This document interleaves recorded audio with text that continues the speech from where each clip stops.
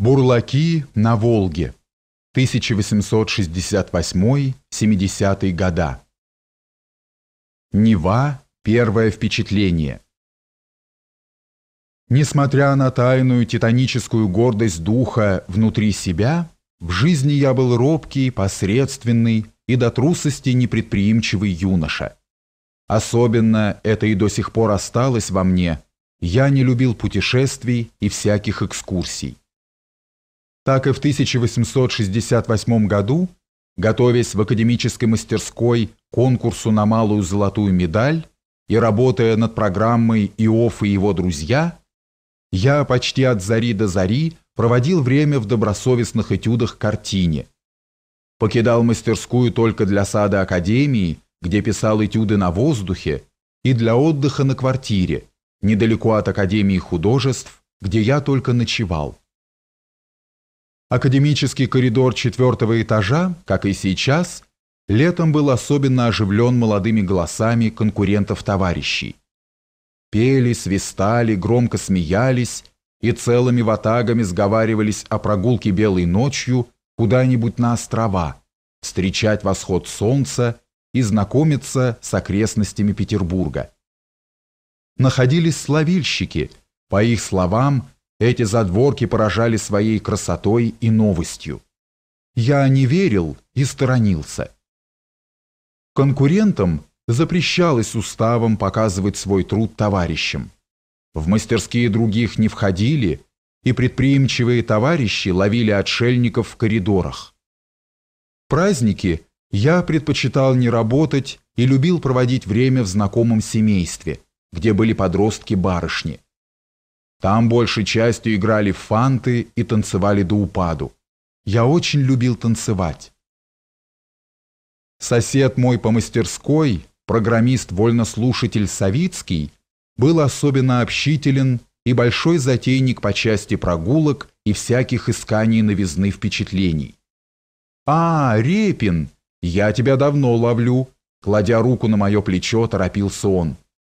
«Поедем завтра на этюды по Неве до устья Жоры. «Ой, вот застаешь врасплох», — уклоняюсь я. «Я вовсе не думал ездить так далеко. И этюдник мой надо привести в порядок для такого путешествия. У меня все в развале. Я привык тут как дома. Наложу красок на палитру и спускаюсь даже без всякого ящика в наш сад. И натурщик тут же казенный. Куда там еще? Собак дразнить, как говорят наши хохлики.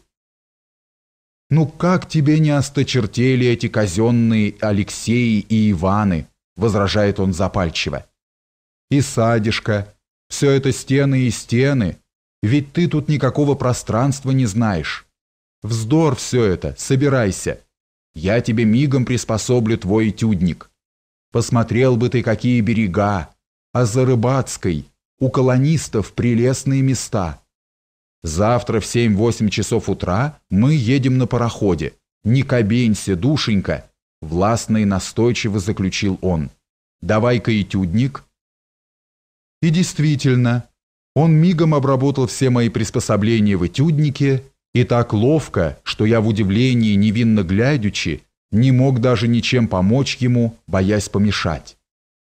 А утром мы уже бурлили по Неве, и я был в несказанном восхищении от красот берегов и от чистого воздуха. Погода была чудесная. Ехали быстро, и к раннему полдню мы проезжали уже роскошные дачи на Неве. Они выходили очаровательными лестницами, затейливыми фасадами, и особенно все это оживлялось больше и больше к полдню блестящей, разряженной публикой. А всего неожиданнее для меня – великолепным цветником барышень, как мне казалось, невиданной красоты. Боже, сколько их! И все они такие праздничные, веселые, всех так озаряет яркое солнце, какие нарядные, а какие цвета модных материй, да такие же цветы и кругом по клумбам окружают их. Глаза разбегаются во все стороны, ничего не уловишь, путается и тасуется сказочный, невиданный еще мною мир праздника, и как его много, без конца. Но вот ход замедлили, станция. Берег высокий, двумя разветвляющимися широкими лестницами, обставленными терракотовыми вазами с цветами, к средним площадкам спускаются группы неземных созданий. Слышен беззаботный говор, остроумный розовый смех перловых зубов. Тут и мужчины, и молодые люди, студенты и военные мундиры так энергично оттеняют цветник белых, палевых и красных зонтиков. Ну право же, все это букет дивных живых цветов. Особенно летние яркие широкие дамские шляпы, газовые вуали и цветы, цветы. А духи, упоительные ароматы доносятся даже к нам на пароход, чары, чары до невероятной фантазии. Ну, спасибо Савицкому. Без него я бы никогда этого не увидел. Это счастье было так близко, ведь не прошло и двух-трех часов, как мы вышли из академии. Для меня это была совершенно неожиданная новость. До этих пор я был полон гордой мысли украинского военного поселянина, что кроме Украины нигде в мире ничего хорошего быть не может, спорил с товарищами, что Харьковская соборная колокольня выше колокольни Исаакиевского собора. Петербург стоит на болоте, кругом него болото, а здешняя природа – одни стриженные до гадости чахлые кустики севера. И вдруг такая роскошь растительности, такой густой, брыжущий свежестью цвет зелени. И сирень, и каштаны, и липы. А береза-то, береза. Ведь у нас ее совсем почти нет. Что же об этом молчат? Но еще. На всем этом райском фоне, надо признать, всего красивее люди. Где уж нам, дуракам, тут? Как чисто одеты, с каким вкусом сидят на них платья. А на самом обворожительном предмете, на барышнях, я уже боюсь даже глаза останавливать. Втянут, не оторвать потом, будут грезиться и во сне. Что-то опьяняющее струится от всех этих дивных созданий красоты. Я был совершенно пьян этим животрепещущим роем. Эх, возраст, возраст! Ведь подумают, я преувеличиваю, просто лгу на старости. Однажды, также в те же времена, день, проведенный в Лигове под Петербургом, был полон таких же чудес и красот. Но когда 20 лет спустя я поехал туда же искать дачу на лето, ясно представляя в воображении даже до мелких примет и дорогу, и расположение местности, дач, я проездил весь долгий день, утомил извозчика и не нашел ничего прежнего. Все уже было по-другому, прозаично, бедно и скучно. Ну что рассуждать? К солнцу, к свету. Моя живая картина была само солнце без пятен. Глаз не оторвать от ее красоты и блеска. Однако, что это там движется сюда, спрашиваю я у Савицкого. Вот то темное, сальное какое-то, коричневое пятно. Что это ползет на наше солнце? А, это бурлаки, бичевой тянут барку. Браво, какие типы! Вот увидишь, сейчас подойдут поближе, стоит взглянуть. Я никогда еще не был на большой судоходной реке и в Петербурге на Неве ни разу не замечал этих чудищ-бурлаков. У нас в Чугуеве бурлакой называют холостяка бездомного. Приблизились. О боже! Зачем же они такие грязные, оборванные? У одного разорванная штанина по земле волочится, и голое колено сверкает, у других локти повылезли, некоторые без шапок, рубахи-то, рубахи истлевшие, не узнать розового ситца, висящего на них полосами, и не разобрать даже ни цвета, ни материи, из которой они сделаны.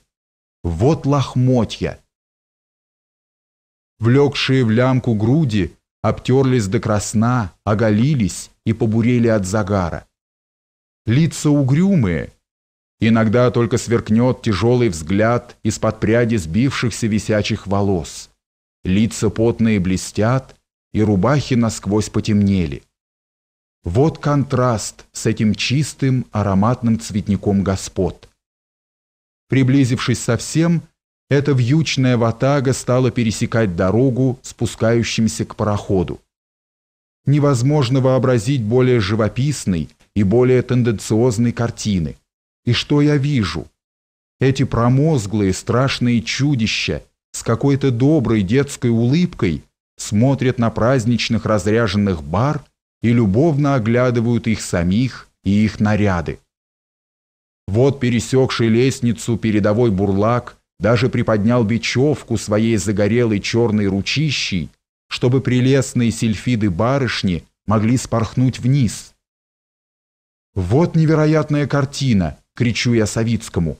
«Никто не поверит!» Действительно, своим тяжелым эффектом бурлаки, как темная туча, заслонили веселое солнце. Я уже тянулся вслед за ними, пока они не скрылись глаз. Пароход наш тронулся дальше. Мы скоро нагнали барку и видели уже с профиля и нагруженную расшиву, и всю бечеву от мачты до лямок. Какая допотопность! Вся эта сказочная баркаролла казалась мне и смешной, и даже страшной своими чудовищными возницами. Какой, однако, это ужас, говорю я уж прямо. Люди вместо скота впряжены. Савицкий, неужели нельзя как-нибудь более прилично перевозить барки с кладями, например, буксирными пароходами? Да, такие голоса уже раздавались. Савицкий был умница и практически знал жизнь. Но буксиры дороги, а главное, эти самые вьючные бурлаки и нагрузят барку, они же и разгрузят ее на месте, куда везут кладь. Поди-ка там поищи рабочих крючников, чего бы это стоило. Савицкий мне нравился тем, что он был похож на студента и рассуждал всегда резонно. А ты посмотрел бы, как на верховье Волги и по всей системе каналов в лямки Бичевой тянут, произнес он. Вот действительно уж диковинно. Там всякой твари по паре впряжено, и все дружно тянут, смеясь, и баба, и лошадь, и мужик, точно нарочно, чтобы мир почудить, и все это по крутому берегу, так эффектно на воздухе рисуется. Всему этому я уже плохо верил. Я был поражен всей картиной и почти не слушал его, все думал. Всего интереснее мне казался момент, когда черная потная лапа поднялась над барышнями, и я решил непременно писать эскиз этой сцены. Но программа «Иоф и его друзья» поглощала все время этюдами к ней. Ближайшими развлечениями была игра в городки в академическом саду на месте нынешнего склада дров. Постоянными товарищами в игре были Рапет, архитектор, Кудрявцев, живописец, Богомолов, тоже архитектор, Макаров, Урлауб и другие. Однако и посреди игр, и в знакомом семействе с барышнями я не мог отделаться от группы бурлаков и делал разные наброски то всей этой группы, то отдельных лиц.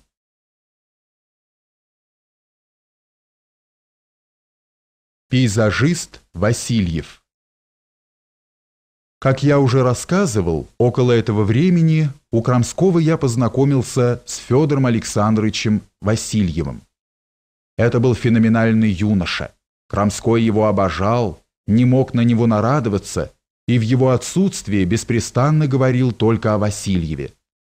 Ему было всего 19 лет, и он только что бросил должность почтальона, решивший всецело заняться живописью. Легким мячиком он скакал между Шишкиным и Крамским, и оба эти его учителя полнели от восхищения гениальным мальчиком. Мне думается, что такую живую кипучую натуру при прекрасном сложении – имел разве Пушкин? Звонкий голос, заразительный смех, чарующее остроумие с тонкой до дерзости насмешкой завоевывали всех своим молодым, веселым интересом к жизни. К этому счастливцу всех тянуло, и сам он зорко и быстро схватывал все явления кругом, а люди, появлявшиеся на сцену, сейчас же становились его клавишами, и он мигом вплетал их в свою житейскую комедию и играл ими. И как это он умел, не засиживаясь, побывать на всех выставках, гуляниях, катках, вечерах и находил время посещать всех своих товарищей и знакомых. Завидная подвижность. И что удивительно, человек бедный, а одет всегда по моде, с иголочки, случайно кое-как образованный, он казался и по терминологии, и по манерам не ниже любого лицеиста. Не зная языков, он умел, кстати, вклеить французское, латинское или смешное немецкое словечко. Не имея у себя дома музыкального инструмента, он мог разбирать с листа ноты, кое-что аккомпанировать и даже сыграть Бетховена. Это особенно меня удивляло.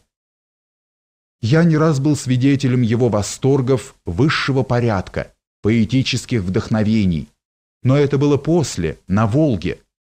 В искусстве он отлично знал Кушелевскую галерею, и все славные, модные тогда имена французских и немецких художников так и сыпались с его языка. Руссо, Трайон, Добиньи, Каро, Руловс и другие. Разумеется, его как пейзажиста интересовали большей частью пейзажисты-немцы – Мунте, Лессинг, братья Ахенбахи и другие. Несмотря на разницу лет, ему было 19, а мне около 26, он с места в карьер взял меня под свое покровительство. И я им нисколько не тяготился, напротив, с удовольствием советовался с ним. В этих случаях из беззаботного балагура барина Васильев вдруг превращался в серьезнейшего ментора, и за его советами чувствовался какой-то особый вес. Откуда? Это меня не раз поражало. Я уже кончал академические курсы как конкурент на золотые медали и в продолжении четырех с половиной лет усердно слушал научные курсы. А он, вчерашний почтальон, юнец, цинично хохотал над Академией художеств и всеми ее традициями, а уж особенно над составом профессоров, не будучи никогда даже в ее стенах. Чудеса! Ко мне он заходил только на квартиру, в дом Шмидта, на четвертой линии, где жил я тогда с мальчиком-братом, вытащенным мною из провинции. «Ну что, брат?» – рассыпается его мажорный голос, едва он переступит мой порог. «А, бурлаки! Задело-таки тебя за живое!» «Да, вот она жизнь. Это не чита старым выдумкам убогих старцев. Но знаешь ли, Боюсь я, чтобы ты не вдался в тенденцию. Да, вижу эскиз акварелью. Тут эти барышни, кавалеры, дачная обстановка, что-то вроде пикника. А эти чумазы уж очень как-то искусственно прикомпоновываются к картинке для назидания. Смотрите, мол, какие мы несчастные уроды, гориллы. Ох, запутаешься ты в этой картине. Уж очень много рассудочности. Картина должна быть шире, проще, что называется, сама по себе. Бурлаки так бурлаки. Я бы на твоем месте поехал на Волгу. Вот где, говорят, настоящий традиционный тип бурлака. Вот где его искать надо. И чем проще будет картина, тем художественнее. Ого, куда хватил! Со скребом в сердце почти ворчу я. Меня он облил холодной водой, и я готов был отшатнуться от его душа. Не вовремя и особенно непосредством мне твоя фантазия, и я нисколько не жалею. Еще бы, знаю тебя. Ты тут в своей академии так усиделся, что даже мхом обрастать начал. И он звонко и пленительно рассыпался здоровым смехом. Меня начинал сердить его покровительственный тон с насмешкой, и я угрюмо думал – все же он еще мальчик сравнительно со мной. Вспомнил, как однажды у Крамского, когда в присутствии целого общества Васильев позволил себе во время серьезного разговора какую-то смелость, доходящую до нахальства. Я обратился потом за разъяснением к Ивану Николаевичу, Крамскому. «Этот птенец не по летам смел», – ворчал я. «В вашем и Ивана Ивановича Шишкина присутствии он до неприличия забывается. Как вы это считаете? Что он такое?» – спросил я серьезно. «Ах, Васильев!» – ответил Крамской. «Это, батюшка, такой феномен, какого еще не было на земле. О, вы познакомьтесь с ним хорошенько, рекомендую, талант. Да ведь какой талант! И вообще я такой одаренной натуры еще не встречал. Его можно сравнить с баснословным богачом, который при этом щедр сказочно и бросает свои сокровища полной горстью направо-налево, не считая и даже не ценя их. Чудо-мальчик Васильев, так необыкновенно одаренный, был тактичен и проницателен тоже не по летам. Он пристально взглянул на меня. «О, что это?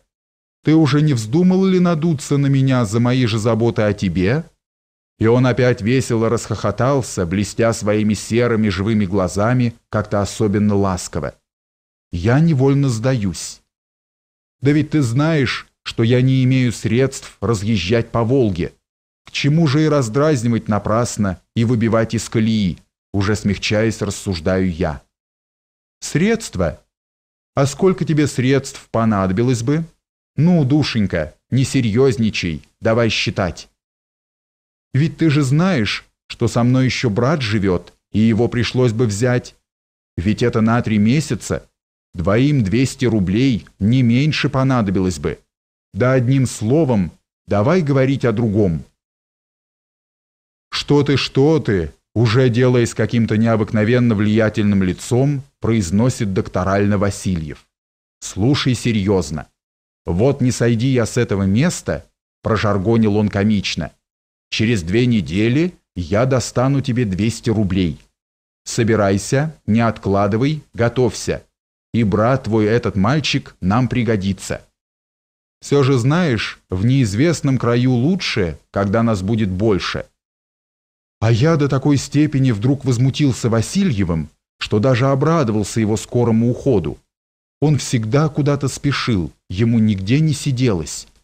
Поднявшись, он продолжал. «Да только знаешь ли, ты остригись!»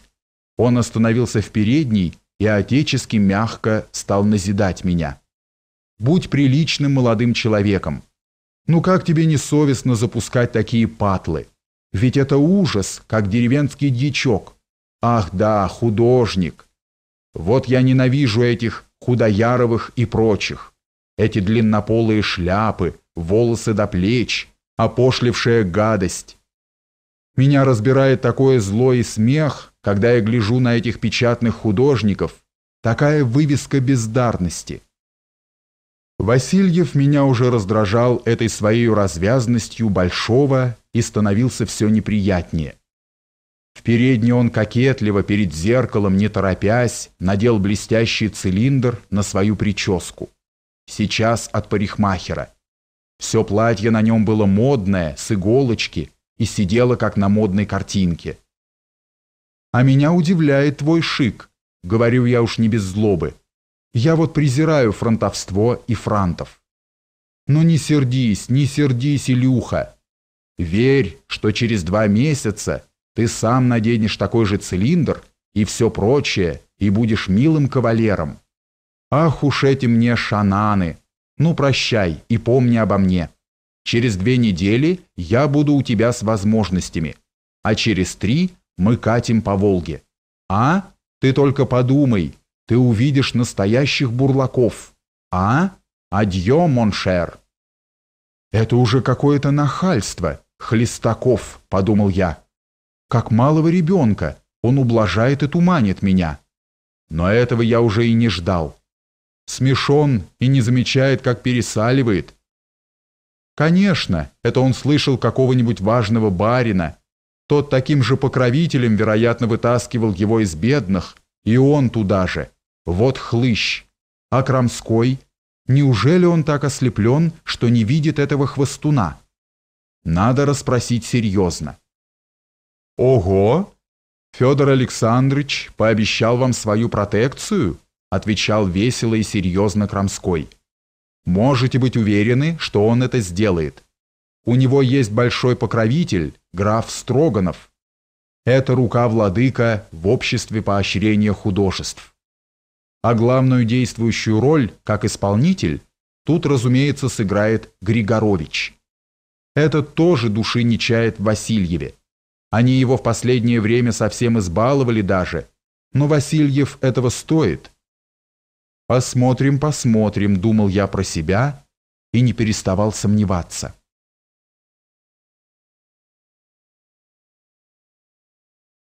Сборы на Волгу.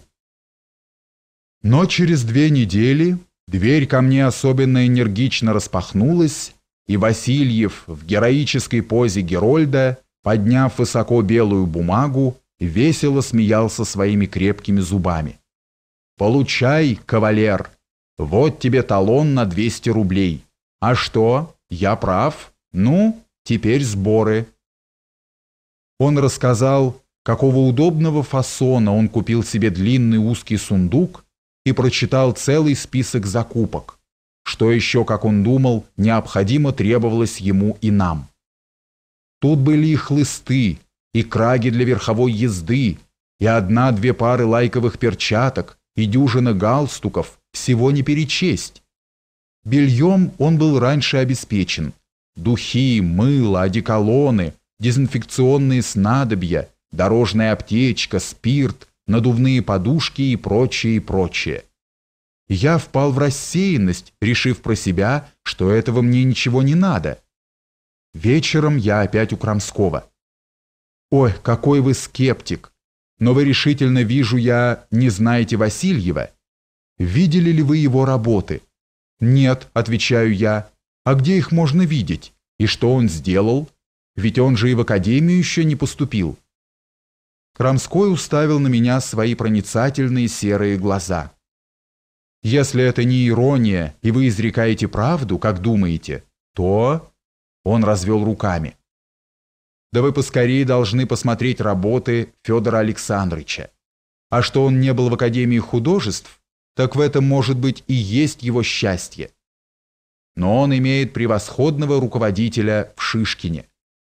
В 17-й линии Васильевского острова, в маленьком одноэтажном низеньком домике семейной собственности Васильевых, я застал Васильева за работой. В самой лучшей, самой большой и все же очень маленькой сравнительно комнатке в два окна у него стояли две вещицы на дряных треножках-мольбертах. Я зашел от света, чтобы видеть картинки, и онемел. Картинки меня ошарашили. Я удивился до полной сконфуженности. «Скажи ради Бога, да где же ты так преуспел?» — лепечу я. «Неужели это ты сам написал?» «Ну, не ожидал я». «Благодарю, не ожидал», — весело засмеялся Васильев. «А учитель, брат, у меня превосходный, Иван Иванович Шишкин. Прибавь еще всю Кушелевку, и уж, конечно, самую великую учительницу, натуру, натуру». А Крамской чего стоит? Небо-то, небо! Начинаю я восторгаться. Как же это? Неужели это без натуры? Я никогда еще не видывал так дивно вылепленных облаков, и как они освещены. Да и все это как-то совершенно по-новому. Васильев приблизился к Мольберту. «А, эти кумулюсь, купы облаков. А они мне не нравятся. Я все бьюсь, ищу.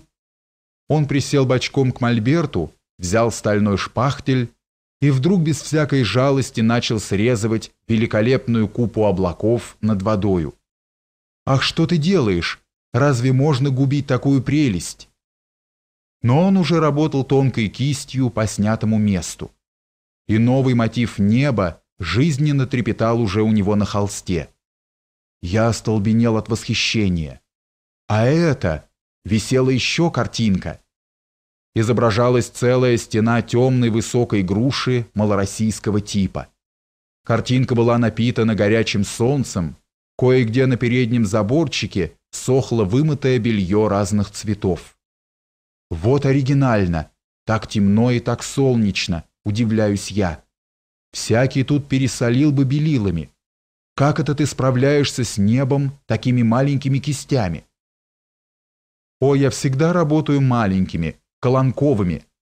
Ими так хорошо лепить и рисовать формочки. А мазать квачами, как заборы, такая гадость. Ненавижу мазню. Хорошо ты сделал, что зашел ко мне. Я сам намеревался зайти к тебе. К тебе есть два дела, два вопроса, выражаясь высоким слогом. И эти дела должен сделать ты. Ну уж ты, пожалуйста, не прикидывайся недорослем. Возьми в обе руки свое внимание и внимай. Ты хорош с Исеевым, и Академия, то есть он Исеев, тобою дорожит. Пожалуйста, не приподнимай так бровей и не прикрывайся личиной идиота. Знаем, брат, про тебя все знаем, но не в этом дело. Иди ты к Исееву и проси, чтобы он похлопотал нам даровый проезд по Волге. У него есть рука в компании «Самолет». Понял? Это часть официальная, а вот часть, так сказать, семейная. Хорошо бы нам взять еще четвертого. Ах, вот идет четвертый. Ну-ну, Роман, держись крепче, не шатайся. Из другой комнаты вышел начинающий ходить мальчик и храбро направился к Васильеву. Это мой брат Роман, которого я люблю больше всей жизни. Только он один мог бы остановить меня теперь в моем решении ехать на Волгу. Ну, поверишь ли, я его так люблю, так люблю. Ну, милый Рома, иди, иди ко мне. Ну-ну, ах ты мое сокровище. Он взял его на руки и уселся на стул. Ах да, с Романом я все забываю. Так вот, Имеешь ли ты кого на примете четвертым в нашу компанию? Вот не думал, отвечал я в раздумье. Разве Кириллыча? Ха-ха-ха, весело взорвался он от неожиданности. Вот одолжил, благодарю, не ожидал. Ох, но этот столб Миргородского повета не поедет. Куда ему, вот смех. И как это ты выговорил его имя?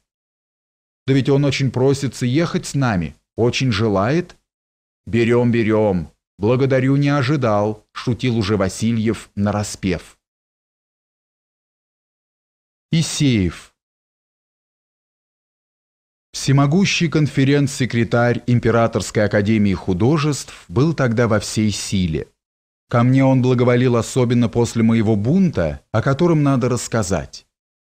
По уставу Академии художеств 1859 года при Академии был научный курс, растянутый на 6 лет.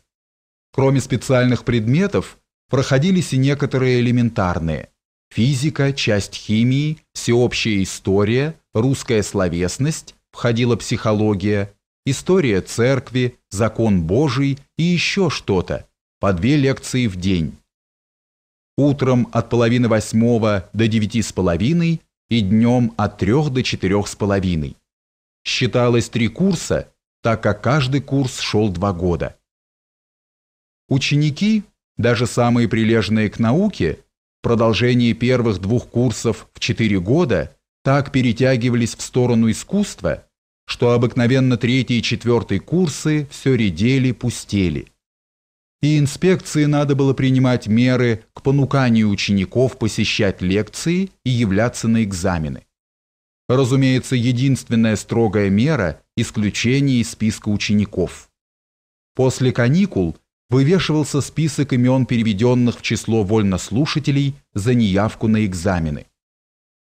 Осенью товарищи сообщили мне, что я в числе исключенных учеников.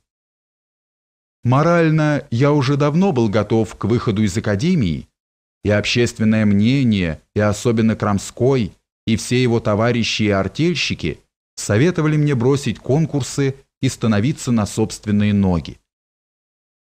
Академия художеств была тогда немало порицаема и осмеяна нашей журналистикой.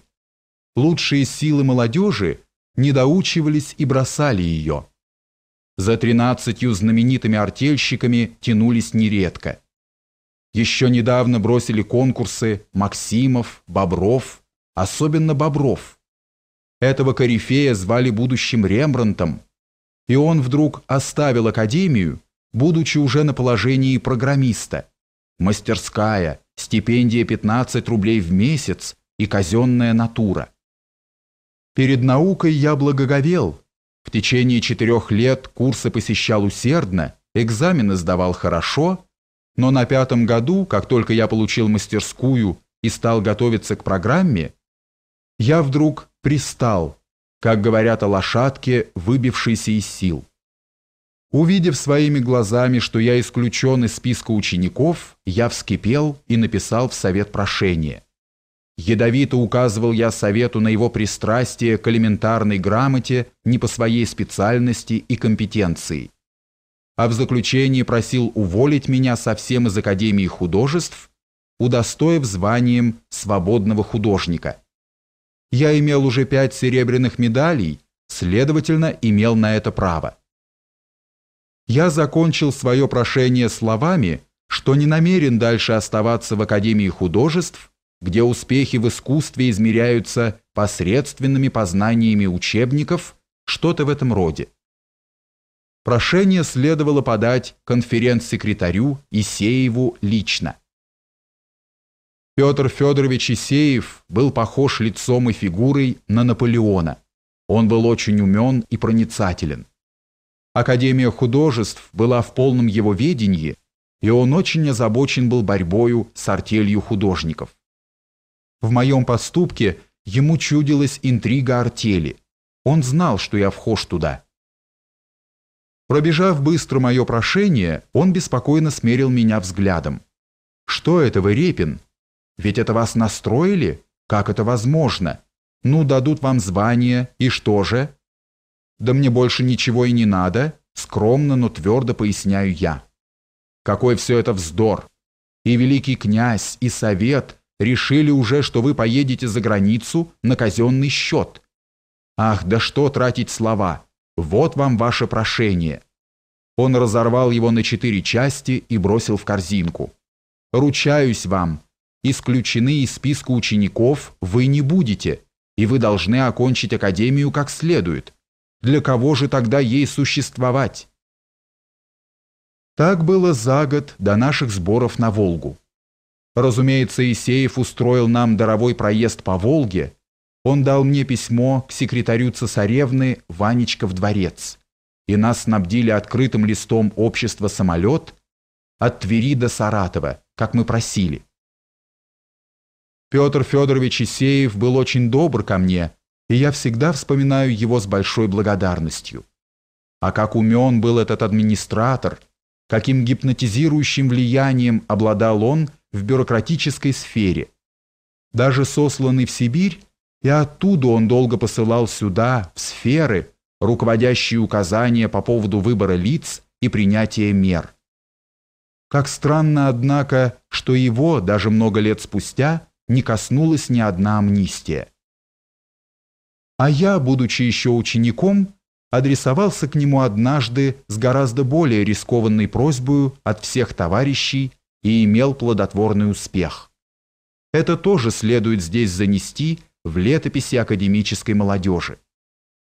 В середине 60-х годов и у нас, в обшарпанных еще до Исеева коридорах Академии художеств, и в беднейших трущобах ученических вольных квартир начали бурлить водовороты социалистических ключей из недр общего настроения тогдашней подземной океан-реки. Товарищи хотели устроить кассу взаимопомощи учеников Академии художеств. Гравер Паназеров, кривым выбритым черепом, низко надвинувшимся ему на маленькие татарские глазки, широким ртом и большими ушами похожий на острожника, но добрый Вятич, земляк Васнецова, был инициатором проекта. У него на квартире тайно собиралось много товарищей, тайно побывал и я. В его двух комнатах было так накурено, стояла такая убийственная духота, несмотря на отворенные окна и холодную октябрьскую ночь, Толпа так как-то робко бродила, не останавливаясь и не садясь, не на чем было, что о правильном собрании нельзя было и думать. Распросивший еще в стенах Академии Паназерова, я видел, что ничего противозаконного, страшного в этом нелегальном скопище нет. И теперь предложил за правилом обратиться к начальству Академии художеств и просить разрешения отвести нам раз в неделю какой-нибудь класс для выработки устава кассы и ее операций. На меня подозрительно посмотрели левые друзья Паназерова. Ого, кто это предлагает? А кто это донесет начальству? Да ведь прогонят. К чему же и разводить это предательство? К чему усложнять дело такой ерундой? Шум поднялся до стуков стульями и палками. Но в конце спелись, и так как дело считалось почти погибшим, то мне, как виновнику предложения, было поручено лично идти к Исееву и доложить ему устав, уже сформированный в Черне тайными собраниями товарищей. «Как хорошо вы сделали, что пришли с этим прямо ко мне», сказал Петр Федорович без всякого удивления, как будто ждал меня. «Знаете, я все время сам думал об этом и сам хотел предложить ученикам основать кассу взаимопомощи. Уставчик я просмотрю потом, но вот условие. На заседаниях учеников будет в качестве товарища председателя присутствовать помощник инспектора – наш милый Павел Алексеевич Черкасов. Его все знают, и ученики его очень любят. Судьба избаловала меня славой не по заслугам. Так было и с кассой. Когда я пришел на первое заседание, Черкасов сидел уже на месте и балагурил с учениками. При виде меня он громко произнес «А вот он, наш Рашфор». И ученики встретили меня громкими дружными аплодисментами – и впоследствии считали меня инициатором кассы, а про Паназерова совсем забыли. Касса эта существует и до днесь. Петр Федорович понемногу привязывался к Академии художеств. Учеников считал близкими, следил за их работами и сам поддерживал их заказцами и покупками ученических проб. Разумеется, у наиболее выдающихся – это вовсе не предосудительно. Так и я лично был поддержан им в очень трудные минуты жизни. Я очень бедствовал и придумывал разные способы для продления своего существования. До поступления Исеева, имея уже несколько серебряных медалей, я обращался с прошениями в Академию художеств на имя князя Гагарина, вице-президента Академии художеств. И о пособии, и о стипендии – но без успеха. Делопроизводитель Зворский с лицом самого святого постника, казалось потемневшим от необыкновенной сдержанности, задушевным, даже упавшим голосом, приподняв брови, кротко отвечал мне одним словом. «Отказано». Он был корректным исполнителем, и мне было очень жаль его, что он в такой несимпатичной роли. Я даже подумывал предложить себя в натурщики Академии. 15 рублей в месяц и казенная квартира в подвалах Академии казались мне завидным обеспечением. У натурщиков много свободного времени, и они зарабатывают еще на стороне, следовательно, можно учиться. Но товарищи, которым я сообщал о своем намерении, смеялись, покачивая головами а Антокольский даже строго, с грустью осудил меня. Профессора не касались нас. Инспектор Шрейнцер, видимо, избегал. И вот Исеев, первое начальственное лицо, которое не боится даже говорить с нами, каждое утро скромно, в каком-то сером пальтишке, этот приземистый человек обходил все закоулки Авгиевых стоил нашего старого запущенного здания и везде начинались ремонты и улучшения. По Кушелевской галерее, недавно только размещенной в тех же, что и сейчас залах, он также проходил в одни и те же часы и подолгу простаивал за моей спиной. Я копировал славонца Галле. Скромно, с большим достоинством он одобрял мою работу. Понемногу я стал привыкать к его визитам в Кушелевку. Я вообще очень люблю умные лица. Его простота и проницательность расположили меня настолько, что я решил попытать еще раз счастье просьбою о пособии. «А разве вы нуждаетесь?» – тихо спросил он. «А эту копию вы делаете по заказу?» «Нет», – отвечал я. «В таком случае я ее у вас покупаю. Она, кажется, уже совсем готова. Как кончите, пришлите мне ее со служителем и придите получить плату. Надеюсь, она не разорит меня. Картина мне очень нравится. Этого славонца многие копируют, но ваша копия лучшая из тех, что я видел здесь. Глаза наши с симпатией встретились, я почувствовал в нем друга, не начальство. Так и на Волге Исеев могущественно выручил нас из грубых тисков местной полиции. Но об этом речь впереди. Игривые предначертания Федора Александровича Васильева исполнялись с точностью. Через три недели мы уже ползли по Волге от самой Твери на плоскодонных пароходиках компании «Самолет» и были в безумном упоении от всего. Возникло это празднество жизни у нас еще с самого начала сборов, как только я сделался владетелем никогда раньше не бывшего у меня капитала в 200 рублей. Сначала, по авторитетным доводам Васильева, было закуплено все самое необходимое, например, надувные гуттаперчевые подушки, оказавшиеся совершенно невозможными, по своей ласке булыжника, да и столько времени надо было их надувать, и как долго мы страдали, приспособляясь то к большей, то к минимальной надутости их пустого нутра. Самую большую тяжесть в моем чемодане составляли спиртовки, кастрюли и закупленные в достаточном количестве макароны, сушки, рис и бисквиты «Альберт». Мы ехали в дикую, совершенно неизвестную миру область Волги, где, конечно, ничего подобного еще не знали. У брата моего была несокрушимая и незаглушимая ничем страсть к музыке. В Чугуеве он овладел в совершенстве только хохладскую сопилкую и не расставался с нею ни в Петербурге, ни на станции Марьино, близ Харькова, где он служил телеграфистом. Во время сборов в дорогу он сказал, что ему недостает только флейты для полного счастья. Флейта была куплена и теперь на Волге на палубе парохода он часто уподоблялся Орфею, которого слушали все, особенно третьеклассные пассажиры и куры, которых щедро кормил повар Назарес.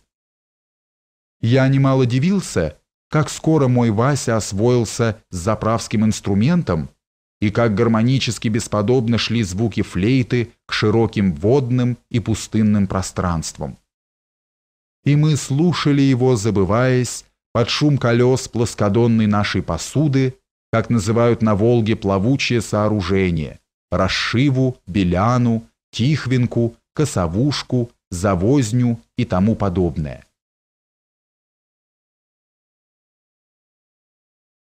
Путешествие Евгений Кириллович Макаров при всей своей серьезности – против собственной воли оказался бесконечно комичным. Он, как столбовой дворянин Миргорода, достойно представлял честь своего сословия и был одет лучше нас, даже цилиндр на голове. Сапоги его сияли идеальную чернотою, воротнички белизною, все вещи у него были особенной добротности, шутить он не любил. Шутливость всецело принадлежала Васильеву, он превосходил всех нас. И чем серьезнее старался быть Кириллович, тем более густым взрывом общего хохота завершался финал его чопорности. И осклабив толстые хохладские губы, он и сам добродушно присоединялся ко всем. Особенную свою гордость, свои чистейшие рукавчики он даже не мог скрыть, и они послужили надолго предметом неудержимого смеха Архипа Ивановича Куинджи. Однажды они с Макаровым и Кившенко пробирались на лодке по отмелям Петровского острова. Уин же отличался физической силой, но был с линцой. Лодка села на мель, Макаров и Кившенко выбивались из сил, чтобы сдвинуть лодку. Наконец, ленивый подсюк Куинджи, призываемый товарищами, встал и пошел к борту, взял весло, уперся в берег и так двинул лодку с досады, что Кириллыч опрокинулся навзничь через борт лодки в воду. Ужас, не правда ли? Но вдруг раздался густой хохот Архипа. Макаров был в воде весь, и только рукавчики его с руками молили о помощи. В самую опасную минуту жизни он подумал о чистоте своих рукавчиков. В верховьях Волги, мы начали ее от Твери, плоскодонцы наши ползли черепашьим шагом. Мы перезнакомились со всеми дельцами, просолами, рядчиками, купцами, поверенными и разными прожекторами севера. Особенно много мы играли в шахматы – и тут нередко попадали на настоящих, заправских игроков-теоретиков и были убийственно сконфужены простоватыми на вид провинциалами. По приказу Васильева мы были острижены под гребенку. Номеров тогда не существовало, имея чудной вид, чудной, а еще не стриженный, пословица. И это сначала заставляло степенных торговцев, особенно из староверов, сторониться нас – но Васильев был так очаровательно общителен, а брат мой еще так провинциально бесхитростно откровенен, что к нам скоро привыкли и от скуки льнули как мухи. Самый общий успех наш был на палубе. Там за нашими спинами всегда стояла гуща зрителей и громко разъясняла наши рисовальные намерения, деловито, наскоро расспрашивали нас, и быстро водворялась наша известность. В посуде мы становились своими. Но не всегда же мы были с альбомчиками. Васильев был завзятый страстный охотник. Он часто вытаскивал на палубу свою дорогую превосходную двустволку и до чертиков увлекая публику охотничьими рассказами. У брата моего также было дешевенькое ружьишко, и он не расставался с ним, а на Васильева глядел, конечно, как на мага. Да и мы с Кириллычем, хоть и не имели ружей, и были всецело верны только одному нашему искусству, а все же на этого чудо-мальчика, выскочку в нашей области, смотрели широко отверстыми от удивления глазами, забыв всякое самолюбие. Он поражал нас на каждой маломальски интересной остановке. В продолжении десяти минут, если пароход стоял, его тонко заостренный карандаш с быстротой машинной швейной иглы черкал по маленькому листку его карманного альбомчика и обрисовывал верно и впечатлительно целую картину крутого берега с покривившимися над кручей домиками, заборчиками, чахлыми деревцами и остроконечными колокольнями вдали. Вот и дорожка вьется наверх, прерываясь осыпями и зелеными лопухами. Все до самой нижней площадки пристани с группами торговок под огромными зонтиками деревянными навесами над своим скарбом, все ловит магический карандаш Васильева. И фигурку на ходу, и лошадку на бегу, до самой команды парохода «Отдай чалку». Пароход трогался, маг захлопывал альбомчик, который привычно нырял в его боковой карман. Первые разы мы давались диву, особенно Кириллыч, его изумленная, с проеденными на сластях зубами озадаченная физиономия вопросительно уставляется на меня. «О, ну что ты скажешь? Вот черт! Я бы не успел и альбомчика удобно расставить. Вот тебе и академия, вот и натурные классы, и профессора.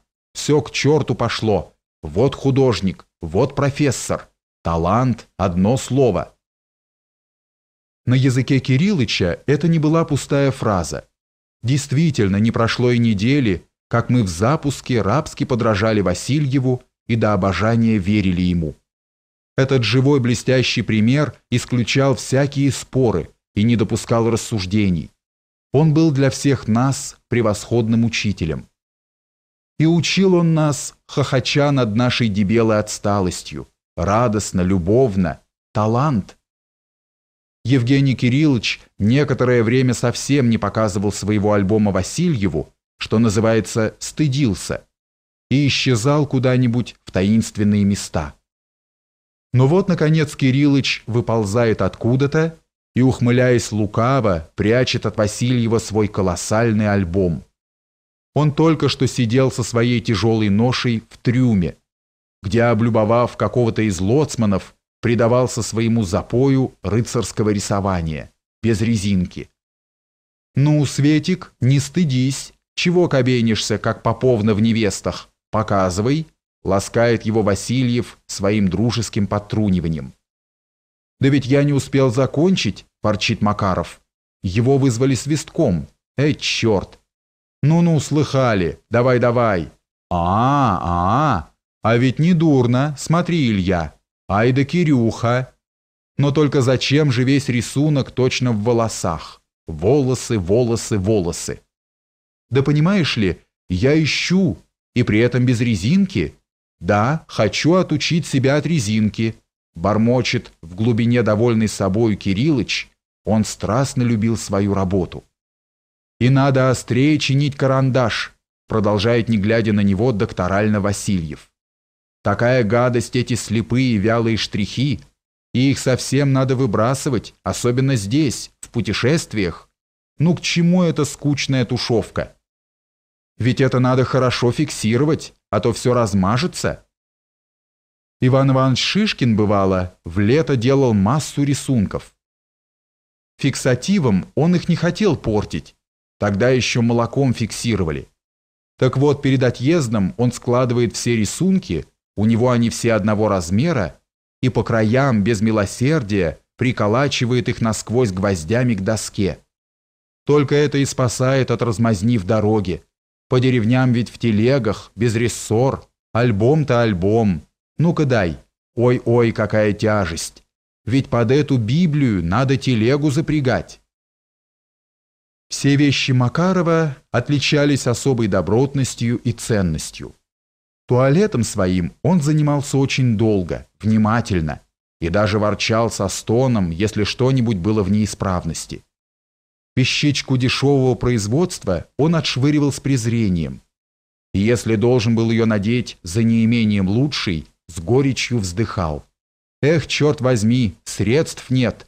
Разве я носил бы эту гадость? Ростом Макаров был выше всех. Дородству его мешал разве смуглый цвет лица. Даже руки его, особенно оттененные белизной рукавчиков, казались точно в перчатках цвета гаванских сигар, тогда модного. В деревне впоследствии крестьяне считали его нашим начальником. Там без начальства немыслимо, а встречают по одежке.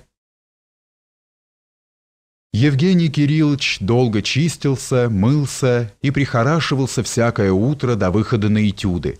На руках рукавчики – а на ногах сапоги добавляли ему еще больше работы. Надо было самому все чистить. С высокими голенищами охотничьи боты. Бывало, сбегаешь на этюд восхода солнца, бежишь в припрыжку к чаю, а он на крыльце все еще хокает, наматывая пятно на голенище, не поддающееся полировке. Да, Макар настоящий барин. А эти-то, может, из кантонистов, разбирали нас по-своему обыватели Ширяева-Буйрака на Самарской Луке. Но ведь это я по своей нетерпеливости забежал вперед, а мы еще все пыхтим в верховье Волги и подъезжаем еще только к плесам. Была уже ночь, лунная, теплая, летняя. С Васильевым мы как-то спелись, быстро узнавали, долго ли стоит на пристани пароход, и сейчас же на берег, наверх, подальше – места смотреть. Луна, как и искусство, очаровывает нас, обобщая формы, выбрасывая подробные детали. Много подробностей берет она в тени, много предметов заливает своим серебряным светом, и вот, может быть, самые пошлые днем места теперь кажутся необыкновенно таинственными. Был уже второй час ночи, мирные обыватели спали с открытыми окнами, Густые группы сирени пластично стояли в неподвижности и поили ароматом садики, спускавшиеся террасами к Волге. Еще какие-то цветущие фруктовые деревья, а это розы. И соловьи, соловьи. Посмотри, какие звезды, говорит Васильев. Бездонное небо и какая широта, туда, вдаль, за Волгу. А над всем Творец. Помнишь Якова Пасынкова? Ах, отсюда необходимо зачертить этот мотив. Какая красота! Но вот досада, вскрикивает он, я забыл свой альбомчик. Возьми, предлагаю я свой. Но неужели ты видишь при луне? Дай, дай. И он быстро чертил и прекрасно зарисовал выступ садика над обрывом. Этот набросок есть у меня в альбомчике того времени. После этого наброска на Васильева нашло какое-то вдохновение, та истинная поэзия чувства, которая даже не поддается никаким словам. Она выливалась у него в какой-то импровизации. Это было стихотворение в прозе, мелодикламация под звуки соловьев и лай собак вдали о необозримом мире людей, погруженных в грезы сна. Его настроение передалось и мне, и я почувствовал, что мы будто летим над всем раскинувшимся и исчезающим под нами луговым пространством широкой Волги. А ведь это свисток нашей посуды, а мы забрались, кажется, очень далеко. Уж не попробовать ли нам вернуться напрямик сюда, через плетень? И мы долго спрыгивали разными темными обрывами и узкими переулками, перелезая через высокие плетни и заборчики, пока, наконец, поспели к третьему звонку. «Куда вы пропали?» — сердито ворчит Кириллыч. «Капитан уже хотел отчаливать, и только я едва упросил». Публика ругается. Выдумали же в дороге исчезать ночью в незнакомом городе. «Отдай чалку!» — слышится знакомый крик недовольного капитана. Мы едва успели перескочить трап. Бух, бух, бух, бух, запенилась Волга. И мы уж с палубы не можем различать наши фантастичные высоты. И пошли опять бесконечно долгие дни, безнадежно однообразные берега. Видел я и смешанные коллективные усилия людей и скотов обоего пола, тянувших все те же невероятные по своей длине бичевы. Группы этих бурлаков рисовались силуэтами над высокими обрывами и составляли унылый прибавок к весьма унылому пейзажу. «Это запев камаринской глинки», — думалось мне. И действительно, характер берегов Волки на российском размахе и ее протяжений дает образы для всех мотивов камаринской, с той же разработкой деталей в своей оркестровке. После бесконечно плавных и заунывных линий запева вдруг выскочит дерзкий уступ с какой-нибудь корявой растительностью, разобьет тягучесть неволи свободным скачком и опять тягота без конца. В то время я любил музыку больше всех искусств, пробирался на хоры в концерты дворянского собрания и потому и здесь к необозримым широким видам применял музыкальные темы. Васильев был необыкновенно музыкальная натура, он превосходно насвистывал лучшие места знакомой музыки. Макаров любил только живопись. Он увлекался до желания копировать каждую выдающуюся вещь. Его заветную мечтою было скопировать явление Христа народу Иванова. Эта идея была для него меккой магометанина. Копировал он дивно, с такой точностью, так тонко и любовно, что его копии нравились мне более оригиналов. Я очень жалею, что ему не удалось скопировать гениальное произведение нашего великого аскета римского Иванова. Мы имели бы повторение, и какое! Да, искусство только и вечно и драгоценно любовью художника. Вот, например, по заказу Стасова Серов, еще будучи мальчиком, скопировал у меня в Москве патриарха Никона, Шварца. И эта копия исполнена лучше оригинала, потому что Серов любил искусство больше, чем Шварц, и кисть его более художественна. На всех берегах Волги, то есть особенно на пристанях, мы выбирали уже лучшие места, чтобы остановиться поработать на все лето. Расспрашивали бывалых, и нам дальше Саратова плыть не советовали, там, где скучные и однообразные места пойдут. Пространства широкие, берега расползаются по песчаным отмелям, совсем теряются. лучше всего «Жигули», говорили все в один голос. Неужели лучше Нижнего Новгорода? Этот царственно поставленный над всем востоком России город совсем закружил наши головы. Как упоительны его необозримые дали. Мы захлебывались от восхищения ими, и перед нашими глазами вставала живая история Старой Руси, люди которой, эти сильные люди хорошей породы, так умели ценить жизнь, ее теплоту и художественность. Эти не любили селиться где-нибудь и как-нибудь. Против самой лучшей точки «Жигулей», по нашим вкусам, стоит на плоском берегу Ставрополь-Самарский. На обратном пути из Саратова мы решили остановиться там и пожить, осмотреться. В Саратове мы не покинули кают нашего самолета. Он, простояв трое суток, шел обратно вверх до Нижнего Новгорода. И вот на пристани Ставрополь мы впервые высадились в неизвестной стране на Волге. До города верст пять по луговой отмели лихие воровского вида извозчики с веревочной упряжью, топорными тележками катили нас на паре, как сумасшедшие. Усевшись попарно, третьего извозчика мы взяли для вещей и старались не упускать из виду своих сундуков и чемоданов. С запасами на все лето они казались внушительными для захолустных оборвышей.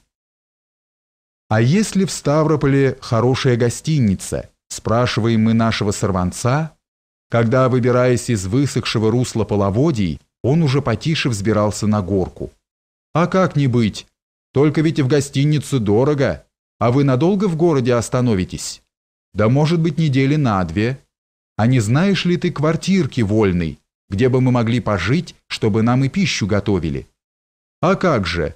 Да вот хоть бы у Буянихи две хорошие чистые комнаты и готовить может. Вечером и в сумерках становилось жутко. По руслу мы ехали как в канале, ничего не видно за пригорками. А это что? Как будто скелет какого-нибудь допотопного ихтиозавра раскинулся чуть не на сто саженей. Вон куда мы должны его объезжать а толщина. За ним ничего не видно.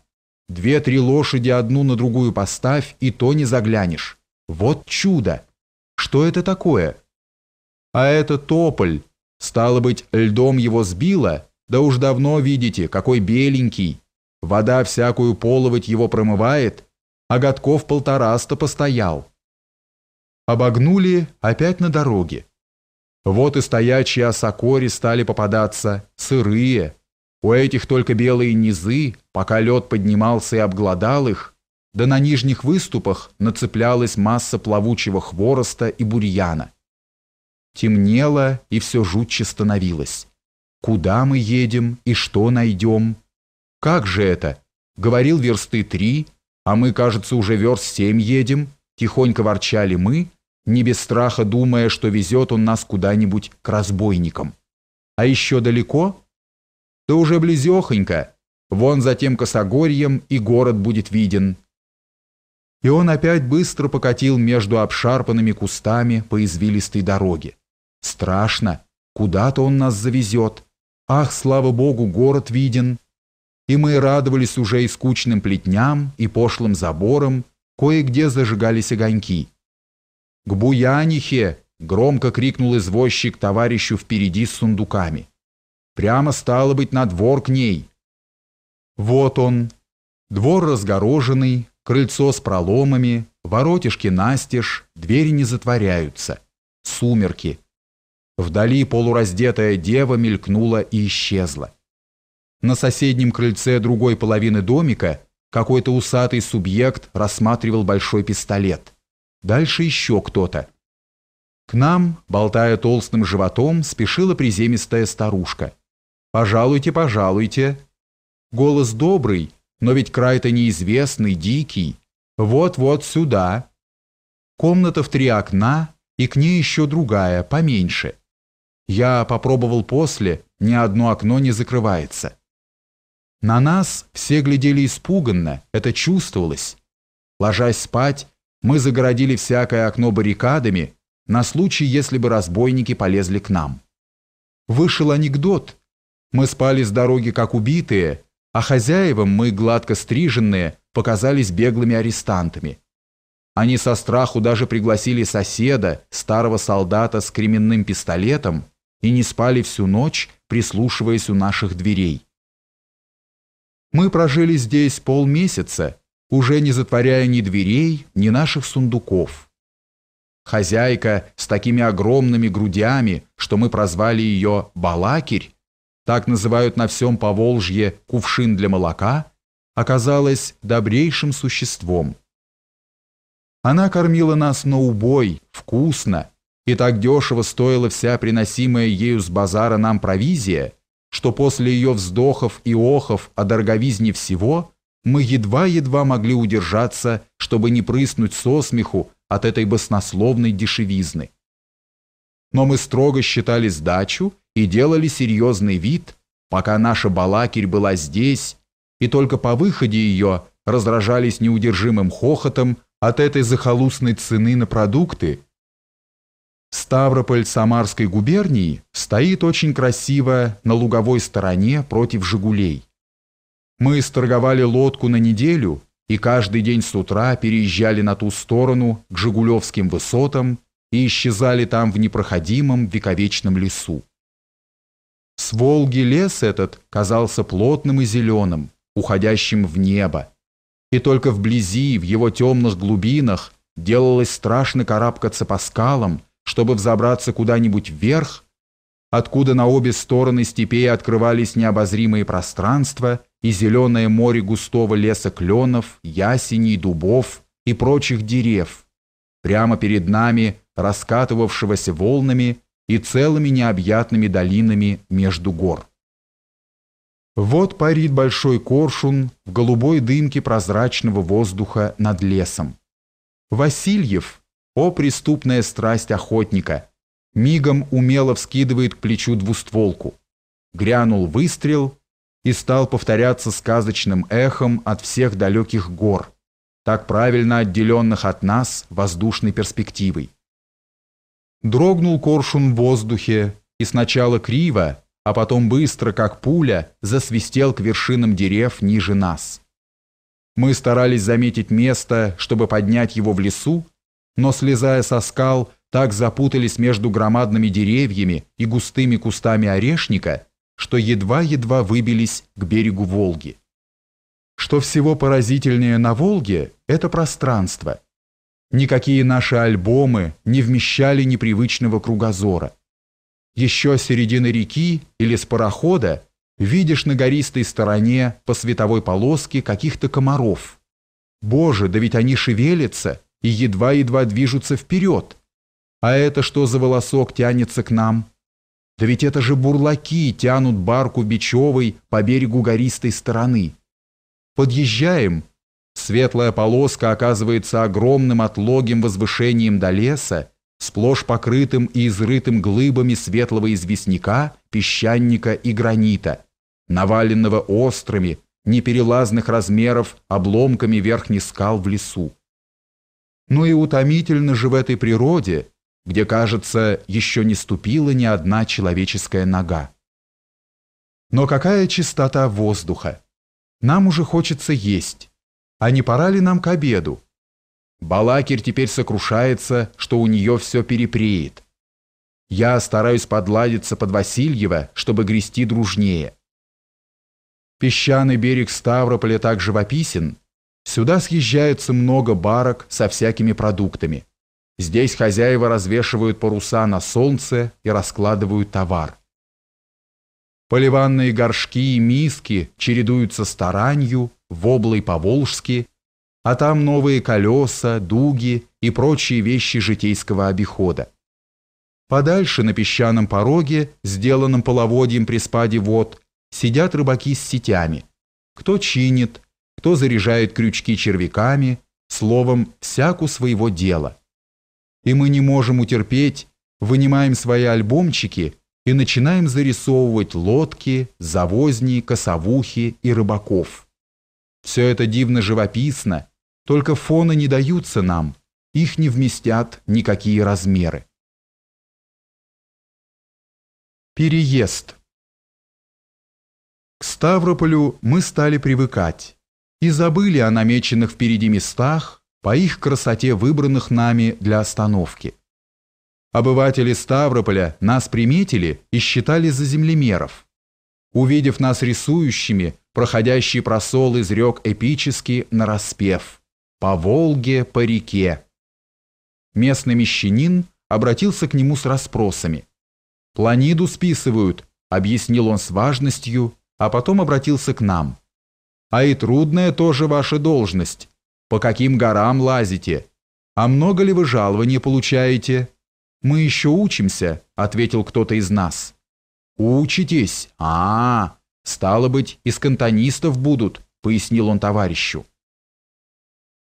Нам надо было еще спуститься верст 60 по течению, чтобы посмотреть окрестности намеченных нами мест, нанять избу на все лето и переезжать. Васильев заботился и торопил. В Ширяево решено было съездить Васильеву и мне. Было начало июня, погода стояла дивная. Мы наняли лодку с двумя гребцами, спустить нас до Ширяева против Царева кургана, откуда мы намеревались вернуться на пароходе. Выехали мы с восходом солнца, часа в четыре. Рыбаки просили не опоздать, чтобы днем в самую припеку им отдохнуть часа два. Какой был восход! Мы пришли к лодке раньше гребцов и, сидя, восхищались тем, как постепенно светлела и расцвечивалась природа, особенно небо. Как мы жалеем всех интеллигентов, которые никогда почти не видят восходов. Когда взошло и блеснуло солнце, то все потемнело, и глазам стало больно, пошли разноцветные круги. Течение Волги довольно быстрое, грибцы наши, мужики здоровые, а все же 60 верст тянулись долго-долго, стало сильно припекать и клонить ко сну. Но вот и моркваши. День воскресный, на берегу прибрежные. Они любят Волгу и каждую свободную минуту высыпают на берег. Нас обступили. Какой красивый дородный народ! Высокие цилиндры-гречневики с большим перехватом посередине так к ним и идут. И откуда у них такая независимость, мажорность в разговоре? И эта осанка, полное достоинство. Как не станет мужик, все красиво. И бабы подходят, тоже княжны какие-то по складу. Рослые, красивые, смелые. Всем здесь говорят «ты обыватели», и за этим чувствуется равенство. Никакого подхалимства, никакой замашки услужить господам, словом, никакого холопства. А что, господа, Верно, к мировому приехали. Отсюда недалеко квартира. Вон в том доме, там и дощечка прибита. А что в самом деле, шепчет мне Васильев. Зайдем к мировому, расспросим, познакомимся. Я очень удивился этой неожиданности. Как же это к незнакомому? Да ведь у нас к нему никакого дела нет. Э, пойдем, это интересно. Иди за мной, увидишь, как живут провинциалы. Ведь им тут скучно без людей, я их знаю, надо же изучать нравы. И опять он заставил меня дивиться диву. Перед входом он натянул лайковые перчатки, грациозно взял в руку тросточку, обмахнул платком пыль на ботинках с крючками, ну просто вошел столичный франт, завсегдатый салонов хорошего тона. Так мило извинился в начале, так бойко коснулся всех вопросов, так умело навел мирового на рассказы о своей практике и окрестных интересах, что расставался мировой с нами уже дружески и непритворно жалел, что визит наш такой короткий. От него мы узнали, что на ближайшей скале над Волгой Петр Великий собственноручно высек на камне свое имя. Мы сейчас же туда. Здорово вспотели, пока взобрались. Воротнички раскисли, сапоги ошарпались, Действительно, надпись была. Хотя местами песчаник от времени и непогоды сильно выветрился, так что разобрать надпись можно было не без труда. Сверху нам казалось, что Волга подходит к самой горе, почти отвесно стоящей к берегу, но сколько мы ни старались, не могли добросить камни до воды. а бросать камешки я был охоч и умел. Все через Донец, бывало, бросал в детстве.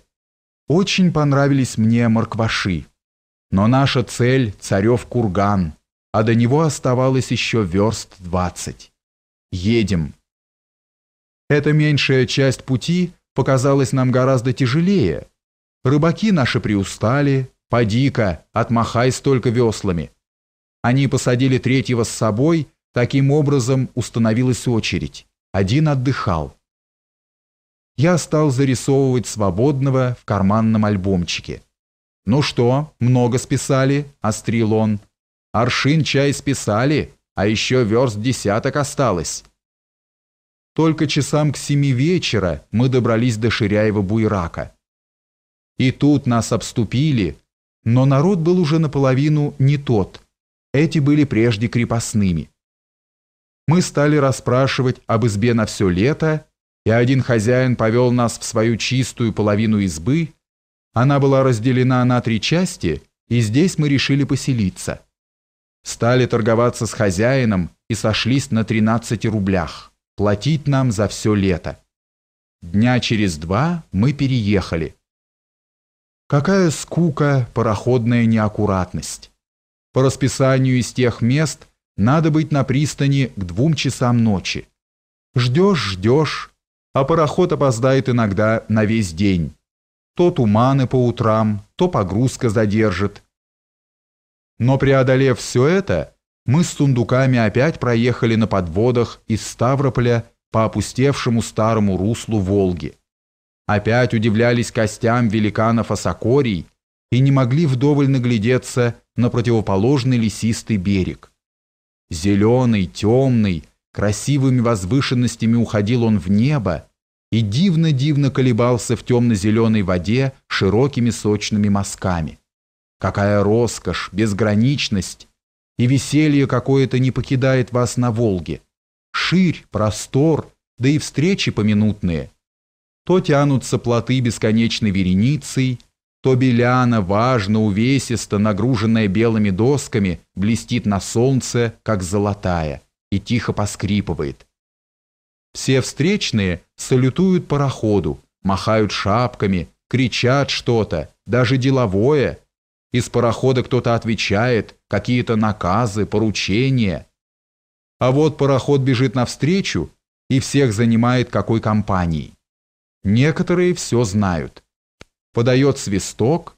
Вот там, смотрите, смотрите, как сильно колыхнулись косовушки. Вот и нас хлестнуло высокой волной.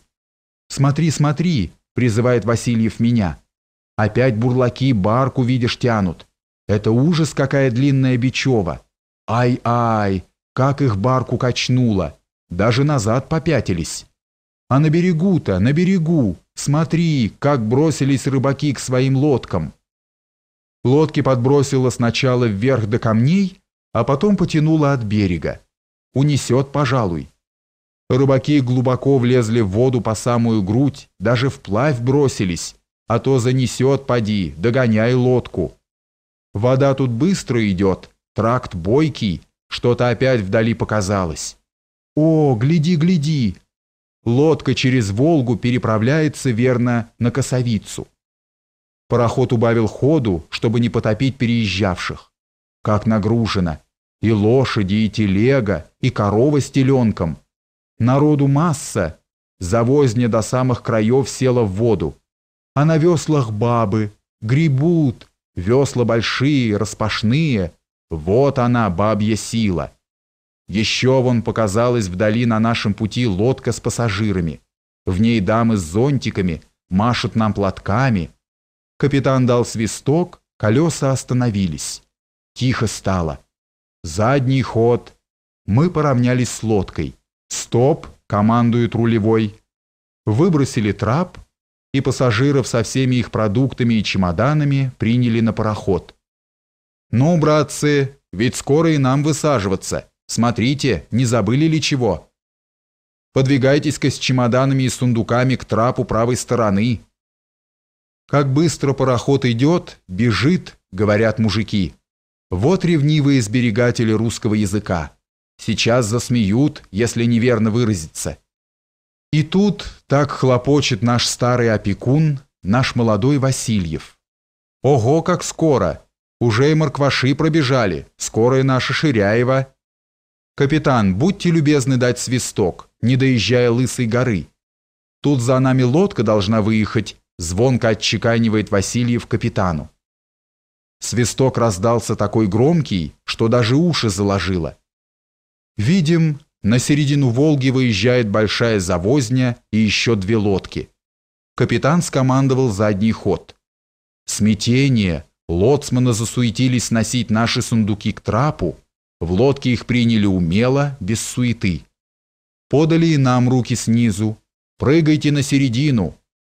Мы весело, растерянно раскланиваемся с капитаном, пароходом, добродушными лоцманами и с публикой заодно. Ширяева. «Ну, куда-то Господь привел нас», — шепчемся. «К Ивану Алексееву знаете?» — хозяйственно распоряжается Васильев. «Знаем, знаем. Вон на берег высыпала вся семья. Ждут вас с утра. Ну вот мы и дома. На все лето уже здесь останемся. Давайте устраиваться в избе, кто где поместится». «А что, здесь по берегу охотиться можно?» — спрашивает Васильев мужиков. «А когда же чай нет?» – отвечают ширяевцы. «Да ведь до Петрова дня нельзя, запрещено начальством строго». «А, ну мы так места посмотрим. Берите свое ружьишко и айдате, как говорят здесь». На другой день после чая мы сразу разбрелись в разные стороны. Макаров неудержимо пополз наверх, к большим глыбам песчаника в виде сфинкса. Васильев с братом – направился в козьи рожки верхнюю тропою. А я взял альбом и пошел в противоположную сторону, к Воложке, как называют ближайшие небольшие притоки Волги.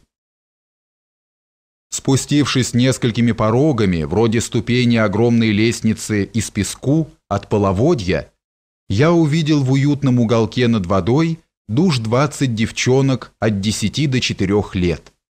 Они сидели и, как умеют только деревенские дети и люди, ничего не делали. Я подсел в сторонке и вижу, прекрасная группа детишек лепится на импровизированных ступенях Волги. Дети сначала почти не обратили на меня внимания, и потому все больше о чем-то болтали между собою и играли в черепочки. Вообще деревенские дети очень умны, необыкновенно наблюдательны, а главное, они в совершенстве обладают чутьем в определении всех явлений жизни, отлично оценивают и животных, и людей в смысле опасности для себя. «Детки», — говорю я громко, когда почувствовал, что ко мне уже достаточно привыкли, «посидите так смирно, не шевелясь. Каждый, кто высидит пять минут, я дам пять копеек. Девчонки это сразу поняли, застыли в своих положениях, и я, о блаженство, читатель, я с дрожью удовольствия стал бегать карандашом по листку альбома, ловя характеры, формовки, движения маленьких фигурок, так прелестно сплетавшихся в полевой букет, будто их кто усаживал. Невольно возникают в таких случаях прежние требования критики и публики от психологии художника. Что он думал? Чем руководился в выборе сюжета? Какой опыт или символ заключает в себе его идея? Ничего. Весь мир забыт. Ничего не нужно художнику, кроме этих живых форм. В них самих теперь для него весь смысл и весь интерес жизни. Счастливые минуты упоения. Не чувствует он, что отсидел ногу, что сырость проникает через пальто, почва еще не совсем обсохла. Словом, художник счастлив, наслаждается и не видит уже ничего кругом. Какая-то баба пришла, остановилась, но я почувствовал инстинктивно, что она в волнении. Взглянул на нее, она стоит в каком-то оцепенении. От моего взгляда она попятилась, исчезла. Мы были внизу, и след ее сейчас же скрылся за подъемом. Пришла другая баба, что-то прошептала девчонкам. Это вдруг схватила за косенки одну девочку и вытащила ее наверх, откуда уже спускались две новые бабы. Одна из них призлющая, с хворостиной в руке. И начались громкие ругательства. Нигде так не ругаются, как на Волге.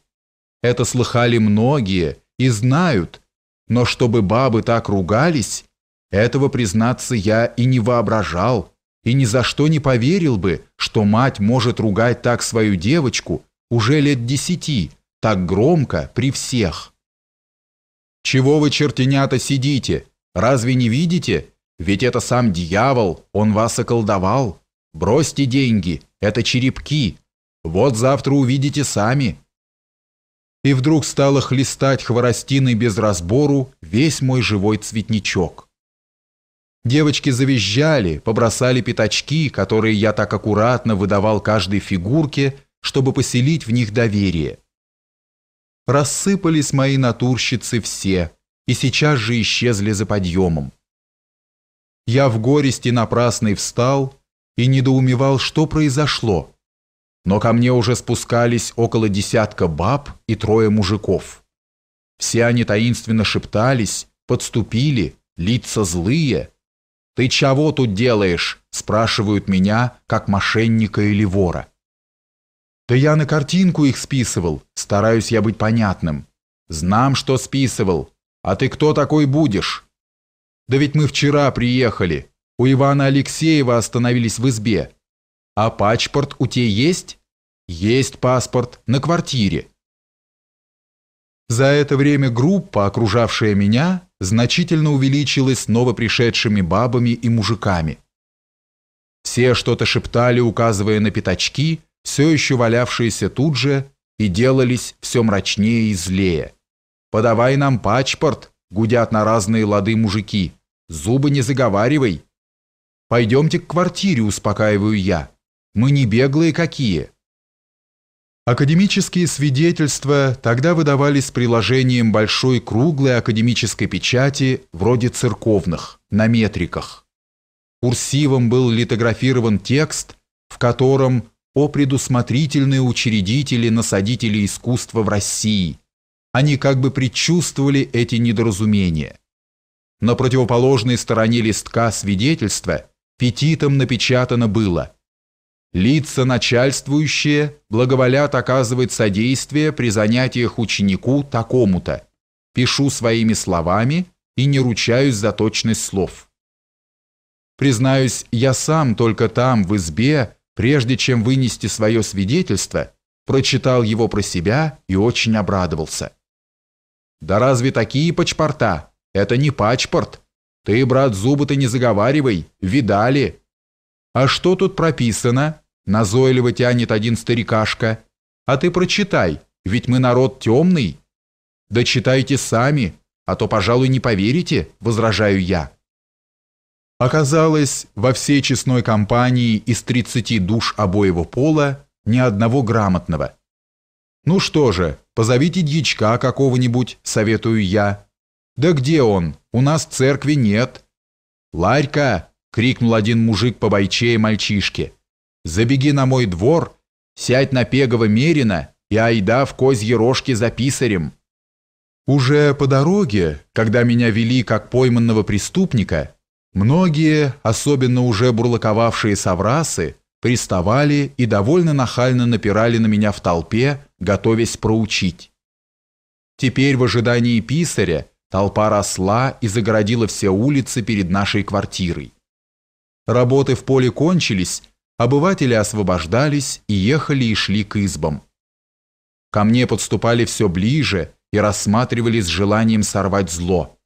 «А вон писарь едет, писарь, писарь!» сказали, указывая на бородатого мужика, рысившего напегом, широко расставив локти.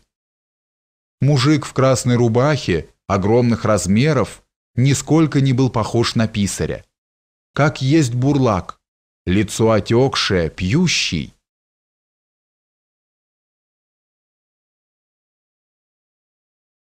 Императорская печать Ему передали мой паспорт. Он грамотно прочитал его, но, вероятно, быстрее, чем способно ухватить ухо простолюдина. «А это что же за печать такая?» Ткнул большим черным пальцем ближайший мужик в мой паспорт у писаря. А это печать Императорской Академии Художеств, прочел казенно писарь, поворачивая круг. Эффект вышел, превзошедший все мои желания. Толпа вдруг замерла и попятилась назад. Тихо, инстинктивно стали бойцы-дерзилы затасовываться друг за дружку. Как будто даже все лица вдруг потемнели, глаза уже смотрели или в землю, или в бок куда-то с явным намерением скрыться. «Императорская печать! Императорская печать! Слышь ты!» Как-то шуршало в толпе и, расходясь, таяло вместе с ней. А вон, кстати, и наши. Макаров, Васильев и мой брат возвращались домой. «Это что? Это что?» Уже поясничал Васильев издали. «Что? Им паспорта. Вишь, начальство. Сейчас же к писарю. Зайдите к нам, мы вам все подробно объясним, кто мы, а вы уж, пожалуйста, вразумите этих чудаков».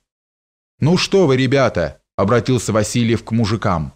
«Ведь мы не краденые, целое лето будем жить у вас, справиться о нас у начальства в Петербурге можете. Ну, марш по домам, вишь, ярмарку какую устроили», — весело командует Васильев. «Как они вас притиснули!» «Ай дайте, братцы, ужин варить!» — уже обратился он к нам. «Ну, доставайте-ка спиртовку, макароны, смоленскую крупу. Это вам не Ставрополь». Тут, я думаю, никто не умеет готовить, а есть как хочется. Кроме молока, можно ли тут чего-нибудь достать на приварок? Обратился Васильев к бабам. Да чай можно. Где же чай нет? Вестимо можно, только это уж завтра. Рыбаки стерлядки принесут. Когда же чай нет? Слава богу, у нас все есть, поясняют бабы. А, стерляди. Стерляжью уху будем варить, вот так фунт, восхищается Васильев. И мы стали варить макароны. Принесли молоко, черный хлеб и так далее. Мы досыта нахватались, стало темнеть и захотелось спать. Меня долго ночью одолевали кошмары, а тут еще матрацев никаких, скамейка твердая, узкая. Я накрыл ее чем мог, куском тонкой шелковой восточной материи да простыней, больше нечем. Жестко было сначала, но в течение лета я привык к этому жесткому ложу. А вот попробовал было теперь, два года назад, так не выдержал, бока разболелись. Никакой возможности не стало терпеть и бросил. Писарь стал предлагать разные услуги. Но нам он не внушал ни дружбы, ни симпатии, и мы отказались. А вот что, братцы, надо нам собрать белье и отдать перемыть. Собрали, записали, отдали. И что же оказалось? Через неделю, когда нам принесли хозяйские бабы наше белье, мы в недоумении робко взглянули на него и только вздохнули. Бабам промолчали, конечно. Дешево, но полезли доставать уже брошенное прежде в грязное. Оно оказалось чище вымытого. Вымытое бабами было цвета кофейного крема и все в мелких морщинках. Оно даже катано не было, а сложено кое-как. Едва разобрали, которое чье. Решаем возить в Самару и там отдавать белье в стирку. Самара от Ширяева всего 15 верст. Только обогнуть Самарскую Луку после Царевщины, за козьими рожками, а там скоро и Самара видна. И мы в продолжении лета часто ездили туда за покупками консервов, сушек, чаю, сахару и всего, что требовалось. Все это брали мы в магазине Санина. Сложилось как-то так, что к вечеру, убирая кисти, палитры и прочее, мы всегда что-нибудь напевали. У Васильева был довольно звучный тенор, я подхватывал вторить, брат выводил высокие вариации на флейте, только Макаров, как истинный барин, в совершенстве оправдывал замечание Тургенева. Ни фальшиво поющего русского барина мы еще не встречали. Но Макаров умно держался, никогда не открывал рта для пения. Особенно прижилась к нам песенка «Романс» «Поле росится».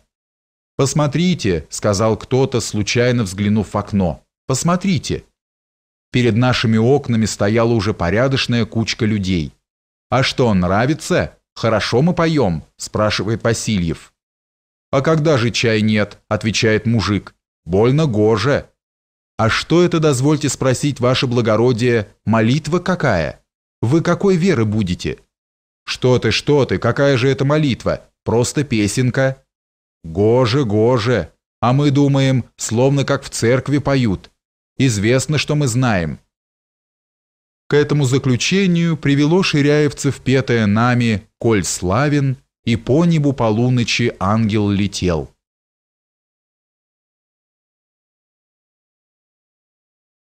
Натура – учитель. Жизнь наша пошла мирно и плодотворно для нас.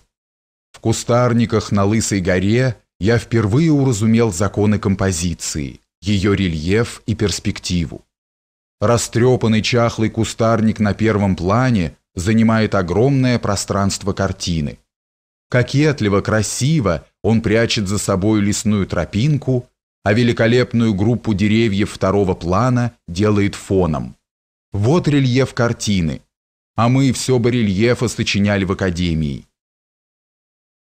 Вечерами за чаем мы делились своими наблюдениями, спорили, острили и много смеялись. Конечно, запевал и был Васильев. Вечера еще были очень короткие, и мы старались раньше вставать. У меня был затеян этюд восхода солнца с Лысой горы на Ширяево. Его можно было писать только от пяти часов утра до половины седьмого. Какая фантазия, эти дымы из труб! Они так играют на солнце, бесконечные варианты и в формах, и в освещении, то раскинутых кисейным флером, то сгустившихся один на другим густыми облаками. Надо ловить. Никогда мотивы не повторяются точь-в-точь. точь. Иногда вдруг туман приползет по Волге и станет стеною, закроет всю Курумчу, и ничего не видно на левой луговой стороне. Во время этюда меня начинает удивлять постоянство мальчика-пастуха. Он стоит передо мною на расстоянии шагов сорока, будто позирует мне. Застыл, не шевельнется. Надо его расспросить. Как жаль, я все ловлю дым, и никак не мог удосужиться набросать мальчишку. Посмотрел на часы, а мне пора к чаю. Собираю ящик, бегу рысью, чтобы не опоздать, мимо пастуха. «А что это ты тут стоишь? Ведь ты отсюда ничего не видишь». Я разумею свою работу, которая была загорожена от него крышкой ящика. «Больно гоже», — говорит пастушок. «А что гоже?» — не понимаю я. На что же ты смотришь? Ведь не на меня. Так что же гоже-то? А блестит, говорит мальчик. А что такое там блестит? Ведь ничего, кажется, нет, удивляюсь я, оборачиваясь. А вот эта крышка блестит, указывает он на мой ящик, висевший уже на моем плече на ремне. Каково?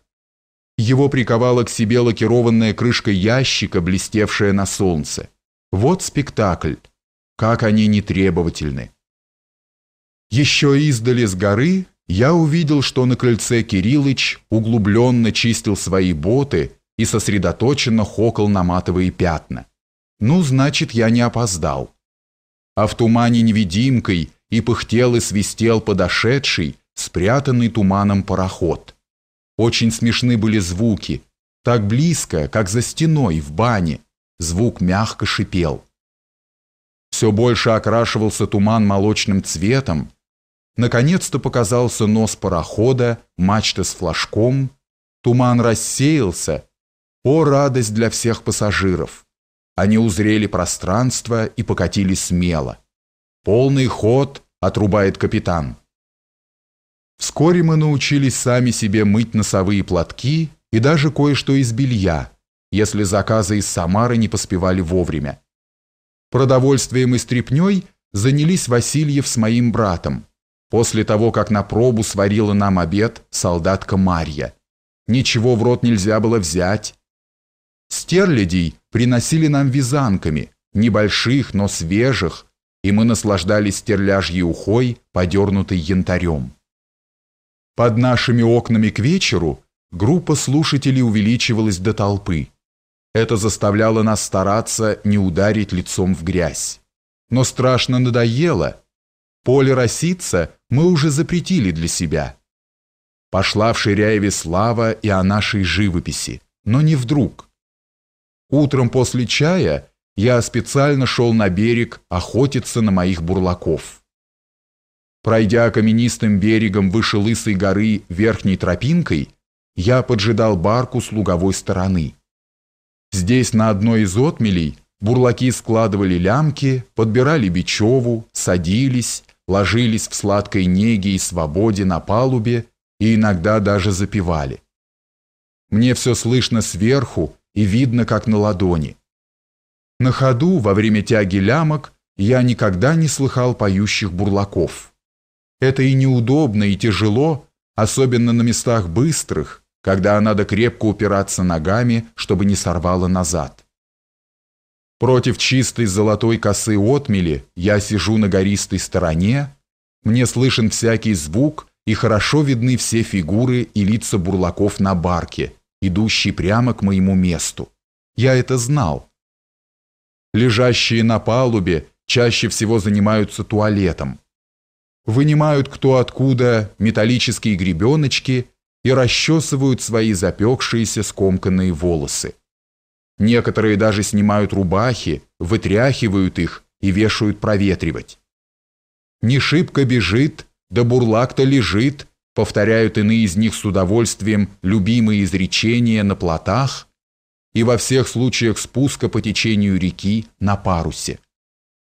Я спускаюсь навстречу Тихвинке, на которой приближается команда из 11 бурлаков с подростком-мальчиком, уполномоченным от хозяина, как я узнал после, доставить из Царевщины известь в Симбирск.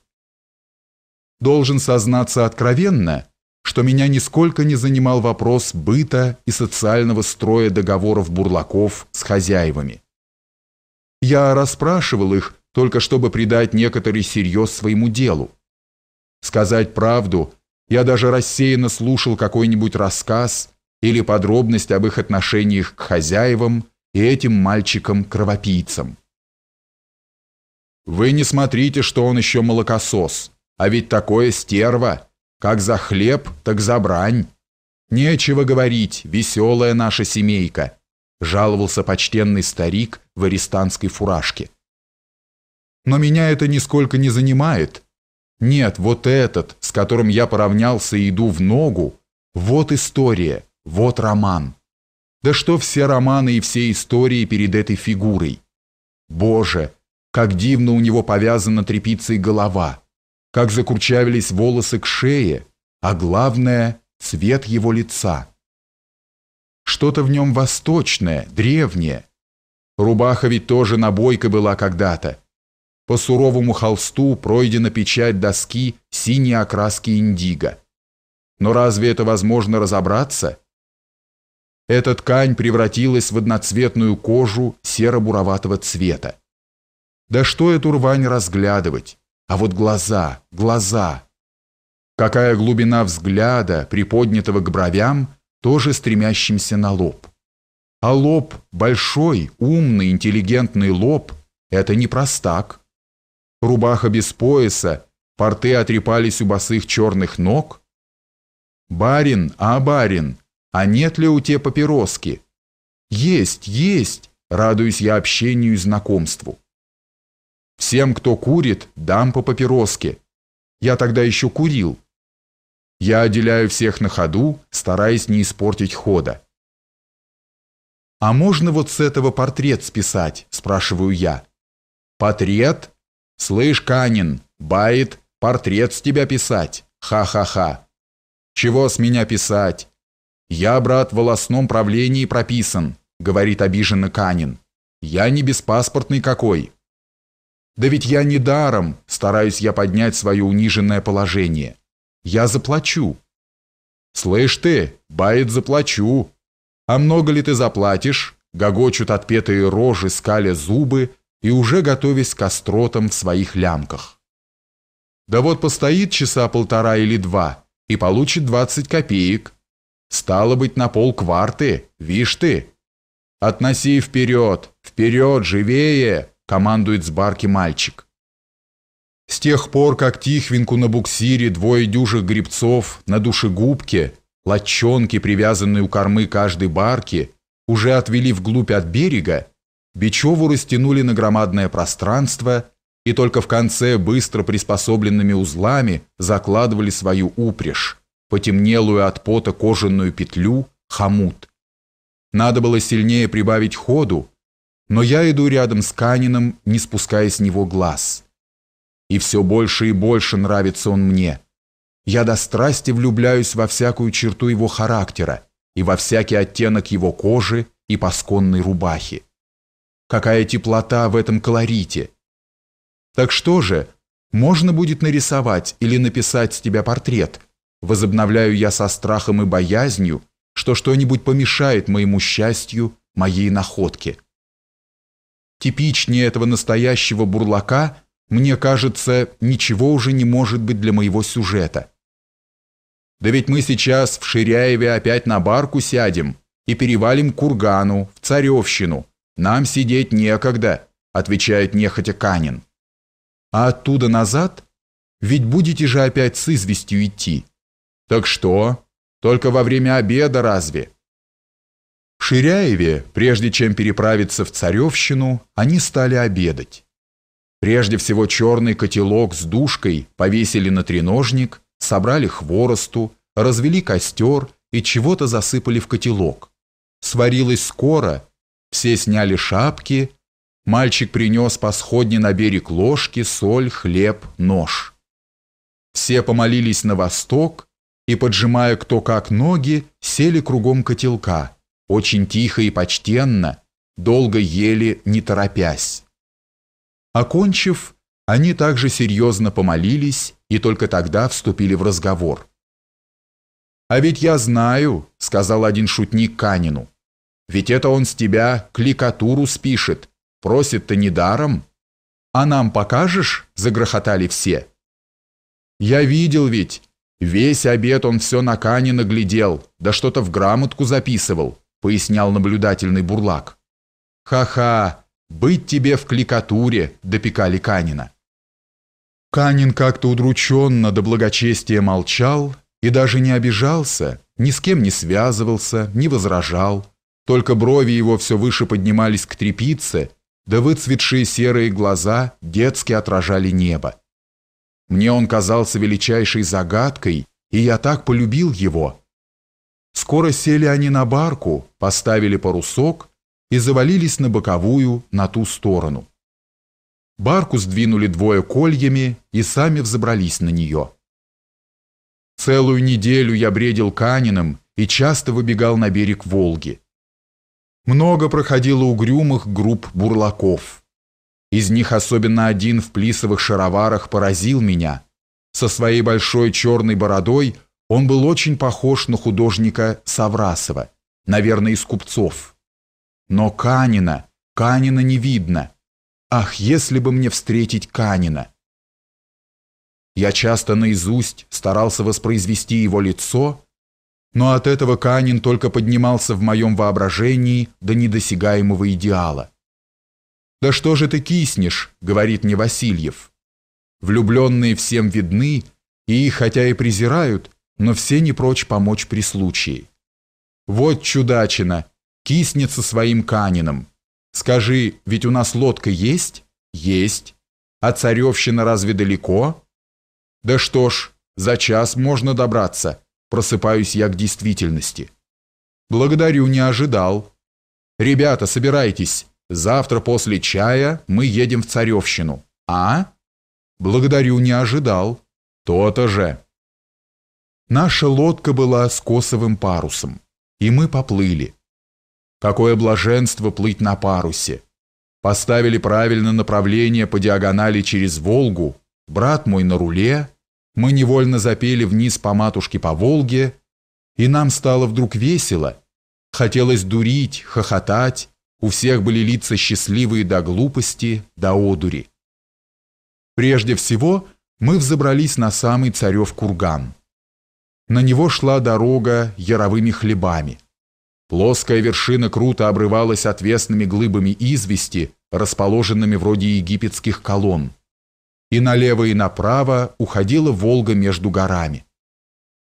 Внизу я увидел копошащихся людишек у каменоломен. Они накладывали пласты извести на носилки и сносили их на барку. А ведь это мои, я по барке узнаю. А вон и Канин, это он. Надо спуститься к ним ближайшую тропою. Стараясь угадать дорогу почти напрямик, я спрыгиваю по довольно крутым обрывам и, наконец, добираюсь до них. Канин? Вот он. Но нет, это не он. Что за чудо? Он совсем не интересен. Обыкновенный мужичонка. Да нет, это не он. Подхожу, здороваюсь со всеми. Да, это Канин.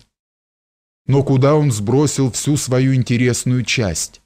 Ничего особого, этого и писать не стоит. Я разочарован, но узнаю, что они будут в Ширяеве как раз воскресный день, и я могу писать портрет. Макаров совершенно пленен египетской колоннадой, стиль Птолемеев целиком. Он решает завтра же приехать сюда с акварелью. Васильев с братом решают углубиться по Волошке, которая образовала у себя второе дно на полтора аршина от первого, но страшно ходить по этому второму этажу. Поминутно проваливается нога, а внизу речка. Васильев решает писать ее, уже вышедшую на песок. До невероятности странна эта растительность, похожая на лопухи седого цвета и вся заклеенная шмарой, как траурным флером. Мы развертываем ящики и начинаем свои этюды. В своем увлечении мы забыли о времени, а ведь пора собираться домой, солнце к закату, темнеет быстро, а нам теперь ехать против течения. С парусом надо лавировать, да мы еще с непривычки – Сумерки быстро наступали. Дорога берегом взбудоражена половодными наносами, а откуда это набралось? Спотыкаешься поминутно, а вот и наша лодка. Я вооружился всем терпением, приковавшись к веслу, стараюсь подладиться под энергичные охваты весел Васильева. О, как длинна эта дорога против течения! Эти четыре версты нам кажутся за десять. Как быстро даже на Волге летом наступает ночь. Еще девятый час вечера, а уже кажется полная ночь и темно-темно. А главное, какое быстрое течение. Так и сносит, так и сносит нас. Хорошо, что на барках фонарики на мачтах заведены, и пароходы с сильным светом видны издалека, а то страшно, как раз попадем в беду. Добрались мы до Ширяева только в двенадцатом часу, голодные и усталые. Мысль о макаронах на спиртовке, о чае с филипповскими сушками – отрадная мысль. Но ведь значит надо еще развести самовар, собрать, сварить, заварить. А как вкусно все кажется голодному. Но все естество тяготеет уже ко сну и покою, как только оно наглотается. Как бы опять кошмары не стали одолевать. Не могу я удержаться на умеренности, непременно нахватаюсь. Вот и теперь. О, как хорошо прилечь даже и на жесткой узкой скамейке. Макаров в особой комнатке долго еще совершает свои омовения. Вот педант. Ни за какие ковришки не стал бы я теперь еще умываться. Брат мой спит на дворе, пристроился где-то на крыше сарая, у застрехи и очень доволен. Ветерок отгоняет комаров, дождик, если бы пошел, его не захватит. А уж воздух. Брат совершенно счастлив своим логовом. Васильев не ложится. Он взял альбом побольше и зарисовывает свои впечатления царевщины. Прелестно у него выходили на этюде с натуры эти лопушки на песке, в русле Волошки. Как он чувствует пластику всякого листка, стебля. Так они у него разворачиваются, поворачиваются в разные стороны и прямо ракурсом на зрителя. Какая богатейшая память у Васильева на все эти даже мельчайшие детали. и как он все это острым карандашом чеканит, чеканит, как гравер на медной доске.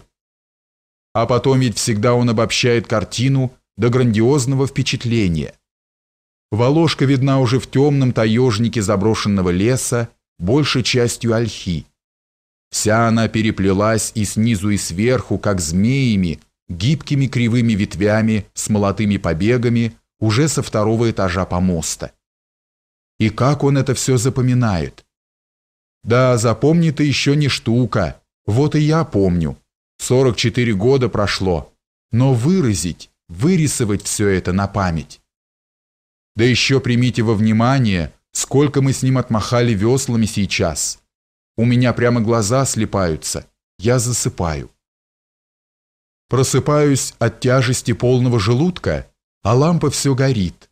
И сам Васильев горит, горит всем существом ярче нашей скромной лампы. Вот энергия, да, вот настоящий талант. Вот он гуляка праздный, по выражению Сальери. Да, это тот самый Франт, так серьезно думающий о модной прическе, о щегольском цилиндре, лайковых перчатках, не забывающий смахнуть пыль с изящных ботинок на пороге к мировому. Зато теперь он в полном самозабвении. Лицо его сияет творческой улыбкой, голова склоняется то вправо, то влево. Рисунок он часто отводит подальше от глаз, чтобы видеть общее. Меня даже в жар начинает бросать при виде дивного молодого художника, так беззаветно увлекающегося своим творчеством, так любящего искусство. Вот откуда весь этот невероятный опыт юноши-мастера. Вот где великая мудрость, зрелость искусства. Долго, долго глядел я на него в обаянии. Дремал, засыпал, просыпался, а он все с неуменьшающейся страстью скрипел карандашом. Ну, завтра он долго будет спать. Он всегда позже всех нас просыпается. Он прав.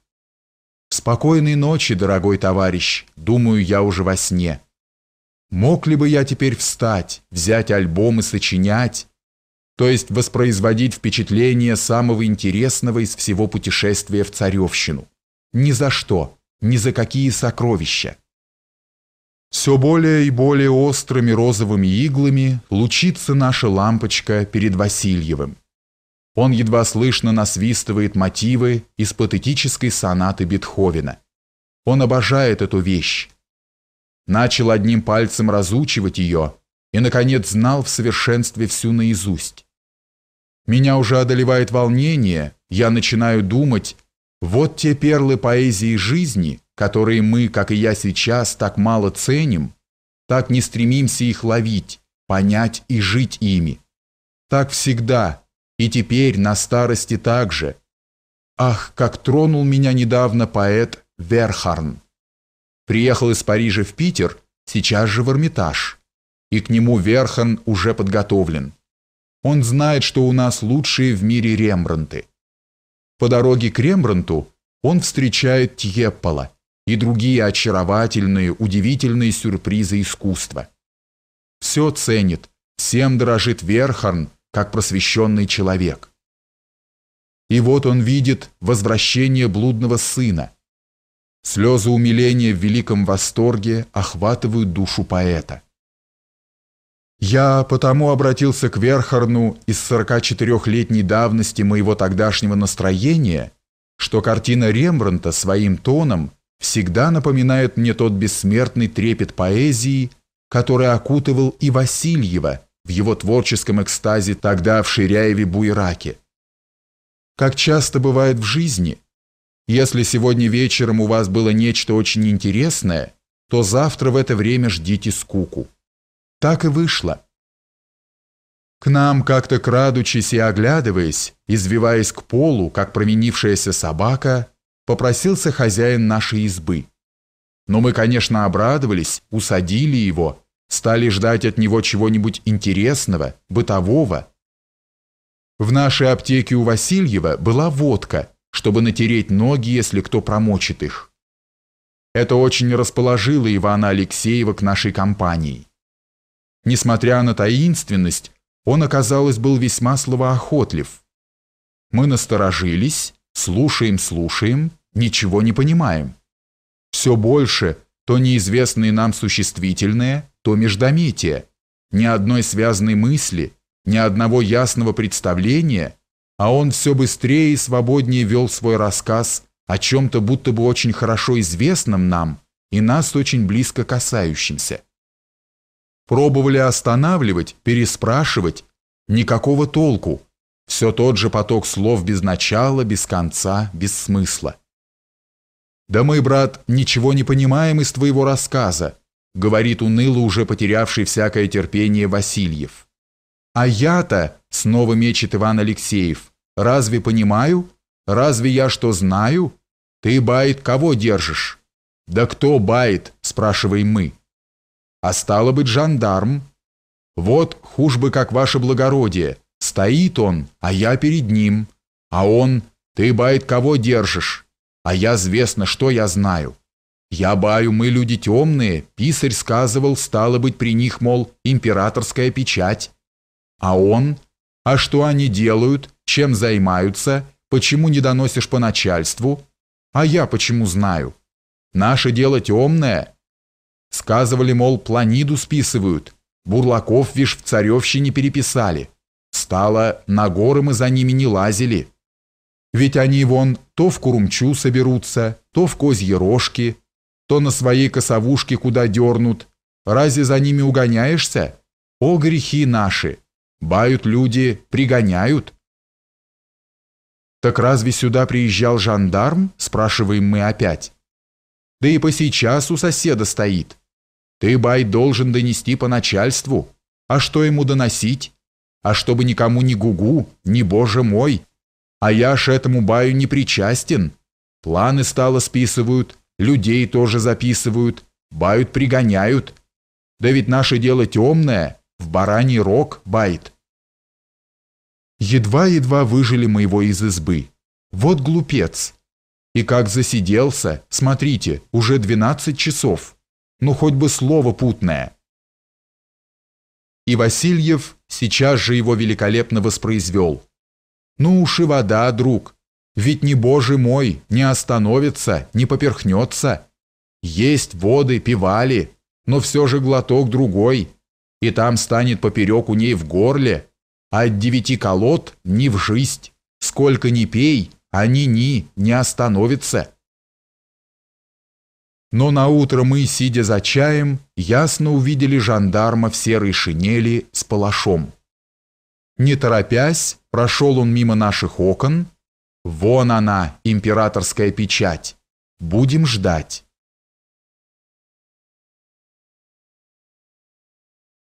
Становой.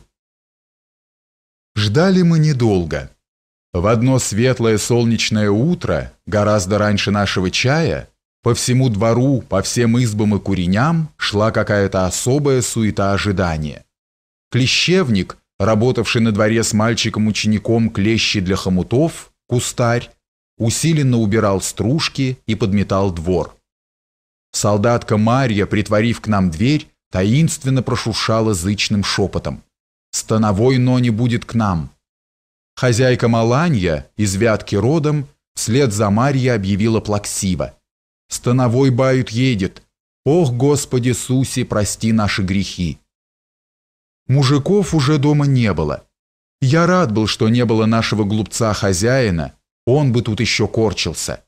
Я возненавидел его после одного воскресенья. Обыкновенно улица, деревенская улица, стала собираться против нашей избы. Это Васильев приучил. Мы закупили в Самаре самых дешевых леденцов в бумажках и стали бросать их мальчишкам на драку. Но драки стали переходить в такие кровопролитные потасовки, что мы прекратили этот спорт и только иногда отделяли хороводы девиц уже из рук, скромно. И вот, в то время как на середине улицы молодые девки, бабы и парни водили хоровод, пожилые бабы стояли у плетней, у заваленок, у ворот и смотрели на эти давным-давно потерявшие смысл и значение народные мистерии хороводы. Маланья также стояла у верей своих ворот с другими бабами. Вдруг я вижу, Иван Алексеев, наш хозяин, отделился от группы мужиков и как-то боком-боком закосолапил, лепясь понад забором прямо к Маланье. Та не успела опомниться, как он саданул ее в грудь, смазал все головные уборы, платки и очипки и почти опростоволосил свою бабу-жену. Та с визгом, согнувшись в три погибели и от боли, и от сраму, затравленной кошкой бросилась в избу. Я недоумевал, что это, за что? Оглядываюсь на весь честной народ с жалобой в немом взоре, и никакого ответа. Все делают вид? Да нет, все ничего не делают, а просто не хотят знать того, что сейчас произошло. Какой-то резонер-мужичонка, единственно понявший мое состояние, промямлил. «Стало муж жену учит. Тут, брат, не суйся, кто их там разберет?» «Ведь это становой к нам», — говорю я Васильеву и Макарову. «Что же, не прибраться ли нам?» «Вот еще». «Знаешь ли, — смеется Васильев, — есть два слова, которыми можно отделаться от всех явлений жизни. Например, тебе говорят «становой едет». Ответ «ну так что ж». Да ведь надо же приодеться. Вот еще. Запишите, братцы, эти два слова. Что бы вас ни спрашивали, ответ первое «ну так что ж», второе «вот еще». Скоро мы увидели. Прямо перед нашими окнами держал направление на наш берег большой паром. В центре стояла карафашка, запряженная парой с набором и с бубенцами. Впереди, облокотясь на перила, стояла представительная высокая фигура, ну, конечно, станового. Серое пальто, пуговицы блестят, фуражка с красным околышем. Гребцы распашными веслами усиленно двигали помост с перилами, укрепленный на двух завознях. На нашем берегу стояла давно уже большая кучка мужиков, готовая к услугам. Стали причаливать. Мы во все три окна на Волгу не спускали глаз с интересной картины. Слышно уже, как звенят бубенчики. Вдруг становой одним взмахом заушает огромного дюжего парня, и тот чуть не в воду, мигом повергнут на землю, поднимается в крови. Ого, айда становой! Молодчина польского типа, блондин, еще совсем молодой человек, лет тридцати с небольшим. Вот она власть. У меня похолодели руки, и сердце сильно билось. Предводительствуя толпой, Становой направляется прямо к нам. Переступив наш порог, он показался мне совсем другим человеком. Со всеми нами приятельски поздоровался, будто с давно знакомыми. Лицо довольное, веселое. Прекрасно, прекрасно. Люблю эту студенческую обстановку. Ведь я сам еще студент почти, только что с курсов. А? Конечно, конечно, от чая я не откажусь. Сейчас же уселся просто, ровно, свободно, заговорил по-товарищески обо многом. И довольно долго болтал и нас расспрашивал. «Однако я совсем с вами заболтался», — спохватился он. «А ведь не в Сызрань путь лежит. Что делать? Служба». Пауза. «И я должен попросить ваши паспорта. Вы понимаете, это форма, но ведь мы служим». Мы с Макарычем сейчас же отдали наши академические печати, присовокупив и свидетельство брата из консерватории. Ждем Васильева. Васильев вдруг как пойманный, и куда девался его опломб, стал заговаривать о другом, суетится, моргает, краснеет. Становой скоро изменился в лице, попристальнее вглядывается на Васильева и нечто соображает. То он собирался уже покинуть нас, только паспорта задержали. Просил поторопиться. Он только пропишет их в Сызрани и сейчас же вернет нам. А теперь он в раздумье сел посреди комнаты и как-то таинственно повел речь о том, как он любит студентов, как и сам бывал в безвыходных положениях по поводу такой малой бумажонки, как паспорт, но он просил бы нас не затягивать дело и объяснить просто всю правду. Мы с недоумением глядели на Васильева, мы не узнаем его. Но он вдруг оживился. «О Боже! Вижу, и вас я ввел в сомнение, и даже товарищи удивлены. Мой паспорт оставлен у матери для ввода дома во владение. И позвольте мне сделать вам письменное заявление впредь до удостоверения моей личности. А с этим прошу вас телеграфировать в Петербург, в Общество поощрения художеств на имя председателя общества графа Строганова или его секретаря, секретаря общества Дмитрия Васильевича Григоровича, известного писателя. Несмотря на всю развязность и бойкость, вернувшиеся к Васильеву, несмотря на большие тузы имен, названные им, я замечаю легко, что Становой уже не верит ни одному слову Васильева и думает свое. Он впился в Васильева глазами. О да, это польские глаза, красивые, серые, на выкате, и усы польские, так щегольские неказенно, по-немецки, нет, ловко, фантастично, по-польски закрученные усы. Васильев все варьировал причины задержки своего паспорта, пересыпая их светскими фразами, но это уже не имело успеха. Становой обдумывал и ждал. «Так как же? Чем мы с вами покончим?» Наконец он уже с некоторой строгостью ставит в упор Васильеву. «Да я напишу заявление. Вот товарищи удостоверят, что они знают и мой дом, наш дом». Становой обвел нас прокурорским взглядом. «Как, господа, вы ручаетесь?» «О, разумеется, разумеется», — спешили мы и нас уже начинала угнетать вся эта история. «Ну, пишите заявление», — сдался вдруг Становой. Васильев писал вполне грамотно, четко, красивым культурным почерком. Он присел к столу Макарова и быстро затрещал пером. «Ждем. Выносит». «Ах, какая досада! Уж простите за редакцию. Так глупо все выходит, оставленным для ввода дома тетки во владение. И к чему тут тетка? Дом наш теперь. И он хотел опять переписать, но, видно, и Становому уже надоела эта история. Он начал верить, что мы народ не опасный. «Ничего, ничего, давайте. Все равно ведь мы справки наведем». Мы опять дружески стали прощаться со студентом Становым и проводили до его брички.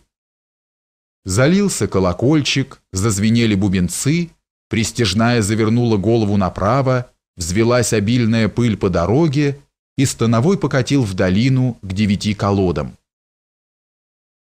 И потому, как становой здоровался и прощался с нами, и потому, что он так долго сидел у нас, как у своих, обыватели заметно сразу повысили о нас свое мнение. Наша слава стала расти во всей округе жандарм к нам так и не показался. Неприятное впечатление от странного поведения Васильева с паспортом также забывалось. Мы с Макаровым никак не могли понять, что сей сон значил. К Васильеву мы чувствовали, нельзя было обращаться за разъяснениями. Он сейчас же краснел и старался свести разговор на другое. И только по приезде в Петербург когда среди других рассказов я в разговоре с Крамским коснулся этого непонятного поведения Васильева, Крамской с грустью закачал таинственно головой. «Так-так, знаете, что это? Не знаете?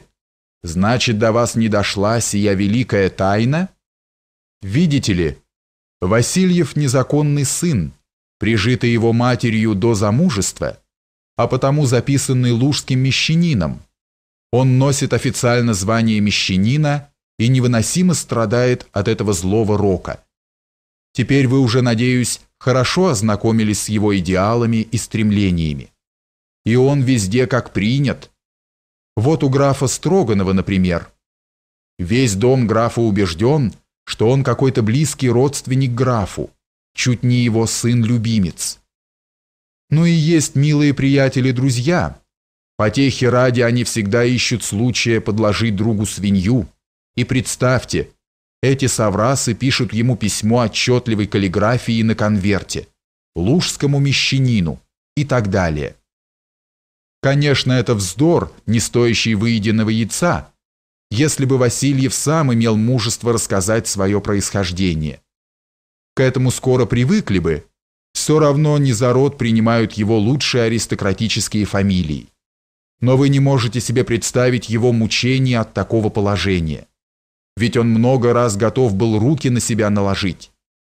И после самых незначительных уколов этого острия он хандрит по целым неделям и не выходит из дому. Даже дома тогда никого из своих не может видеть.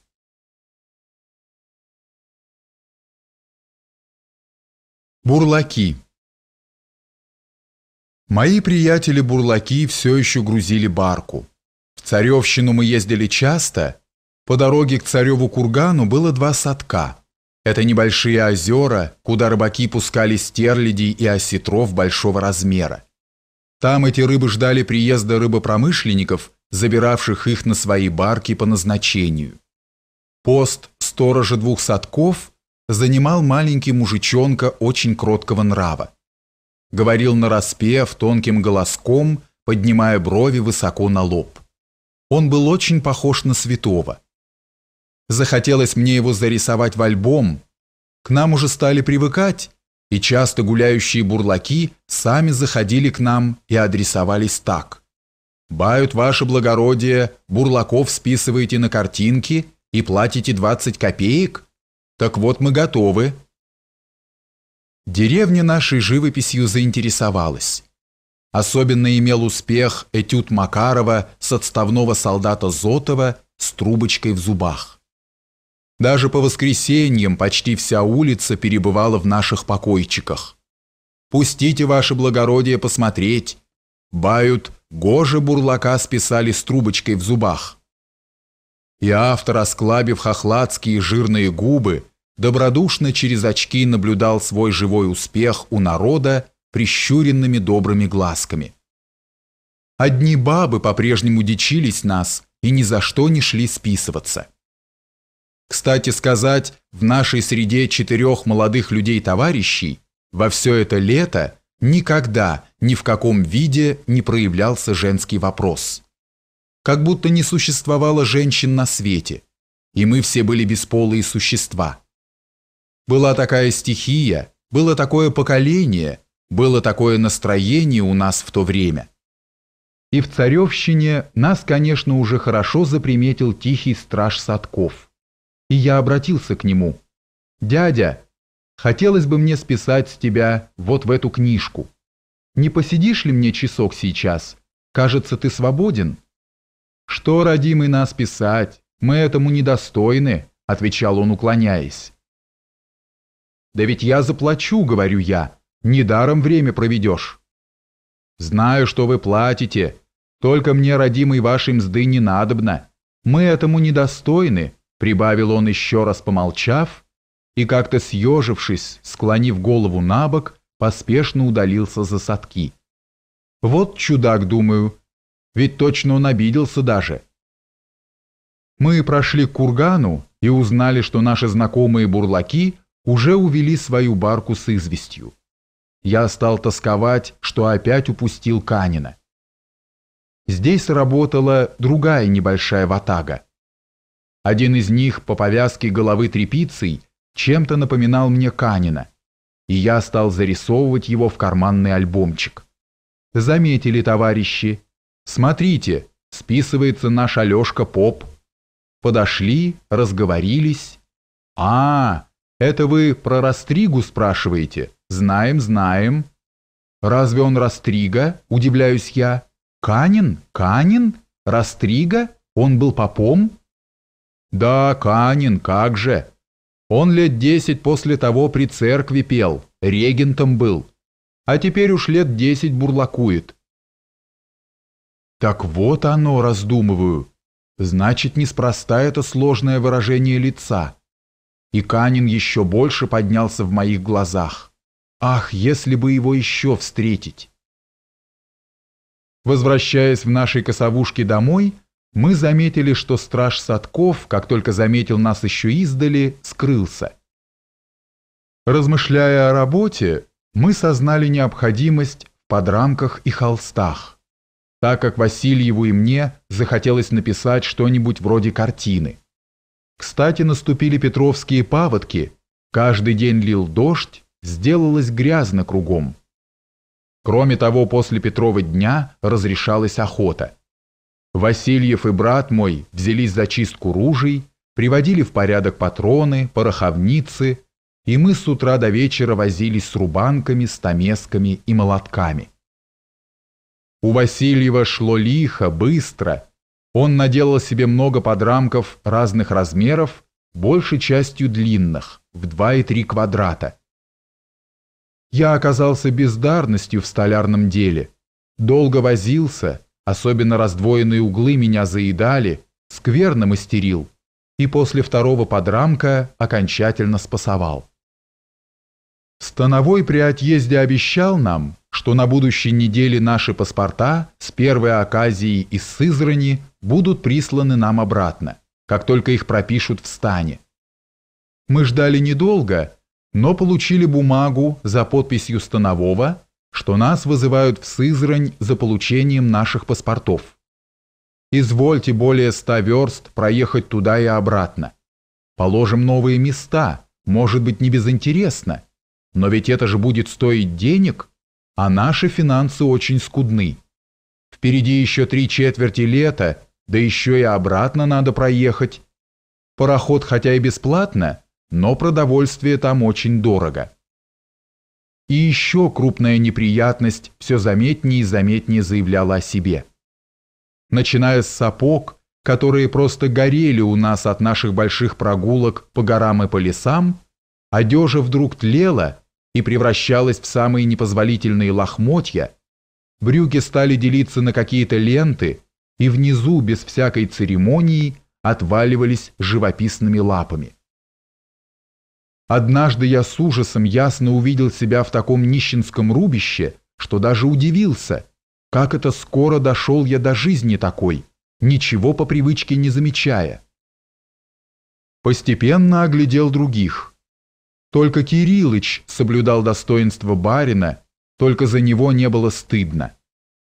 Нам же надо было в Самаре подыскивать какие-нибудь блузы, рубахи и прочее, чтобы сохранить лучшее платье к возвращению в Петербург. Васильев чувствовал, что это он причина нашего вызова в Сызрань, и стал писать своему покровителю графу Строганову письмо, чтобы о нем поскорее прислано было удостоверение его личности из общества поощрения художеств. Ему захотелось прочитать нам свое послание. Это было такое дивное поэтическое произведение, что мы совершенно онемели от очарования. На наших глазах он вырос еще на две головы. Но что произошло? Не успели мы опомниться от нашего восторга, как он вдруг трах-трах-трах разорвал письмо на мельчайшие части и бросил его в ссор. «Лучше бы ты мне отдал!» — кричу я в отчаянии. «Я бы сохранил это на память». На другой день несколько просохло, и мы пошли обходной дорогой прогуляться к Волге, которой мыли кисти. Некий обыватель выехал на водопой с лошадиной семьей, на одной он сидел верхом, другую держал на поводу, и за ними на свободе бежал, играя, жеребенок двух лет, темно-серый, энергичный, как в первый день творения. Увидав его, Васильев мигом бросился в догонку, подскочил сзади, коснулся легко крупа и в один миг сидел уже верхом на идеальном создании. На спине, на которой, может быть, еще не сидел ни один смертный, Васильев чувствовал себя как дома на стуле. Мы спешили за ним с разинутыми от удивления ртами и в страхе за него. А он, поощренный впечатлением невиданного нами зрелища, начал вдруг совершенно как цирковой наездник принимать разные позы, перекидывать ноги и, наконец, сидя лицом к нам по-дамски, стал съезжать на самый круп к хвосту жеребенка и посылать нам оттуда воздушные поцелуи. Вероятно же ребенка защекотали наконец его движение, он пришел в раж и вдруг так подбросил Васильева к небу, сопровождая свое движение необыкновенно громким язычным звуком, что казалось, Васильев улетает за облака. В это мгновение он страшно походил на Дон Кихота, подброшенного крылом мельницы. Пока мы бежали к нему, он уже бодро вскочил и только отряхивал руку, на которую он так упал, что она даже в землю вошла. Слава Богу, хорошо, что земля мягкая. Это спасло руку. Но Васильев все же две недели ходил с рукою на перевязке. Стали они с братом моим уходить на охоту на всю ночь. Ночевали под стогами, на болотах. Все бы это ничего, но Васильев стал сильно кашлять. Этого равнодушно нельзя было слушать. Кашель казался мне подозрительным. Он-то и свел его впоследствии в могилу в отцвете юных сил и блестящего таланта.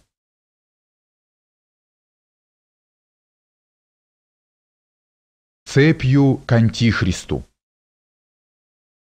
После Петрова дня все продолжались дожди, растворилась грязь по улицам, и мы, наконец, принялись за свои холсты картины.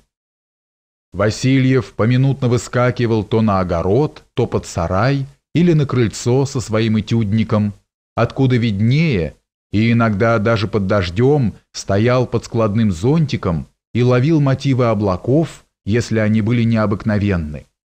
А на большом холсте он писал вид Нижнего Новгорода.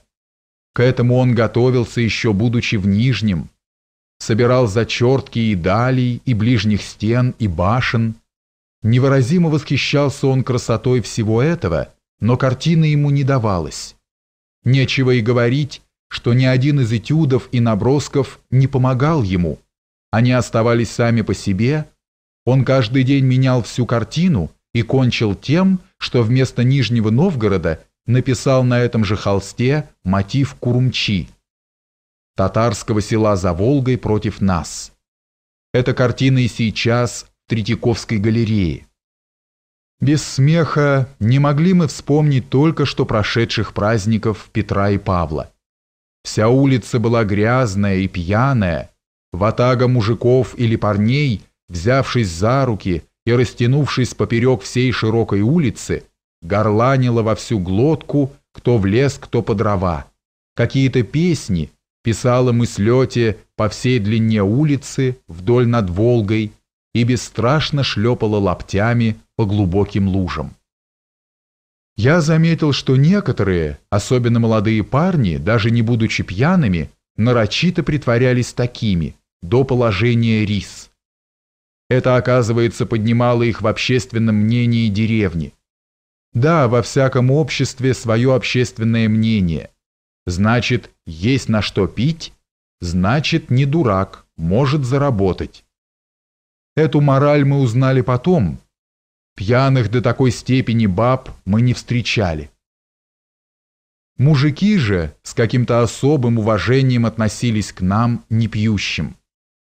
Например, даже будучи как стелька, еще издали шатающийся мужик, испачканный, как и все они в грязи, завидев нас, приободрялся, окидывал себя пьяным взором, становился, держась за изгородь или за угол избы, в почтительную позу, снимал шапку, если она была на голове, большей частью гуляли без шапок, кланялся нам низко с риском падения и говорил каким-то раскаянным голосом «Ваше благородие, простите меня Христа ради». На самом большом своем холсте я стал писать плоты.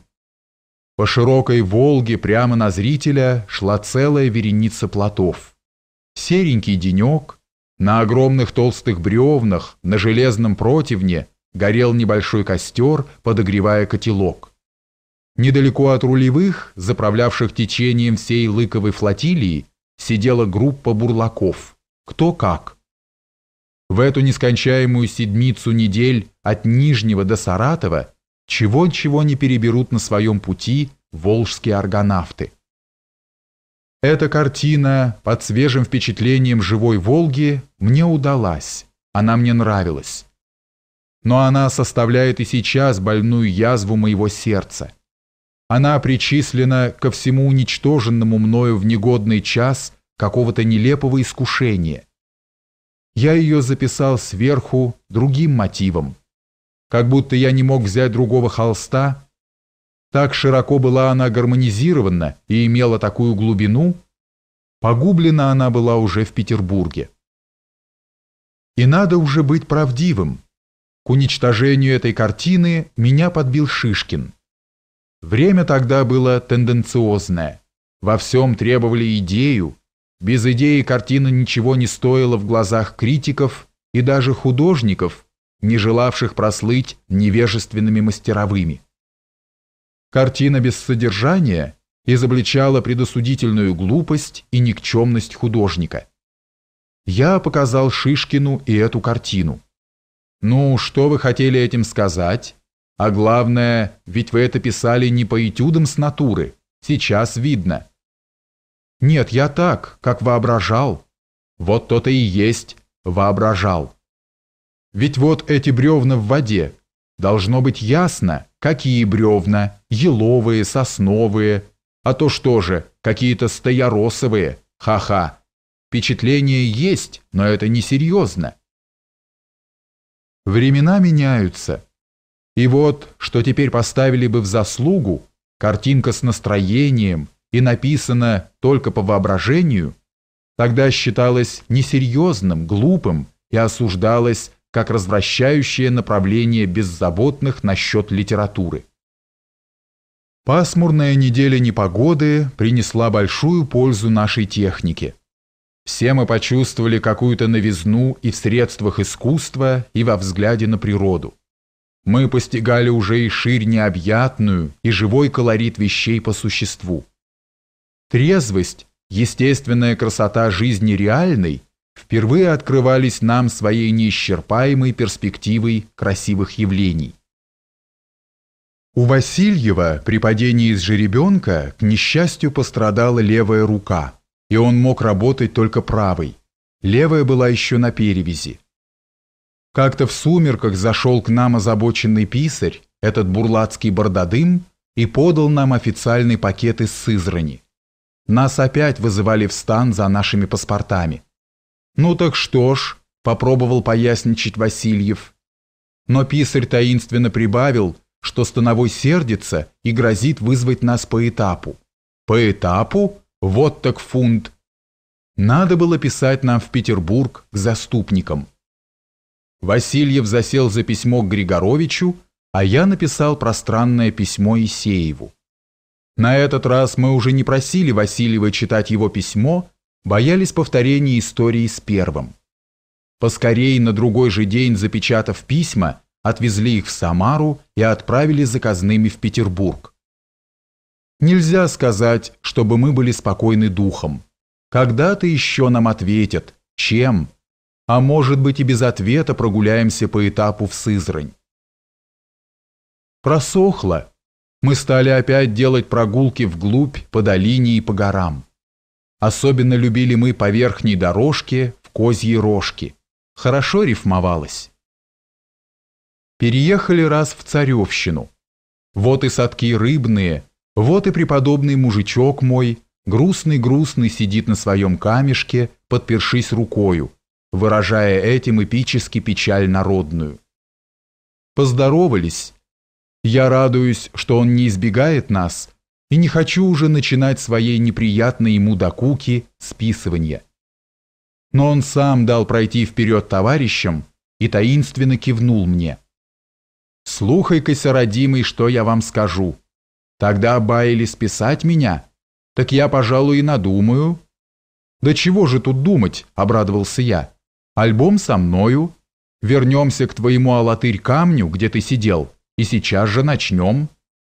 А много ли же вы мне дадите? Сказал он отчаянно как-то, понизив голос и опустив голову. Да как тогда говорил, как всем плачу. Посидишь часок и получишь двугривенный. «Э, нет, родимый, так у нас с тобой дело не выйдет. Нечто это тоже? Так продешевишься». Произошла большая пауза. «Я думал, вы мне рублей двадцать дадите. так мне бы уж на всю жизнь. Почти шепотом, как-то отчаянно докончил он. «Что ты, чудак какой!» – удивляюсь я. «Да за что же? Разве это возможно?» «А душа-то!» – взметнул он дерзко на меня. «Какая душа?» – недоумеваю я. «Да ведь вы, Бают, пригоняете?» «Куда пригоняете? Что такое плетешь ты, не понимаю?» «А к антихристу, Бают, пригоняете?» «Ой, что это? Какая выдумка!» Уже начинаю я горячиться. «Вот вздор!» «Ладно, брат, мы все знаем», — переходит он уже в ссору. «Послухай-ка, что народ бает. Теперь бает, он с тебя спишет, а через год придут с цепью за твоей душенькою и закуют, и погонят ее рабу Божию к Антихристу. Ась?» «Неужели ты этому веришь?» Серьезно укоризненно стараюсь я разубедить его. «Да Бог с тобой и с твоей душою!» И я поскорее ушел догонять своих. Невольно думалось, какой бюджет у этих бобылей? 20 рублей? Так это капитал ему на всю жизнь. Да и тот он зарыл бы в землю, да так и умер бы, никому не открыв своего клада. Однажды напугал нас Макаров. Он не вернулся из Царевщины к ночи, как всегда, и мы всю ночь прислушивались, не постучится ли он. Стука не было. Встали раньше обыкновенного, выпили наскоро чай и за Волгу, в Царевщину, узнать, жив ли он, где он. Страшно, жутко стало всем нам. Переехав на луговую сторону, мы боялись даже заглядывать в кусты лозняка. А вдруг он там лежит убитый? Трава за Волгой выше роста человеческого, а цветов, цветов самая пора косить. Были сильно примятые следы. Если в этой траве где-нибудь кинули убитого, разве увидишь отсюда? Вот смята трава, вот еще смята. Кто-то скрывался. Страх берет. Что-то волокли. Идем на курган поскорее, оттуда виднее. Забрались на вершину, видим, Жив и здоров, сидит наш Кириллыч в цилиндре, очки блестят, и, поднимая высоко голову на свои ненаглядные капители Птолемеев, совершенно забыл весь мир. Мы присели и начали бросать в него камешки. Далеко не добросишь. И вот он, художник по страсти, противный хохол. Наши камешки все с треском разбиваются об известняк.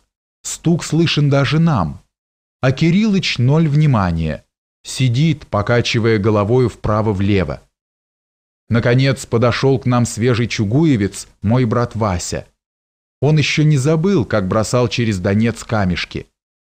Камень его загудел, свистя в воздухе, и ударился у самого стакана с водой для акварели, который всегда неотлучно находился при акварелисте.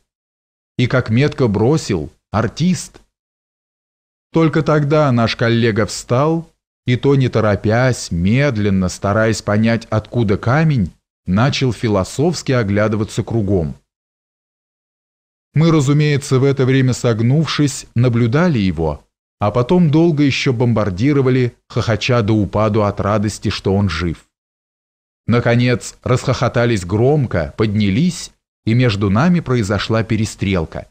Сбежали вниз закидали его упреками, потом снова стали бросать камни, кто дальше. Разумеется, Чугуевец оказался вне конкурса. Как он играл в городки! Палка, брошенная им, гудела как машина, как-то кружась в воздухе, а достигнув земли, она со скребом взрывала почву. Городок взлетал на воздух голубями. Васильева ошарашила искусство юнца, и он страстно, чуть не до вывиха правой руки, предался этому спорту и делал успехи. Возвратились домой мы поздно. Хозяева дожидались нас озабоченные и объявили нам, что завтра опять становой сам беспременно будет, только не знали в какое время. Наша взяла. Мы прождали Станового все утро, страшно злились, и пошли, наконец, на этюды развлечься от тяжелого состояния. Наказали только мальчику, чтобы прибежал за нами, если завидят станового. Мы ждали его с Волги и все время с горы поглядывали на Волгу, с досадой рассуждая о нелепости географического положения нашего Ширяева-Буйрака. Мы, то есть наша Ширяева, считались Сызранского уезда Симбирской губернии. Но до Симбирска от нас верст 300, от Сызрани более 100 верст. Самара же в 15 верстах, да не наш губернский город. Писарь говорил, что туда, то есть в Сызрань и обратно, свезли бы нас рублей за 10. Да ведь 10 рублей для нас деньги большие. Слава Богу, что жизнь, большей частью на черном хлебе и молоке, не была для нас разорительна. Стерляди мелкие в четверть аршина продавались вязками по десятку и стоили по две копейки штука. Видим, бледный как полотно, наш мальчишка взбирается к нам на гору и кричит еще издали, задыхаясь. «Айдайте домой! Становой уже приехал и ожидает вас!» Торопимся, волнуемся страшно, подходим. Видим еще издали, стоя у наших ворот, он с ласковой улыбкой снял фуражку и довольно низко кланяется нам. Ведь это он иронически, думаем мы. Ну, чем это кончится? Приблизились. Он опять очень радушно, дружески жмет нам руки и просит позволения войти в наше жилище. Переступаем с биением сердца. Вот ваши паспорта, господа. Простите, я вас, кажется, несколько обеспокоил последним отношением из стана, то есть официальной бумагой. Но войдите же в мое положение. Форма, служба. Очень-очень извиняюсь перед вами, господа, и прошу вас, умоляю, если будет вам запрос от губернатора из Симбирска, уж будьте милостивы, не мстите мне. Я не мог предположить, что у вас такие связи в Петербурге, откровенно вам признаюсь.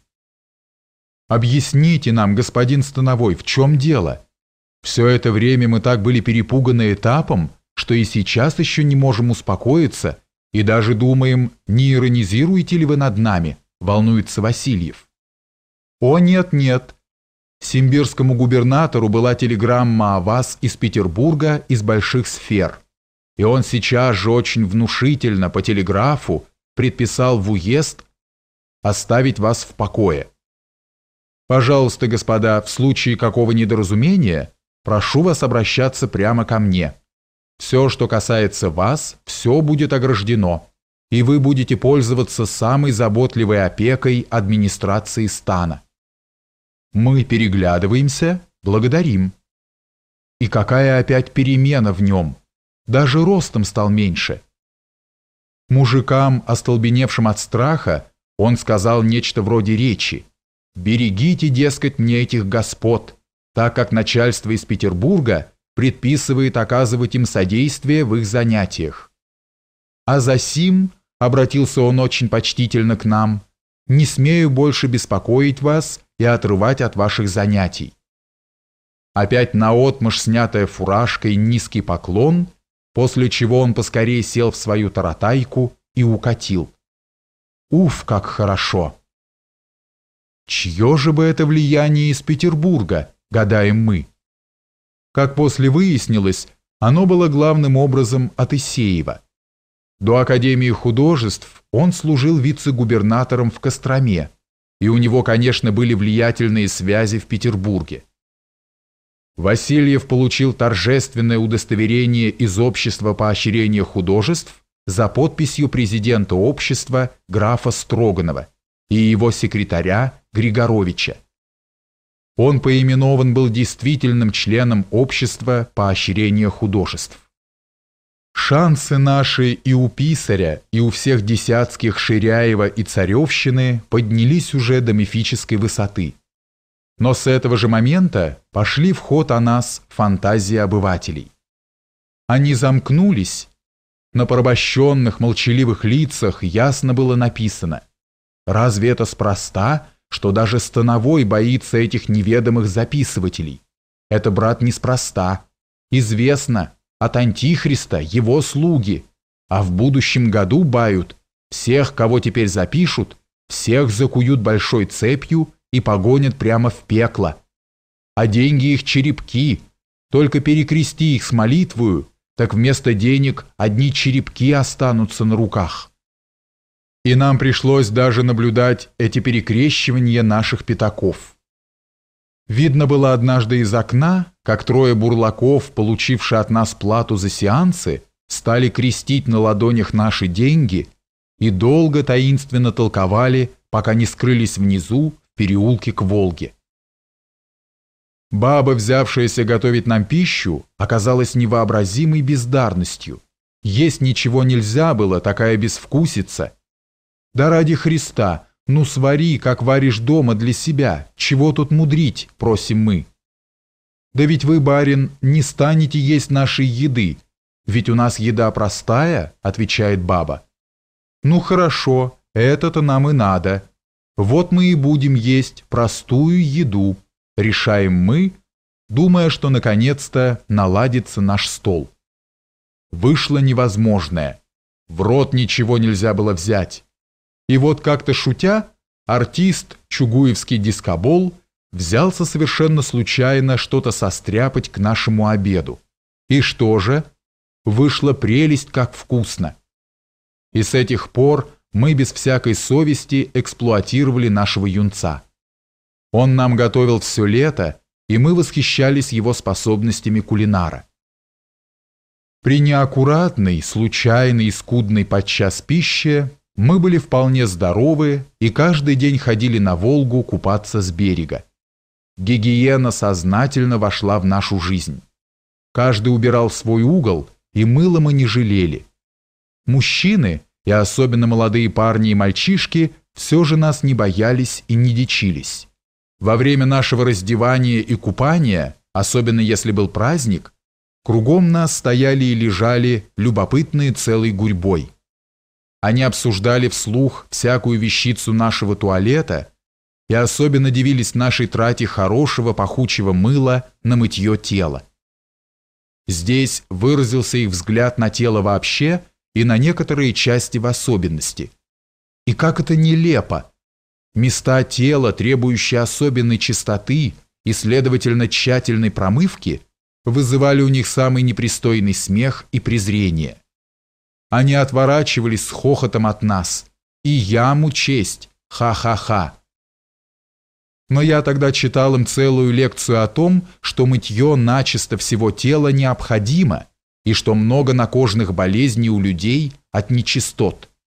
Слушали и понимали все.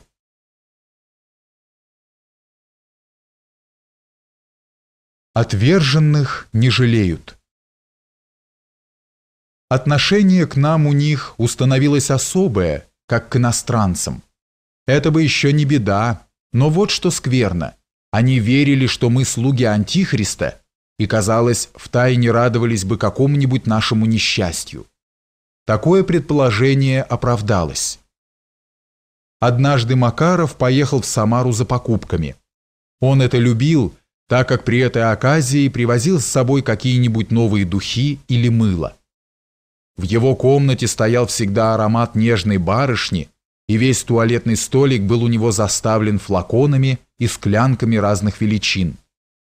В назначенный час, около восьми часов вечера, брат мой с Ларькой должны были подъехать к пароходу, идущему из Самары, и принять в свою лодку товарища с пакетами. Приходилось не раз и нам всем так выезжать, дело стало привычным. Мы изучили все расстояния и знали, где стоять на воде, держась на месте, в какое место метить, приближаясь к пароходу. Знали хорошо, что опасно было попасть вперед, под колеса. Пароходы самолета были еще колесные и нисколько не боялись подъезжать. В семь часов мы с Васильевым понесли кисти к Волге и, вымыв их, надеялись встретить Кириллыча с пакетами и помочь нести их домой. Слышим и свисток. Пароход бежит. Видим дым и видим также, как брат Вася на веслах, а Ларька на руле отчалили от берега и сильно понеслись к пароходу. Мы подвигались потихоньку по берегу, слышим вдруг тревожный свисток, вызывают еще лодку. Прибавляем шагу, видим, как это скоро делается и в городах, и в деревнях, если стрясется нечто вроде нечаянного несчастья, уже бегут к тому месту, где что-то случилось. Ближе к пароходу уже народ сбежался, а некоторые уже идут к нам навстречу по берегу с веселыми лицами и махают издали руками, указывая на пароход. «Ха-ха! А ведь ваши-то утонули, угодили под пароход, лодка в щепы, а они ко дну. Бают ларьку вытащили», — добавляет мальчишка. «Да, ларьку вытащили, а ваши товарищи потонули. Хе-хе! Ах, чудаки! Примехонько под колесо!» Можете вообразить нашу лихорадку? Мы уже бегом к месту, откуда лодка наша отчалила, вроде пристани, за порошком. Места эти часто меняются в зависимости от обмеления. Сколько народу, и откуда вдруг и так скоро? И все веселые, добрые, смеющиеся лица, как будто поздравляют нас с обновками, повторяются с мешком. Да, потонули, потонули. Но вдруг мы видим, целые и невредимы. Макаров стоит, брат мокрый, и особенно Ларька еще мокрее сидят уже в чужой лодке, их правит к берегу. Мы даже глазам не поверили и стали вдруг хохотать, как сумасшедшие от радости. Оказалось, брату, сидевшему спиною к пароходу, конечно, не было видно, куда правит рулевой. И так как они несколько запоздали выехать и держаться на середине на веслах, брат боялся опоздать и потому налег на весла. А Ларька зазевался, не скомандовал ему остановиться вовремя и угодил выше колеса. Счастье, что пароход вовремя остановил колеса, они не двигались. Брат почувствовал вдруг сильный удар в спину, корма в дребезги, одно лодки провалилось из-под его ног. Он успел броситься на колесо и повиснуть на нем а Ларька с провалившимся дном и поплывшими в разные стороны бортами лодки мог бы потонуть, но он, конечно, умел плавать. Ему бросили спасательный пояс, а брата с палубы третьего класса публика вытащила наверх за руки. Оттого он мокр был только до пояса. Привезли после к берегу даже осколки нашей лодочки, но что с ними делать? Долго они валялись на берегу, пока не растаскали мальчишки.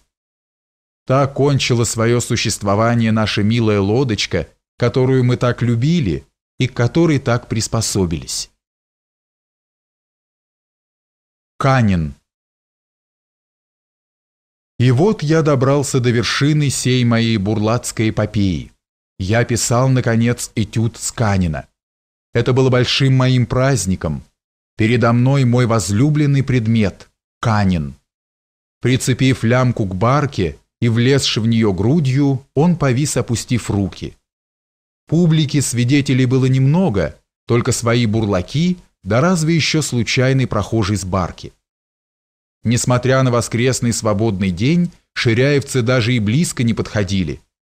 В их глазах на берегу у барки бурлаков совершалось нечто роковое, страшное, Человек продавал Антихристу свою душу. Бабы даже издали отворачивались. Детям приближаться к нам запрещали. Там, в ширяевских избах, морил всех страх, говорили в полголоса. Зато здесь, у самого берега, я свободно отводил душу, созерцая и копируя свой совершеннейший тип желанного бурлака. Какое счастье, что Канин не вздумал сходить в баню или постричься, как бывало с некоторыми моделями, приходившими подстриженными, побритыми до неузнаваемости. Он был извещен заранее и, как все серьезные люди, позировал серьезно, умело выносил непривычное положение и легко приспособлялся без помехи мне. «Что, тащишь? Тащи, брат, тащи!» – острили прохожие бурлаки.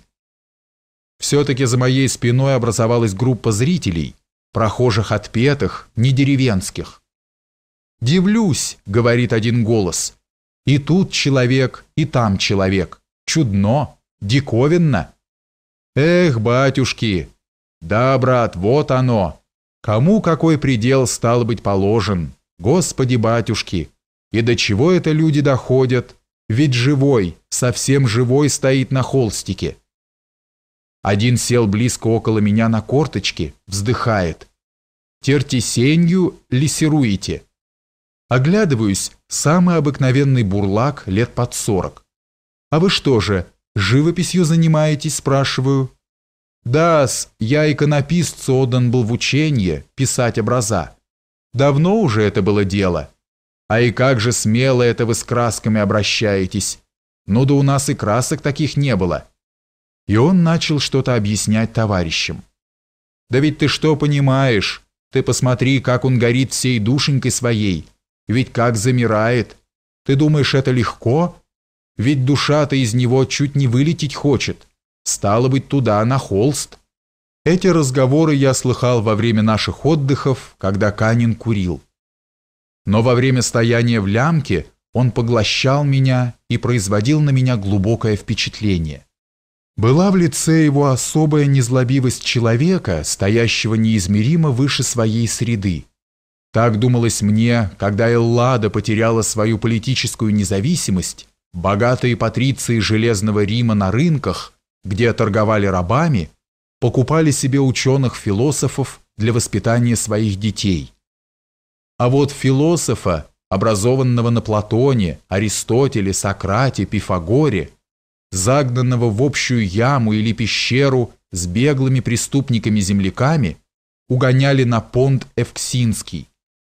И он лежал там на солнцепеке, пока кто-нибудь не покупал, наконец, его, шестидесятилетнего старика.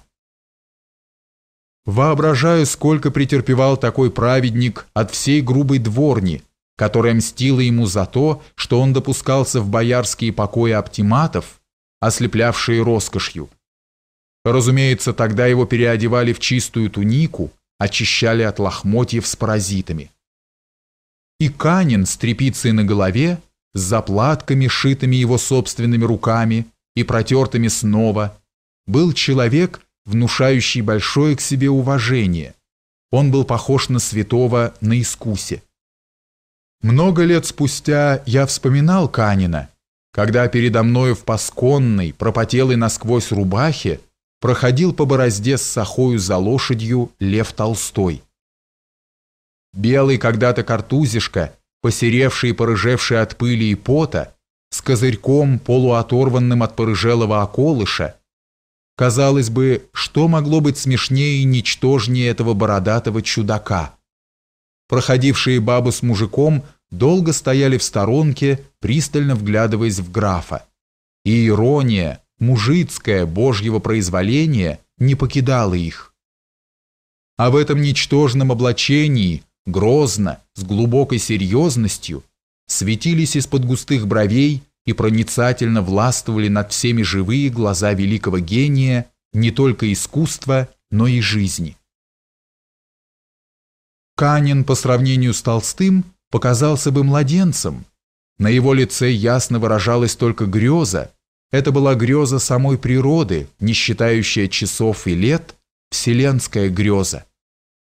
Всего более шел к выражению лица Канина стих Некрасова – не проснешься ль исполненный сил, или духовно навеки почил. Кстати, стыдно признаться, никто и не поверит, что я впервые прочитал Некрасовский парадный подъезд только года два спустя после работы над картиной, после поездки на Волгу. И в самом деле, я не имел права не знать этих дивных строк о бурлаках.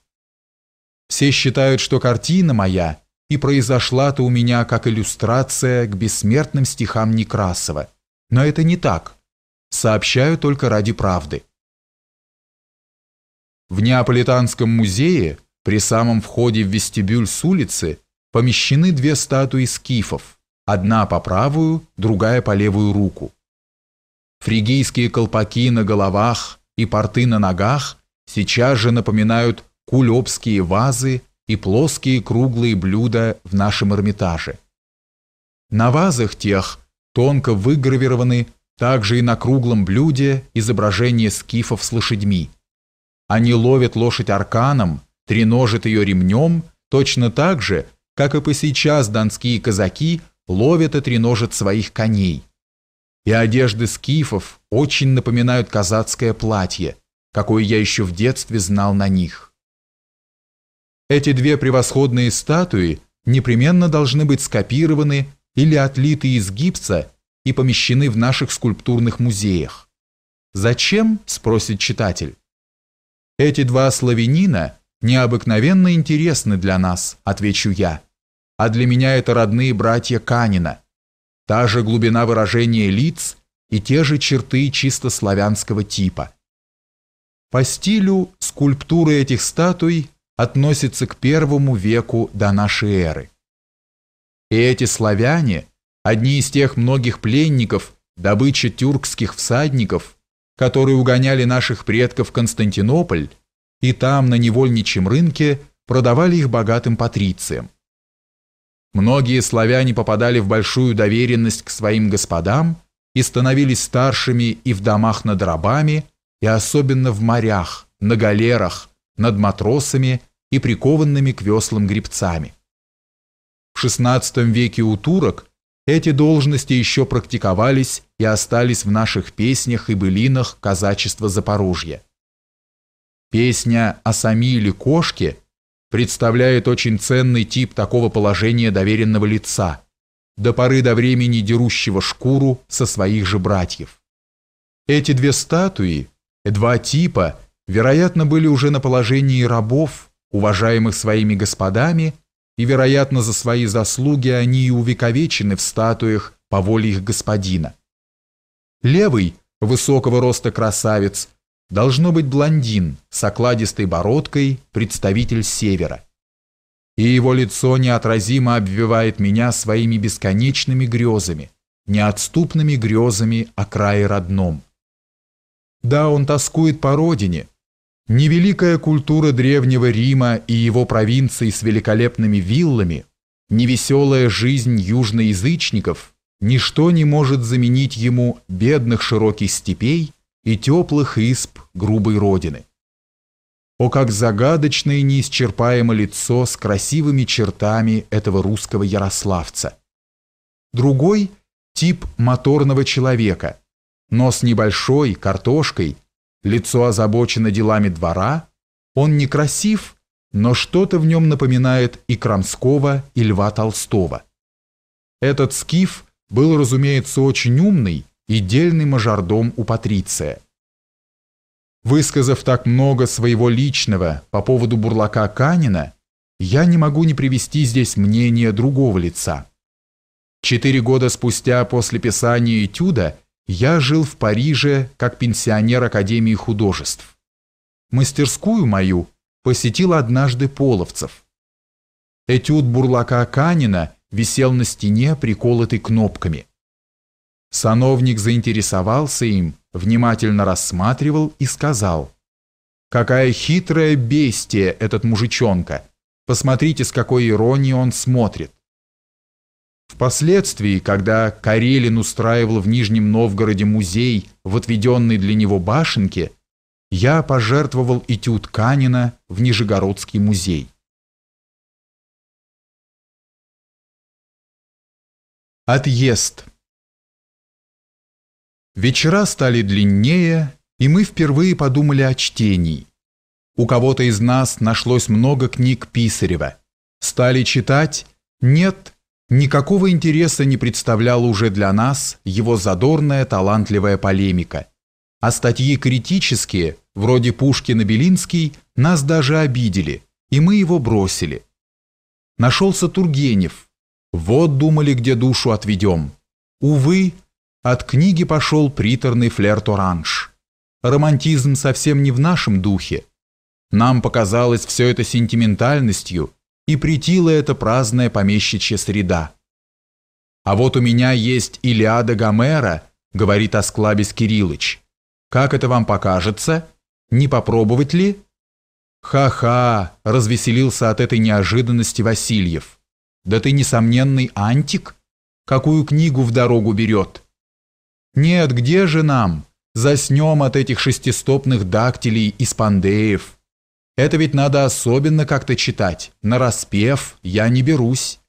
Если нас, продолжал Васильев, даже Тургенев не восхищает, так уж не до этой допотопности. А ну-ка дай. Гнев богиня воспой Ахиллеса, Пелеева сына. Ничего не понимаю. Нет. А ну дальше. И вдруг неожиданно совсем, слово за слово, стих за стихом, и мы не заметили, как нас втянула эта живая быль. Мы уже не могли оторваться. Васильев устал, взял я и чувствую, что меня охватывает восторг, и я начинаю представлять, будто все это пишется про самых близких мне людей. И с этого вечера, с этого постоянного чтения нашлась и Одиссея. Куда бы мы ни пошли, ни поплыли на лодке, везде стихи из бессмертных, живых поэм сопровождали нас и пели живым языком наши чувства. Например, каждый вечер, возвращаясь в сумерки, как ни сказать, солнце тем временем село, и все потемнели дороги.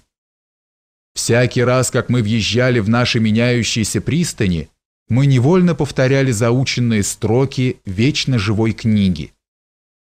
С шумом легкий корабль вбежал в глубодонную пристань, все паруса опустили, сложили на черное судно, мачту к гнезду притянули, поспешно спустив на канатах, и корабль в пристанище дружно пригнали на веслах. Когда же в полном сборе с утра мы направлялись в какую-нибудь сторону по Волге, то, дополняя друг друга, громко вычитывали. Но лишь являлась заря, разоперстая вестница утра, мачту поставили, парусы белые все распустили, средний немедленно ветер подул к поплывшему судну, страшно в круг кили его зашумели пурпурные волны, быстро оно по волнам бразды оставляя летело. Понемногу мы все более и более пристращались к героическому эпосу. И, наконец, начали комплектовать полки из мальчишек и, не шутя, стали воевать. Как-то странно произошло, что Макаров и брат мой совсем не принимали в этих баталиях участия. Усевшись где-нибудь повыше, на горах, они наблюдали нас с птичьего полета.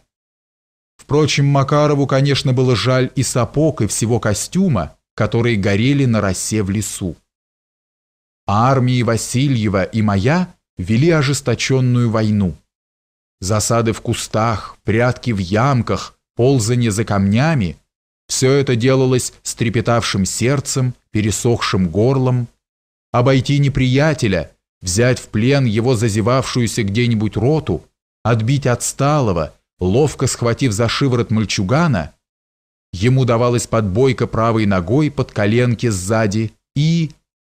Тут же сам собою срывался классический стих при виде, как с шумом на землю он пал и взгремели на падшем доспехи. Хотя доспехи эти были большей частью ватная рвань, и ложилась она мягко, неслышно на траву или на пень, но воображение рисовало и латы, и шлемы, торчащая вата с прорванной шапки обращалась в султаны. А оружие наше росло тут же неподалеку, в лозняках. Необыкновенно ровные и гибкие лозы в изобилии доставляли нам длиннотенные пики с султанчиками, и мы постоянно упражнялись в метании их в цель. Есть упоение в бою, и я испытал его здесь до потери всякого разума. Пики летели густым косым дождем, когда наши колонны шли в рукопашный бой. И я до того расцвирепел и повел своих, дрогнувших в низкой лощине на приступ, что опомнился, когда кровь полилась уже мне на грудь. Одна меткая пика неприятеля ударила меня в верхнюю челюсть под самым глазом. Если бы она попала на полдюйма выше, остался бы я одноглазым циклопом, но случай спас меня. В это время леса начали расцвечиваться яркими листьями, и мы заносили акварелью в наши отрывные листы много фантастических пейзажиков. Наверху оказалась масса орешника, совсем спелые орехи падали даже под лощины, но их никто не собирал. Обитатели, вероятно, ленились подниматься повыше или вовсе не знали об этом. Мы набивали себе карманы, дарили хозяевам и даже увезли с собой довольно объемистые, туго набитые орехами мешки. Крупные, полные, если их прокалить, они превосходили вкусом самые лучшие фундуки. Наши были полосатые. Делалось холоднее. Дни становились серые, пасмурные, короткие. Наши сердца уже сжимались при мысли об обратном пути. Грустные строки приходится писать о ликвидации нашего общего имущества, приобретенного нами уже в Самаре. Не вести же было всего хозяйства в Петербург. Например, самовар, лампа, утюг, жаровня, решетка и много фарфоровой и глиняной посуды, словом, все вещи хозяйственные, необходимые, и все это хотели мы уступить хозяевам за половинную цену и думали, что они будут довольны. Позвали хозяев, старались созвать всех, то есть и баб. Они сразу обиделись, долго не шли к нам и заявили, когда вошли, что им ничего нашего не нужно. Ну как же, ну, например, самовар. Мы заплатили за него 8 рублей, вам отдадим за 4. Самовар, пожалуй, можно взять, отвечают они с неприязнью. Но мы за него больше рубля не дадим, а прочие вещи хоть назад везите, нам они ни к чему. Сначала мы были огорчены, но к вечеру призвали их и отдали все за рубль. Скоро, скоро пролетело лето. Вот мы снова сидим в большой завозне со всеми сундуками и чемоданами, скорчившись от холода. Разыгрался ветер и поднял такие волны, что казалось, вот-вот они зальют и поглотят нас в Волжской пучине со всеми нашими богатствами. Страшно было. На веслах сидели две бабы и девочка-подросток с кошачьими серыми круглыми глазами. Девочке, кажется, было жаль нас. Она глядела на нас участливо, и в ее кошачьих детских глазах я получал успокоение. Долго держались мы в установленном месте, ожидая парохода. Должно быть, волны задерживали его на пристанях, да и грузы к осени отовсюду поступали увеличенные партии. Было очень трудно приставать к трапу. К нам спрыгнул матрос с канатом. Мордовались, мордовались, пока прицепились к пароходной лесенке и, наконец, были подхвачены лоцманами и юнгами. На пароходе, как на море, слышались стоны от морской болезни, а волны захлестывали даже на палубу. Везде было мокро, скоро и дождь пошел. Мы с радостью пробрались в общую каюту и стали обогреваться чаем. Какое счастье культура, буфет, все, чего душа желает. О, если бы мы были побогаче! Но порции крошечные, а цены огромные. Мы щелкаем жигулевские орехи, которыми в дорогу туго набили карманы. Меня очень беспокоил мой еще не просохший большой холст, на котором я по всем пасмурным дням компоновал, писал и переписывал свой шторм на Волге. Я постоянно справлялся о нем, чтобы кто не придавил. Ну, конечно, запакованы большие холсты вместе, обложены лупками, завернуты бумагами, перевязаны веревками. Авось сохранно доедут долгий путь с пересадками. Я не могу не думать о своей последней картине. Плывет моя гибкая лыковая флотилия по Волге, привыкает к полной тишине, при которой деревья-колоссы спокойно лежат нерушимо и сами лепятся друг к другу. В шесть-семь недель, однако же, и самая крепкая лыка от самых незаметных покачиваний успеет все-таки перетереться и перетлеть до паутинной тонкости, хотя местами они и веревками связаны. Но разве русский человек подумает о тщательном ремонте до поры до времени, то есть пока не грянет гром? а тучи уже сгущаются до тьмы. На широких разливах даже берегов не видно. Вот ослепила молния, вот и грянул гром. Забурело серой стеной внизу, под разорванными клоками облаков, поднимаются белые валы и все ближе и ближе со всяким ссором вдруг ураганит на наших оторопевших мореходов. Буря. Вот она перевернула треножку с котелком и сорвала куренек со всеми запасами и понесла все это в пенные гребни, рассыпала и разметала по воздуху. Какой скрип вдруг поднялся! Ах, какой ужас! Часть плота совсем оторвала и заворачивает в другой затон. На руле ничего не поделаешь, да он и оторван, остается в стороне совсем одинок, хотя все звено его и не разбросано еще пока. Такой шум и рев и от дождя ливня, и от стука бревен, что мальчик, оставшийся вдали на заднем звене, только картинно-пластически изображает усилие звука, приложив руку к щеке. Его совсем не слышно, а если бы и услышали, чем ему помочь? Вообще на Волге быстро замирает звук человеческого голоса. Чуть бывало отстанешь от товарищей, кричишь, кричишь, никакого ответа не слышно. Товарищи идут, не оглядываясь, в полной тишине. Прощай, Волга, Волга-матушка. Я вспоминаю свою жертву Волге. Мы ехали еще вниз тогда. В Самаре в жаркий день, когда пароход наш остановился на 2-3 часа грузиться и перегружаться, мы воспользовались свободой осмотреть город но велика была жажда выкупаться в Волге. Совсем близ нашей пристани общая купальня. Мы в блаженном упоении не имели сил расстаться скоро с водою. Но надо было торопиться, еще много дела. Заторопившись одеваться, я не успел подхватить своих часов с цепочкой, как они ерзнули из моего летнего жилета и быстро слетели в воду бездонной купальни. Сначала я крикнул товарищам, явились даже какие-то молодцы, служащие в купальне, расспрашивали, какие часы.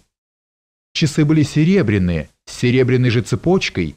Они стоили 24 рубля, да цепочка рублей 8. Некоторые даже стали раздеваться, чтобы нырять в глубину за часами. Но на меня вдруг напал какой-то эпический восторг. Не надо искать, ничего не надо. Я приношу эти часы в жертву Волге, как Садко-купец, богатый гость. Раздался звонок с парохода. Нас уже сзывали в путь. Первый звонок. И вот только теперь, в Нижнем, я вспомнил о своей невольной жертве Волге. И мне казалось ясно, что Волга-матушка вознаградит меня по-царски за мой подарок ей. И действительно, Волга меня вознаградила впоследствии как родного сына, щедро и широко. Душа уже полна трепетом академической жизни, скоро начнутся научные лекции, скоро наступят и конкурсы на большую золотую медаль. Какова-то попадется квартира, то есть комната, если бы опять в том же доме. Деньги были в минусах долгов товарищам. И это меня особенно угнетало, до лишения сна. Хорошо еще, что мы догадались из Нижнего проехать по железной дороге. Это нас спасло. Пришлось платить за проезд в третьем классе, зато выигрывалось время. А на пароходах, хоть нас и везли даром, но все же черепашьим шагом. Плоскодонные посуды всю душу изводили медленной тягой, а порции пароходных буфетов, казалось нам, становились все меньше и все дороже. Мне опять сделалось страшно перед большим городом, как в первый раз. Что-то будет. Но в 1863 году я был один, в настроении искателя приключений. Казалось, чем безысходнее, тем занимательнее жизнь. Теперь же на моем попечении был брат. Странно, что только перевалив черту города, я догадался, что прежде всего мне надо было явиться к моему начальнику Исееву и поблагодарить его за участие, которое так твердо поставило нас над западней захолустья. «А, Репин, вы очень кстати являетесь. На днях я докладывал о вас великому князю Владимиру Александровичу, и он очень заинтересован. Надо непременно показать ему ваши работы. К завтраму же устройте в конференц-зале ему ваши этюды, рисунки с помощью и указанием Черкасова. Около часа он осмотрит, что вы привезли. Какой сюрприз! Великий князь Владимир Александрович был моложе меня на два года, красавец, со звонким, чарующим голосом. Я восхищался им в душе, особенно потому, что он сильно напоминал мне двоюродного брата Иваню Бочарова. Те же черные кудри, те же серо-голубые глаза, полные жизни и скрытого веселья. В Иваню были влюблены все барышни. Он был первейшим танцором, писал стихи на всякие случаи осиновского кружка молодежи. Он был старше меня на два года, и я был до упоения восхищен его поступками. Он оживлял наши балы, вокруг него только и держался весь трепет молодой жизни нашей Осиновки. Великий князь Владимир Александрович тогда был вице-президентом Академии художеств. Президентом была его тетка, великая княгиня Мария Николаевна. Владимир Александрович частенько посещал нашу академию, и мы наблюдали его издали. Всегда находилась группа досужих. Черкасов счел наиболее удобным для обозрения разложить на полу мои этюды, эскизы и рисунки, привезенные с Волги. В назначенное время с аккуратностью часов великий князь приехал в Академию художеств и по широким лестницам прошел своим скорым шагом прямо в конференц-зал. Изогнувшись боком, долговязый Черкасов с вихрами на затылке что-то докладывал ему вдогонку. «Вижу, они прошли к моим работам, только что разложенным вахтером на полу, и великий князь начал внимательно разглядывать их. Оторвавшись на минуту, и, подняв глаза на нас, выглядывавших на него из полуотворенной двери в весьма почтительном отдалении, он остановил свой взгляд на мне, и я ясно услышал, как он сказал, «А вон и сам Репин». Я был удивлен, что он помнит меня.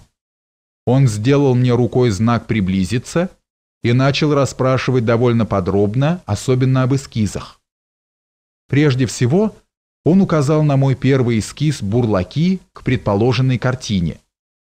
«Вот этот сейчас же начинайте обрабатывать для меня».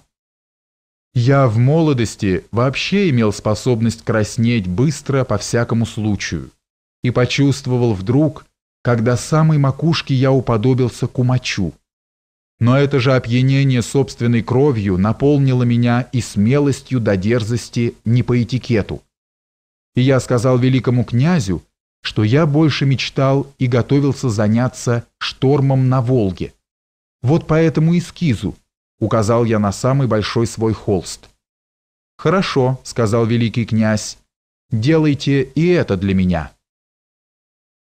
Разумеется, я был как в бреду, и меня поразило, как это он сразу остановился на бурлаках, тянущих лямку, которые были еще так плохи, и на таком ничтожном картончике, а шторм на большом подрамке собственной работы в Ширяеве и был уже и по свету, и по краскам довольно разработан. Странно, что впоследствии, в разные времена, когда картиной моей «Бурлаки на Волге» была заинтересована либеральная часть общества, а консервативная ее так хаяла, бывали очень противоречивые столкновения отзывов. С удивлением выслушивал я многих лиц разных взглядов, положений и влияний. Так, например, когда я был уже в Париже качестве пенсионера Академии художеств в мастерской Боголюбова, встречал я много русских, смотревших на меня с нескрываемым любопытством, не без иронии. «Ах да, ведь вы знаменитость! Слыхали, слыхали! Вы там написали каких-то рыбаков, как же, прогремели!» а министр путей сообщения Зеленой сразу начальнически напал на меня в присутствии Боголюбова у него же в мастерской. «Ну скажите ради Бога, какая нелегкая вас дернула писать эту нелепую картину? Вы должно быть поляк? Ну как не стыдно, русский? Да ведь этот допотопный способ транспортов мною уже сведен к нулю, и скоро о нем не будет и помину. а вы пишете картину, везете ее на всемирную выставку в Вену, и я думаю, мечтаете найти какого-нибудь глупца-богача, который приобретет себе этих горил, наших лапотников. Алексей Петрович, обращается он к Боголюбову, которому как заслуженному профессору поручено было Академии художеств наблюдение за пенсионерами. Хоть бы вы им внушили, этим господам нашим пенсионерам, чтобы, будучи обеспечены своим правительством, они были бы патриотичнее и не выставляли бы отрепанные анучи на показ Европе на всемирных выставках. Ну скажите, мог ли я после этой тирады сказать министру путей сообщения, что картина писалась по заказу великого князя Владимира Александровича и принадлежит ему? Или еще позже? А скажите, пожалуйста, Кому принадлежит ваша великолепная картина «Бурлаки на Волге»? Какие типы? Забыть не могу. Это была самая выдающаяся картина в русском жанре. И в Вене немец Пехт дал о ней блестящий отзыв, особенно о солнце в картине и о наших типах, еще живых скифах. А где она? Разумеется, в Третьяковской галерее, но я не помню. Да где же иначе? какому же она может частному лицу принадлежать? И как это ее не запретили вам для выставки? Воображаю, как двор и аристократия ненавидят эту картину, как и нашего поэта-гражданина Некрасова. Вот ее проклинают, наверное, в высших сферах, и вы там на плохом счету. А картина, между тем, в то время висела уже в бильярдной комнате великого князя и он мне жаловался, что стена вечно пустует, ее все время просят у него на разные европейские выставки. А надо правду сказать, что великому князю картина эта искренне нравилась. Он любил объяснять отдельные характеры на картине, и растригу папа Канина, и солдата Зотова, и нижегородского бойца, и нетерпеливого мальчишку, умнее всех своих старших товарищей, всех их знал великий князь. И я слышал собственными ушами, с каким интересом он объяснял все до самых последних намеков, даже в пейзаже и фоне картины. По поводу картины поднялся сугубый шум в литературе, журналистике. Овсеенко напал на картину за нелепость ее выдумки, начиная с какой-то невероятной барки с качелями, тоже воображение работало. Суворин, тогда еще незнакомец, Овсеенку обратил в целую армию добровольцев. Микиненку, Пшениченку, Овсиненку, Ячмененку, Чечевиченку и других. И молотил своим звонким цепом по всем башкам этих болванчиков. Но писалось много и после. Наконец, даже Федор Михайлович Достоевский удостоил картину весьма лестного отзыва в своем дневнике писателя. Это подымало уже рассуждения в толстых журналах, а главным глашатаем картины был поистине рыцарский герольд Владимир Васильевич Стасов. Первым и самым могучим голосом был его клич на всю Россию, и этот клич услышал всяк сущий в России язык. И с него-то и началась моя слава по всей Руси Великой. Земно кланяюсь его благороднейшей тени.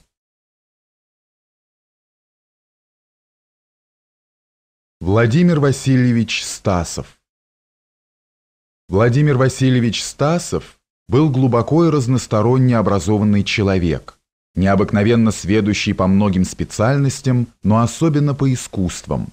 Он обожал и знал все искусства. Его кабинет в публичной библиотеке с предоставленным в его ведении отделом манускриптов по своей живой деятельности был похож на справочное бюро. Даже из дальних краев России сюда приезжали люди самых разнообразных специальностей за справками и разъяснениями важных вопросов. Мне посчастливилось быть дружески принятым в большой почтенной семье Стасовых – и сделаться близким свидетелем жизни этих высококультурных людей. Владимир Васильевич совершенно естественно был первым лицом огромного семейства – От него, как от солнца, шли живые лучи жизни кругом, одушевляя всех домочадцев и друзей, которых так неудержимо влекли к себе свет и жизнь Стасовых. Разумеется, не все одинаково питались главным центром героя полубога Света Владимира, ярко горевшего живым пламенем, громко, откровенно для всех. Его простота и доброжелательность особенно оживляли молодежь, подростков, и их также влекла сюда сфера высших откровений в искусствах. Глазунов, братья Блуменфельды, Лядов, Римский Корсаков, Антокольский, Гинзбург, Шаляпин, Рапет, Верещагин, Балакирев, Лепунов, Кюи и много-много других лиц обоего пола, все здесь получали свою отделку по своим стремлениям, своим гениям. Бесконечно жаль, что Владимир Васильевич Стасов не дожил до полного торжества русской музыки в лице Модеста Петровича Мусорского, особенно теперь, когда во всем мире сделались желанными его произведения. Только задушевная переписка Мусорского с Стасовым в конце 70-х годов открывает, какую великую помощь оказал Мусорскому досужий ученый, владевший летописными и другими сокровищами публичной библиотеки. Стасов рыцарски служил своему другу-музыканту редкостным историческим материалом, бывшим в его распоряжении. Мне посчастливилось близко наблюдать процесс создания Хованщины и других шедевров этого вдохновенного мастера и слышать его самого, слышать, как он пел и исполнял свои творения, неожиданно яркие и всегда самобытные. С друзьями Владимир Васильевич был необыкновенно радушен, весел и мажорно общителен. Свои семейные праздники он любил справлять широко, на миру, душевно радовался всем затеям друзей, родственников и особенно многочисленных родственниц. В дни именин и рождений хоромы Стасовых украшались флагами, флажками, сюрпризами, наполнялись каким-то детским торжеством и весельем, которое усиливалось какой-нибудь значительной новостью художественной сферы, вроде огромной великолепной фотографии, портрета или бюста, или необыкновенно вышитого костюма в русском стиле и так далее. Все это умел ценить Владимир Васильевич, всему этому он так искренне и заразительно радовался, что водворялось всеобщее громкое ликование. Владимир Васильевич был со своей стороны очень внимательным к близким. Не пропускал дней их рождений и дней именин, ни даже панихид. Как благородный рыцарь, был очень щедр на подарки. Владимир Васильевич привязывал к себе всех по-родственному. Глазунов с юности был всегда желанным гостем Владимира Васильевича. С ним Глазунов был очень откровенен. Владимир Васильевич знал все замыслы юного композитора. Сейчас же, придя на именины к Владимиру Васильевичу, Александр Константинович наигрывал ему новые пассажи очередной пьесы. Весь внимание Владимир Васильевич изредка обращался к Глазунову с вопросом, с догадкой или с просьбой разъяснить то или другое место. И эти два собеседника, один уже убеленный сединами, и другой, еще не снявший гимназического мундира, так были связаны общим интересом, что забывали всех окружающих и не замечали, что гости все прибывают. Тихо, незаметно присаживались к роялю и скоро увлекались, поддаваясь очарованию звуков. А вот и Модест Петрович Мусорский. При появлении его Владимир Васильевич громко и радушно раскрывает свои широкие объятия. Начинается громкий пластический доклад подвижного бутуза Мадеустиса. Без всяких упрашиваний он быстро подходит к роялю, и вот уже начинают кувыркаться перед слушателями характерные неожиданные звуки звонких смешных речитативов, подхватываемых хриповатыми живыми словами композитора и публика уже не может удержаться от восторженного хохота. «Ба, ба, ба, кого я вижу?» — восклицает вдруг Владимир Васильевич. «Мили Алексеевич, добро пожаловать!» Балакирев, облобызавшись дружески с Владимиром Васильевичем, какой-то особой скрытой походкой обходит знакомых и скоро присаживается к роялю с Марией Николаевной Стасовой. Он как-то особенно играет ей, и она как-то особенно слушает его. Мария Николаевна, дочь Маргариты Матвеевны Стасовой, была на положении душевно больной более 15 лет. Нельзя было без удивления видеть, как любовно обходилась семья с невменяемой тихой больной. Мария Николаевна оправилась от недуга не скоро, более 15 лет без всякой тягости выносили больную племянницу, обращаясь с ней особенно нежно. Гости все прибывают. Вот Николай Андреевич Римский-Корсаков, Кюи, Бородин, Лядов. Через некоторое время опять особый возглас Владимира Васильевича. Может ли быть? Какими судьбами? Антокольский, только что из Парижа. Владимир Васильевич постоянно переписывался с ним, любил перечитывать его письма, поправляя грамматику невозможного коверканья русского языка.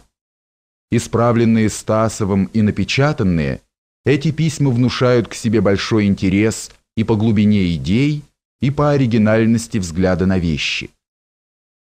Дам Владимир Васильевич не мог встречать равнодушно.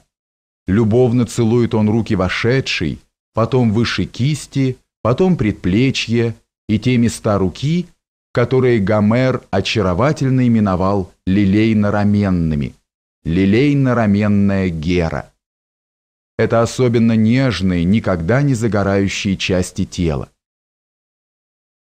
Он был необыкновенно мажорен в своих чувствах, не скрывал восторгов при получении писем от дорогих его сердцу, расцеловывал послания с глазами полными слез, громко выражал свои обильные чувства любви.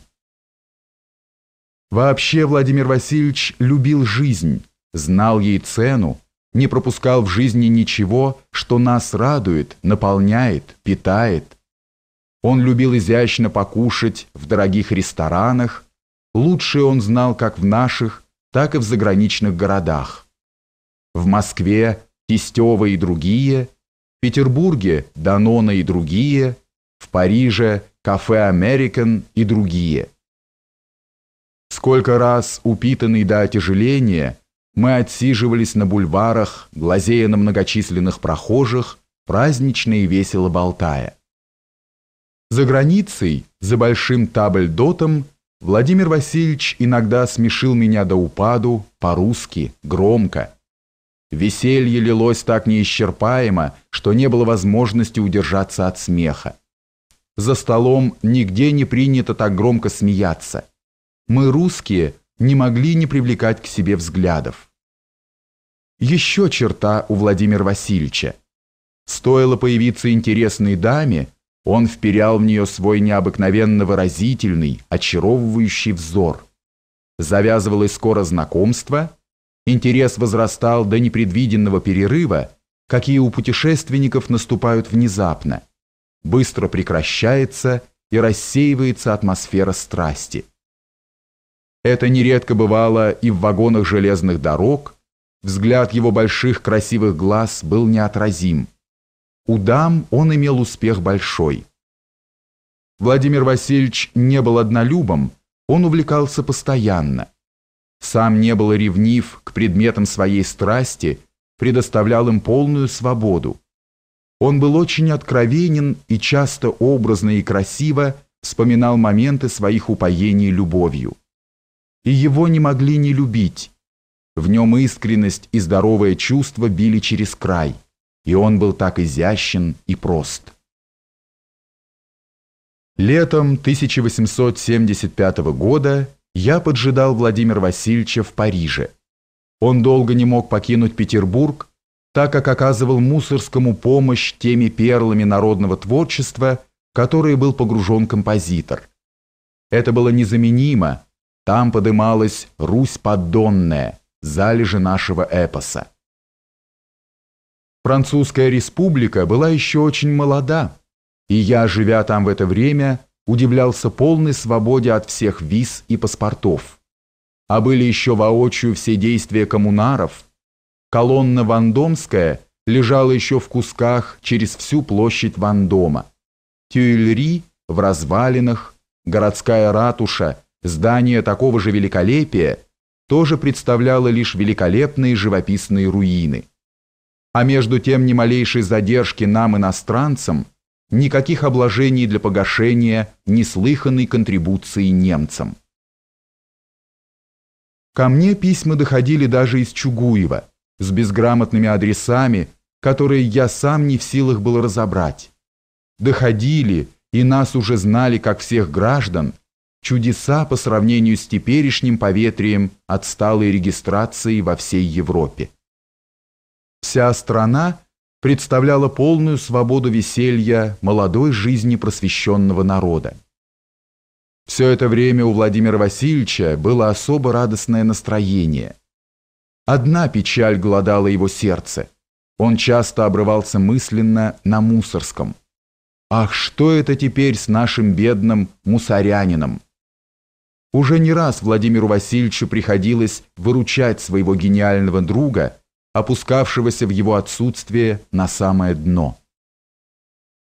В самом деле, невероятно, как этот превосходно воспитанный гвардейский офицер с прекрасными светскими манерами, остроумный собеседник в дамском обществе, неисчерпаемый каламбурист – едва оставался без Владимира Васильевича, быстро распродавал свою мебель, свое элегантное платье, вскоре оказывался в каких-то дешевых квартирах, теряя там свой жизнерадостный облик, уподобляясь завсегдатаем типа бывших людей, где этот детский веселый бутуз с красным носиком картошкой был уже неузнаваем. Неужели это он? Одетый бывало с иголочки, шаркун, безукоризненный человек общества, раздушенный, изысканный, брезгливый. О сколько раз, возвратясь из-за границы, Владимир Васильевич едва мог отыскать его где-нибудь в подвальном помещении, чуть не в рубище. До двух часов ночи просиживал Мусорский с какими-то темными личностями, а иногда и до бела дня. Еще из-за границы всех своих близких Владимир Васильевич бомбардировал письмами, прося известия о нем, об этом таинственном теперь незнакомце, так как никто не знал, куда исчез Мусорский. Подолгу просиживали мы тогда в Парижской библиотеке в отделе манускриптов и гравюр Рембранта. Владимир Васильевич много срисовывал акварелью для своего издания «Славянский и восточный орнамент». Как любил и ценил и знал Владимир Васильевич область летописей и манускриптов. В изданной переписке его с Мусорским видно, какую услугу оказывал он гениальному музыканту в его либретто к Хованщине. Да, Владимир Васильевич был истый рыцарь просвещения. Так много безыменно служил он самым тонким, самым глубоким сторонам большого чужого творчества. Тут же мы, кстати, отвели душу на гравюрах Рембранта. Замечательное собрание редкостных драгоценных уник. Мы хорошо уже знали все гравюры Рембранта по коллекции Дмитрия Александровича Равинского в Петербурге. И вот пример. Равинский, любитель, особенно обожавший Рембранта, всю свою несравненную коллекцию держал в безукоризненном порядке, чистоте, и со всех шедевров сделал особое любительское издание, для немногих, артистически. В экспедиции заготовления государственных бумаг гравюры были отпечатаны так, что не отличить от оригинала. Дмитрий Александрович показывал эти оригиналы сокровищ немногим друзьям своим с дрожью в руках, приглашая осторожно дышать, глядя на эти перлы, печатанные самим Рембрандтом. Однажды Минский по своей характерной развязности стал толковать на обум про какие-то недостатки в рисунке у Рембрандта. э оборвал его Дмитрий Александрович. «Да этак я вам и показывать перестану». Так преклонялся он перед этими сокровищами. И вот в Париже, публичной правительственной библиотеке, эти же перлы, подаренные туда каким-то богатым любителям, теперь были глухо и глупо заклеены сплошь в какую-то по типу конторскую книгу крахмалом. Гравюры вспухли волдырями, отчего изредка на их глубоких тенях образовались белые налеты, совершенно испортившие незаменимые уники. Вот оно, казенное хозяйство. Не было пределов возмущения этим варварством у Стасова. Он ценил старину, он берег манускрипты в публичной библиотеке, а ведь эти отпечатки-уники стоили теперь по нескольку тысяч рублей. Старый потемневший листок небольшого формата, портрет доктора Ефраима Бонуса, был куплен Равинским за 800 золотых рублей. Я давно уже поджидал Владимира Васильевича в путешествие, как мы условились, по музеям Европы. Наконец, весною 1883 года мы тронулись в путь. Вспомнить и записать здесь, спустя 40 слишком лет, я могу только небольшие эпизоды. Во многих столицах мы приходили в восторг от национального стиля новых громадных зданий. Национальность уже давно была идеалом Владимира Васильевича. Он следил за созданием идейных зданий в Европе, ревниво страдал нашей национальной отсталостью. Это могут осуществлять только республики да парламентские государства, говорил он, веруя в могущество республик. Только в них находятся истинные проявления национальных талантов венецианцы, голландцы, французы не сходили у него с языка. Все эти народы сулили нам впереди новые восторги. Мы ехали к ним. Во всех музеях при массе художественных предметов неизбежно попадаются и посредственные, и даже совсем сомнительные экспонаты. Надо много раз близко и внимательно изучать каждый музей, чтобы не тратить времени на плохое художество. Нужен изощренный вкус и большая память, чтобы судить без ошибки и по существу каждую вещь. «Ах, что же вы это так проходите? Смотрите, ведь это Тициан!» останавливает меня Владимир Васильевич. И действительно, Тициан, и даже неожиданно интересный. Но как в этом почернелом и весьма неясном второстепенном этюде, очевидно большого, но одрехлевшего мастера, мог так скоро раскусить Владимир Васильевич гениального живописца. Очевидно, он его уже давно знает и ценит. В своих оценках произведений искусства Владимир Васильевич отличался большой независимостью. В нем не было эстетства знатоков. И точно так же был он далек от дешевого морализма в искусстве. Он носил в себе высшие идеалы человечества – и только эти идеалы руководили им при выборе и оценке выдающегося произведения. Большинство журналистов, пишущих об искусстве, конечно, не изучали его и болтали о нем понаслышке. Этим докам особенно по вкусу пришлась фраза талантливого, даже в области публицистики, Серова. Серов после дружбы еще с правоведской парты со Стасовым разошелся с ним – и отпустил по его адресу такую остроту. Стасов – превосходный критик музыки между скульпторами и скульптуры между музыкантами. Писаки, захлебываясь, повторяли эту фразу. Они никогда не могли понять стасовской критики, так как она была плодом долгого изучения искусства по французским, немецким, английским и итальянским источникам. Его мировые идеалы стояли ему вехами на такой высоте, до которой взгляд пигмеев никогда не достигал. Потому-то иные, если и соглашались со Стасовым, то лишь по прошествии долгого времени.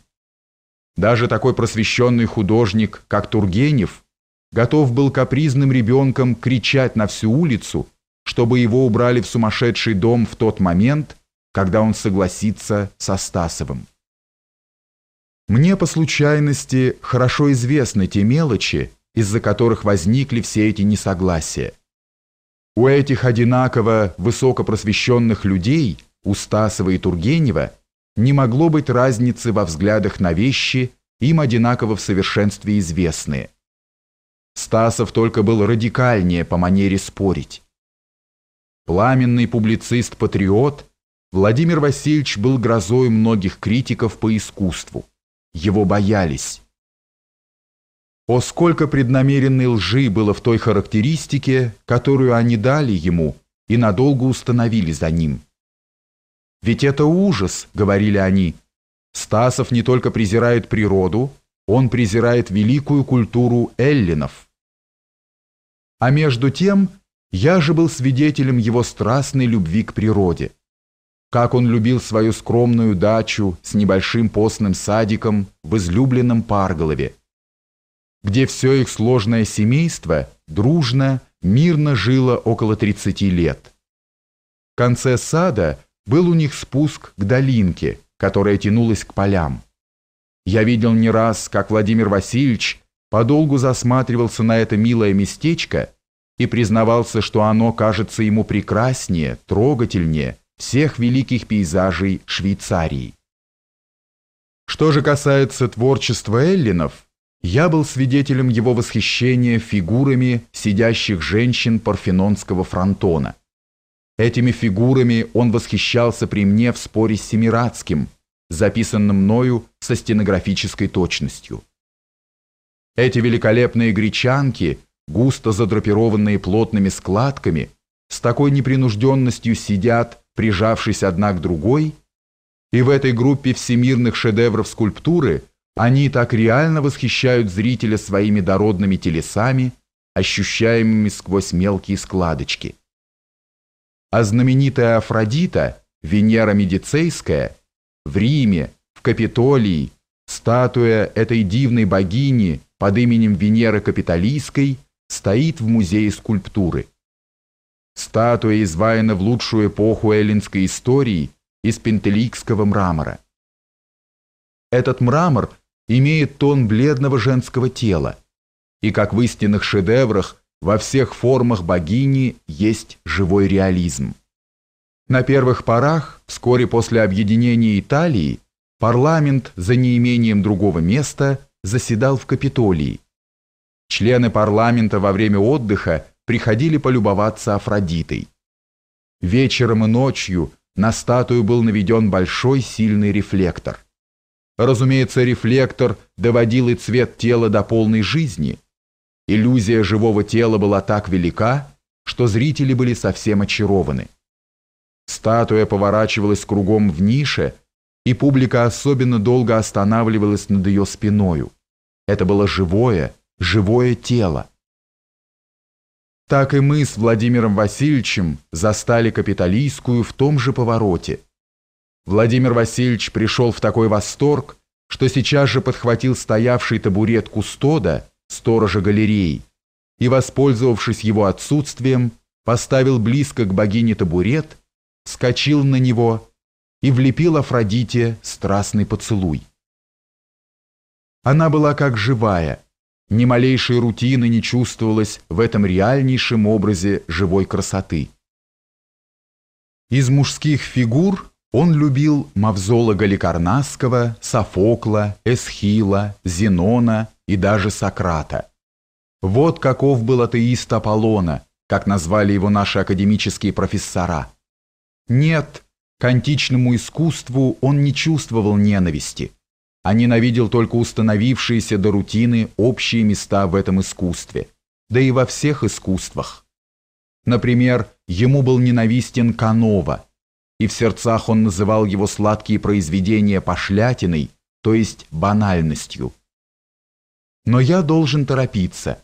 Перед нами большая веха, Рембрандт. Мы едем в Амстердам. Рембрандт стоял у нас на первом месте. Когда мы подъезжали к Амстердаму, осуществлялась давнишняя мечта Владимира Васильевича – показать мне Рембрандта. Вижу, Владимир Васильевич глубоко и грустно думает. В его красивой фигуре и выразительных глазах каждое чувство выражалось пластично. Что это значит, Владимир Васильевич? Вами овладел какой-то роковой вопрос? Быть или не быть? Вкрадываюсь я. Да, с глубоким убеждением говорит Владимир Васильевич. Ведь я приближаюсь к своей любимейшей, к ночному дозору. Она мне живо представилась еще в прежнем музее, до реставрации. Сапко имел последние самые подробные сведения. Реставраторы нашли, что эта ночная картина была сначала написана солнечной. Воображаю, что это было. И Рембрандт всю ее переписал в ночную. А вдруг она вам не понравится? Ведь это, не можете представить, для меня было бы таким огорчением. Ведь мы, пожалуй, разошлись бы. Что вы это, Владимир Васильевич? Ведь я ее очень хорошо знаю, эту вещь, по гравюрам и копиям. Это вас парижская библиотека все еще угнетает варварской наклейкой гравюр. Да, возмущается Владимир Васильевич, не угодно ли? Какими волдырями налеплены у них афорты, прямо в книгу, особенно синдики, да и многие другие. Вот варварство. Ужас, ужас, говорю я.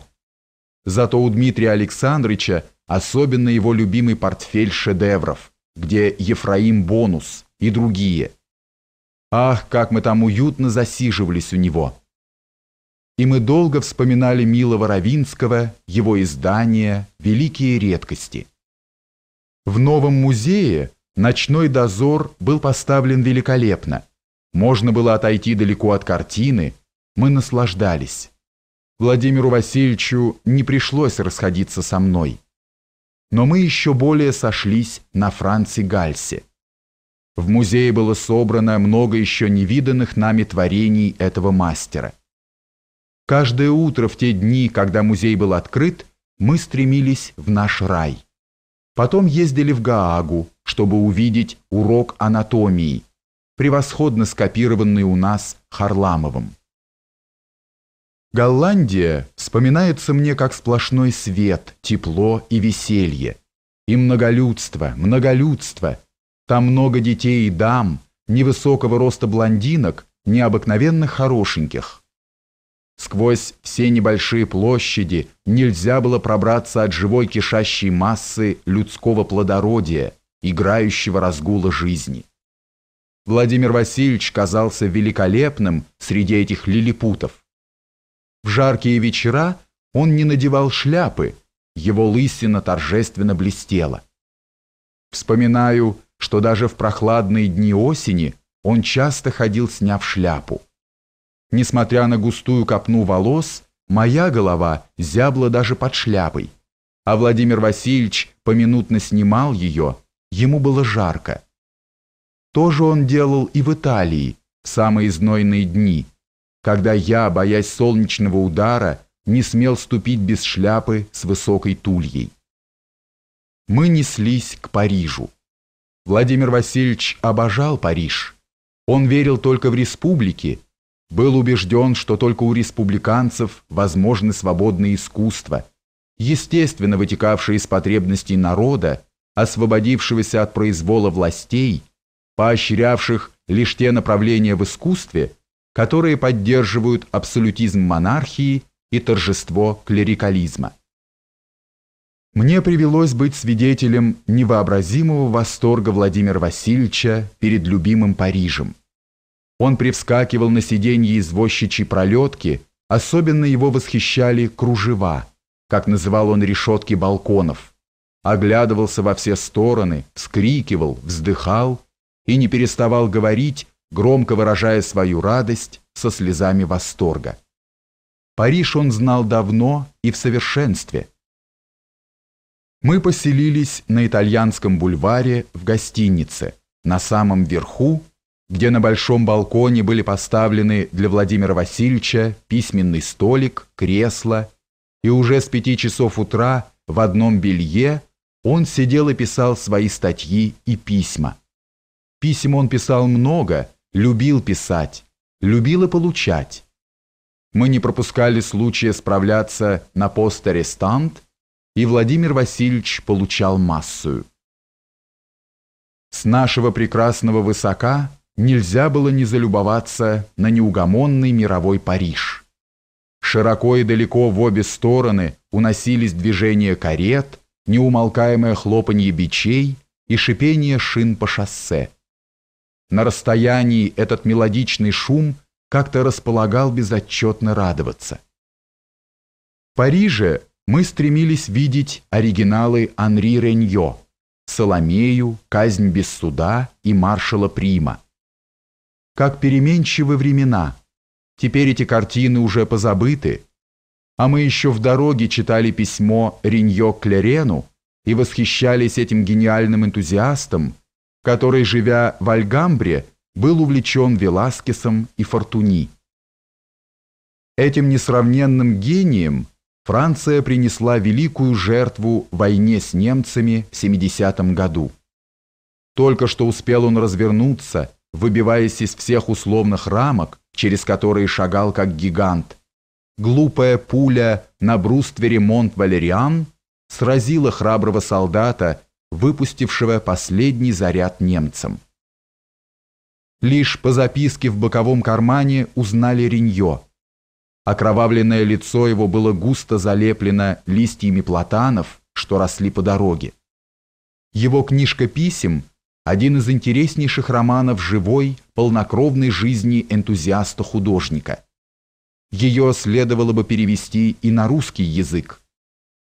Разумеется, наш главный интерес был в Лувре, и меня поражал Владимир Васильевич своим знанием всех шедевров этого великого собрания.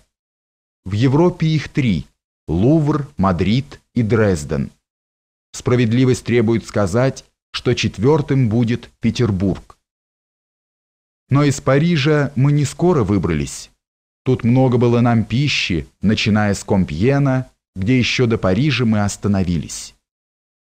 Мы с Владимиром Васильевичем не пропускали тогда ни одного собрания у социалистов. На собраниях социалистов, которые посещались нами в разных местах, Владимир Васильевич особенно восхищался лекциями молодой еще, талантливой лектрисы Юбертин Оклер. А 15 мая и мы были в толпе на кладбище Пер-Лашес у знаменитой стены, где еще так недавно происходил расстрел героев коммуны. Все были еще полны только что пережитыми страшными событиями.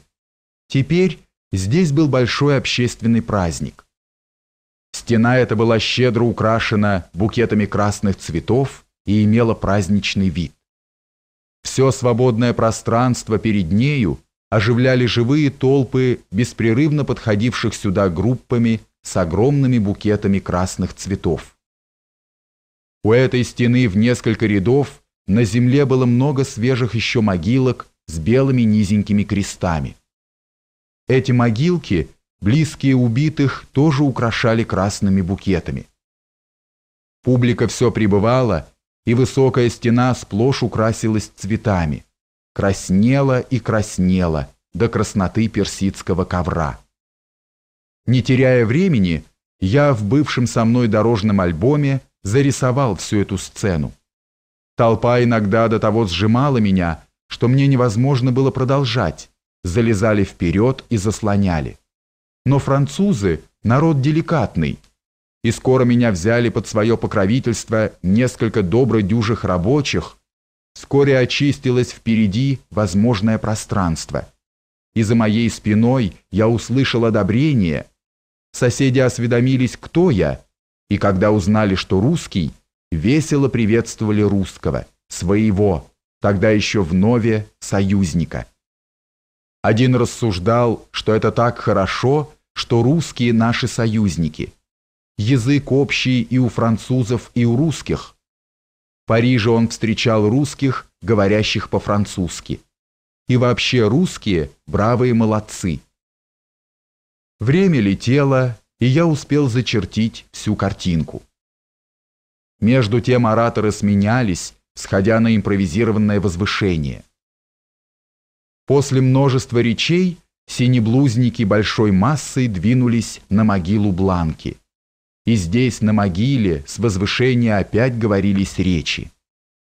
Владимир Васильевич почти с благоговением выслушивал бесконечные речи нескончаемых ораторов, граждан самого разнообразного вида, большей частью синеблузников, иногда и извозчиков в белых лакированных цилиндрах с кокардами сбоку и белых рединготах извозчичьего покроя.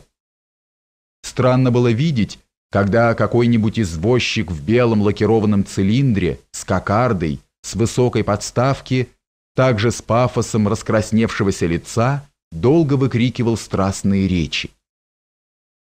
Вернувшись к себе в отель, я под свежим впечатлением несколько дней писал масляными красками свою картинку. Впоследствии ее приобрел у меня Остроухов, заполнявший тогда свое собрание замечательных художественных произведений, и, о радость, дописывая эти строки, я получил от него письмо. Его галерея цела. Дом этого богатого наследника чая-торговцев Боткиных в Трубниковском переулке национализировали, и Остроухов с женой оставлены хранителями своих сокровищ в своем особняке, обращенном в публичный музей. Для жизни им отвели их столовую. Десять зал отведены под музей, замечательный. В Париже мы посетили Лаврова. Этот страшный для правительства человек жил в бедной, но обширной квартирке, так как посещали его беспрерывно. Жил он внизу, во дворе, и таким образом из всех верхних окон его могли созерцать соглядатые, русские заплечные. Этот добродушный, с белой сединой старик был очень приветлив, его любили присные обоего пола. Некоторые посетители его были очень интересны, например, Орлов, красивый большеглазый брюнет в линялой синей блузе, каскетке угольщика, странным образом соединявший в лице своем кротость ребенка с грозой завоевателя. «Ну что же, милый», — говорил Лавров, — «за добродетель, за добродетель».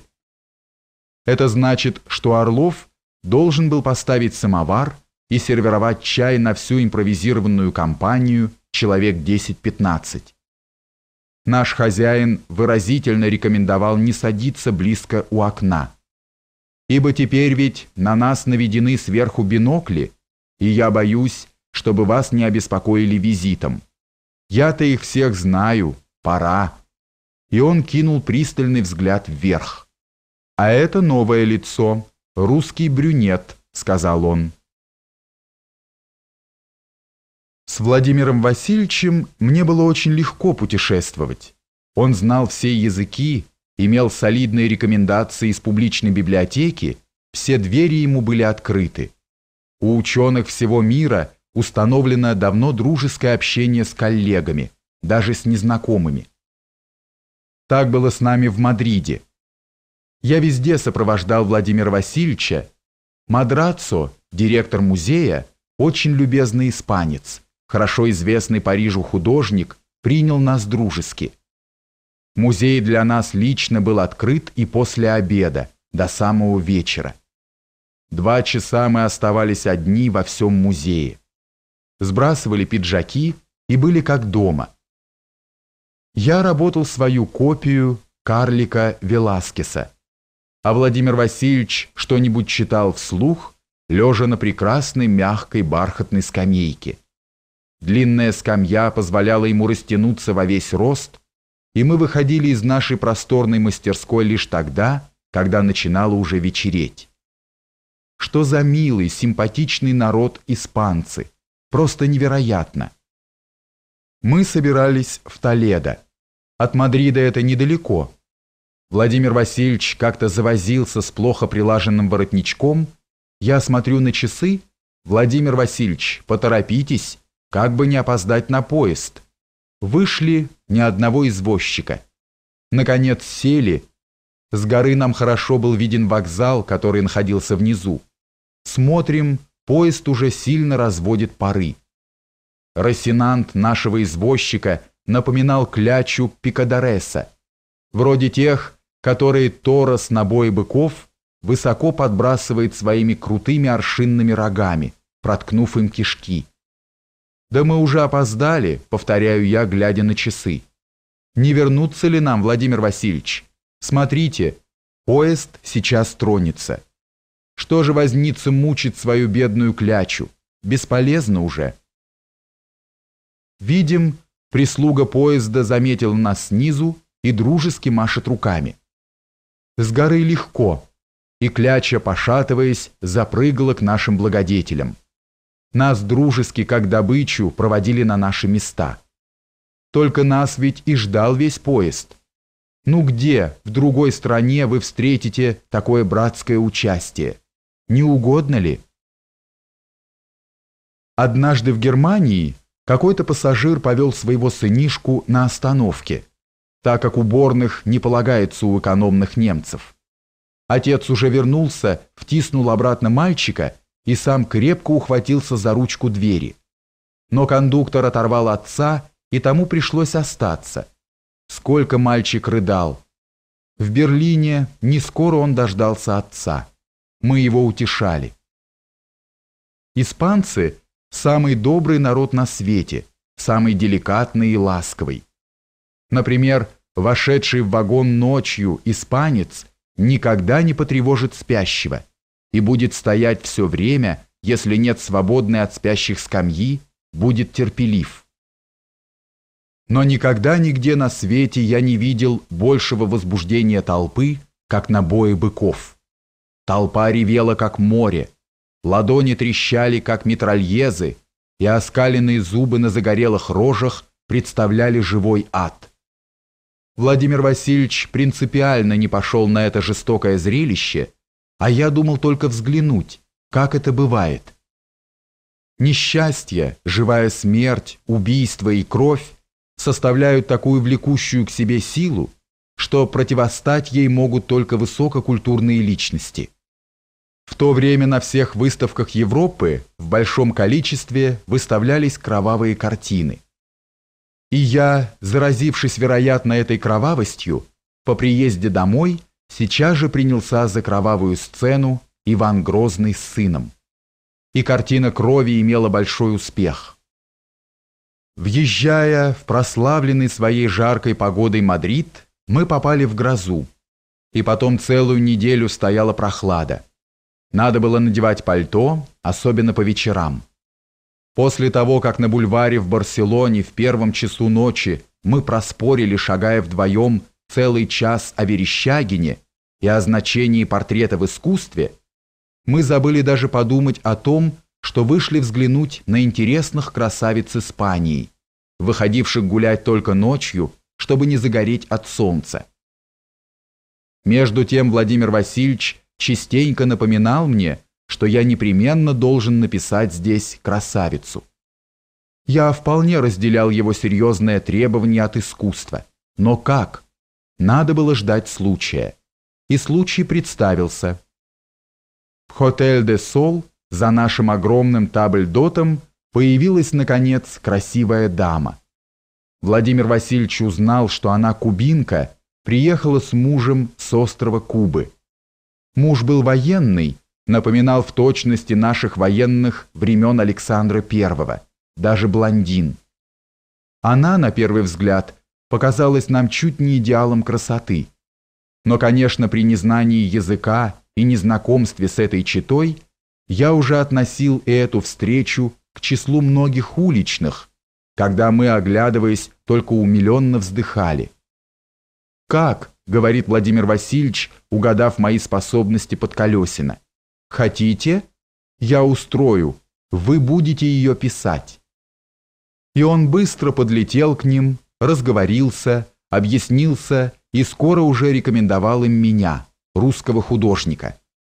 Скоро сговорились писать в читальном зале, довольно просторном, где в дневные часы публики бывало мало, и можно было удобно устроиться без помехи нашим сеансам. Наша красавица-кубинка оказалась дамой очень скромную, довольно безвкусно одетой и без всякого женского кокетства. И куда, главное, девалась ее красота? Это была самая простая, самая обыкновенная и очень молчаливая дама.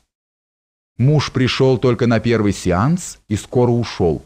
Владимир Васильевич, несмотря на всю свою развязность галантного кавалера, ничем не мог победить безысходной скуки, которая нами овладела. Слава Богу, дама сидела добросовестно, безукоризненно держалась своей точки, строго отбывая свои минуты сеанса. Она даже не любопытствовала взглянуть, что выходит на моем небольшом этюдном панно. Мы радовались только концу полуторачасового сеанса. Этюд вышел очень заурядный, неинтересный. Приходит на мысль, часто, то есть почти всегда, когда позируют очень безукоризненно, терпеливо, портрет выходит скучный, безжизненный. И наоборот, при нетерпеливом сидении получаются удачные сюрпризы. Так, например, у меня с Третьяковым, который сидел с необычайным старанием, портрет вышел плохой. А Писемский, скакивавший каждые пять минут для отдыха, помог мне. Его портрет имел большой успех. Однажды Владимир Васильевич был обрадован моим успехом у учеников Мадридской академии художеств. Он пришел попозже.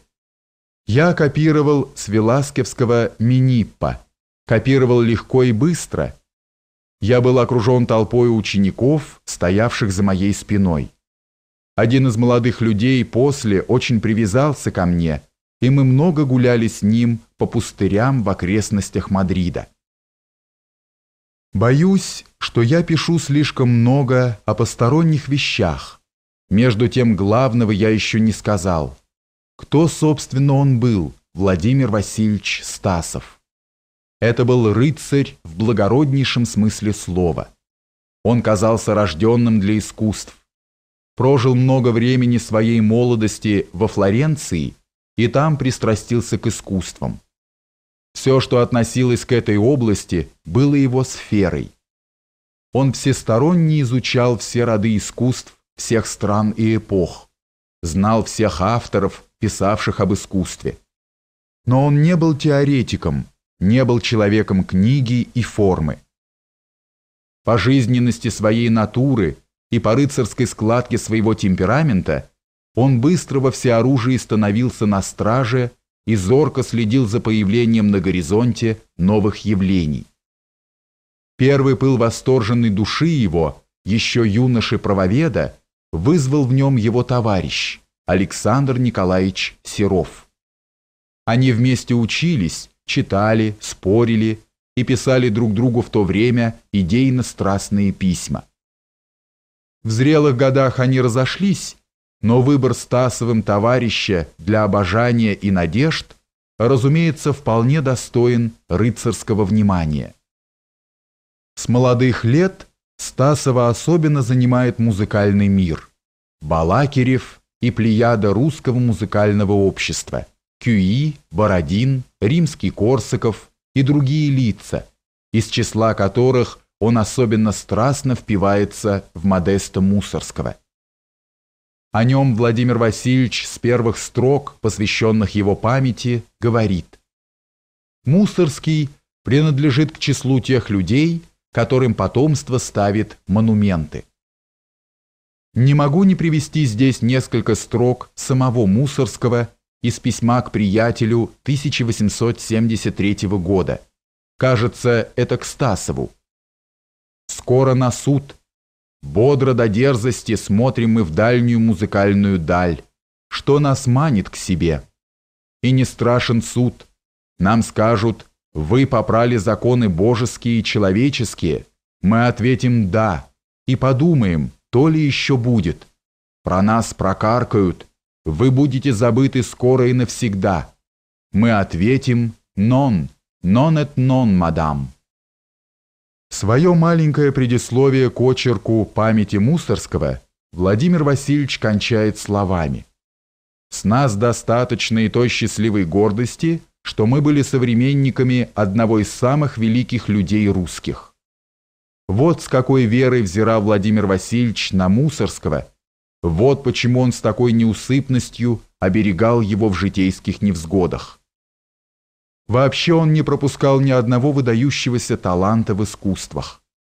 Он устремлялся к нему при первом его появлении, готовый служить, помогать ему, быстро знакомился с ним, быстро делался близким его другом, и вскоре плоды умного наставника сказывались, и юноша начинал входить в славу.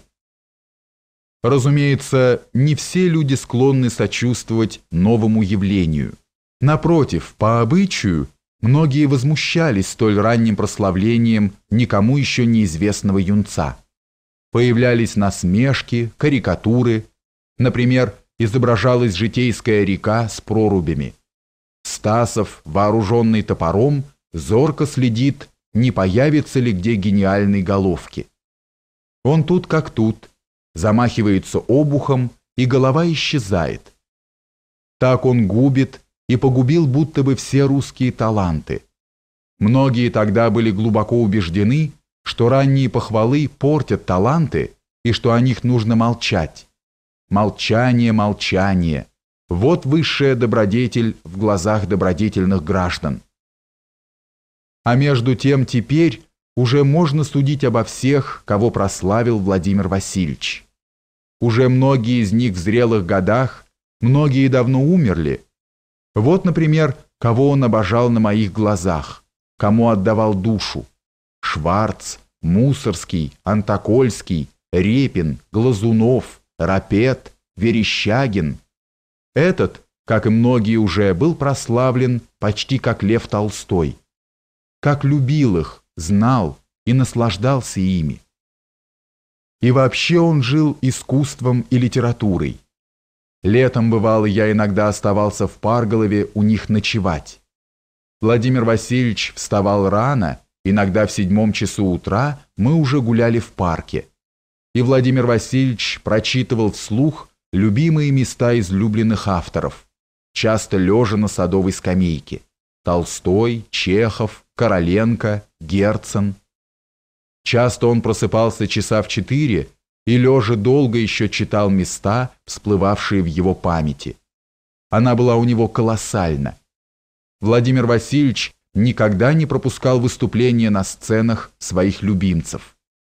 Затруднения, связанные с постановками Бориса Годунова, Хованщины, переживались всей семьей Стасовых как свое самое близкое, родное явление. Хлопоты Владимира Васильевича у всех властей театральной дирекции при неудачах производили истинное горе всей семье. Успех, наконец, Бориса был грандиозным торжеством всего круга сочувствующих.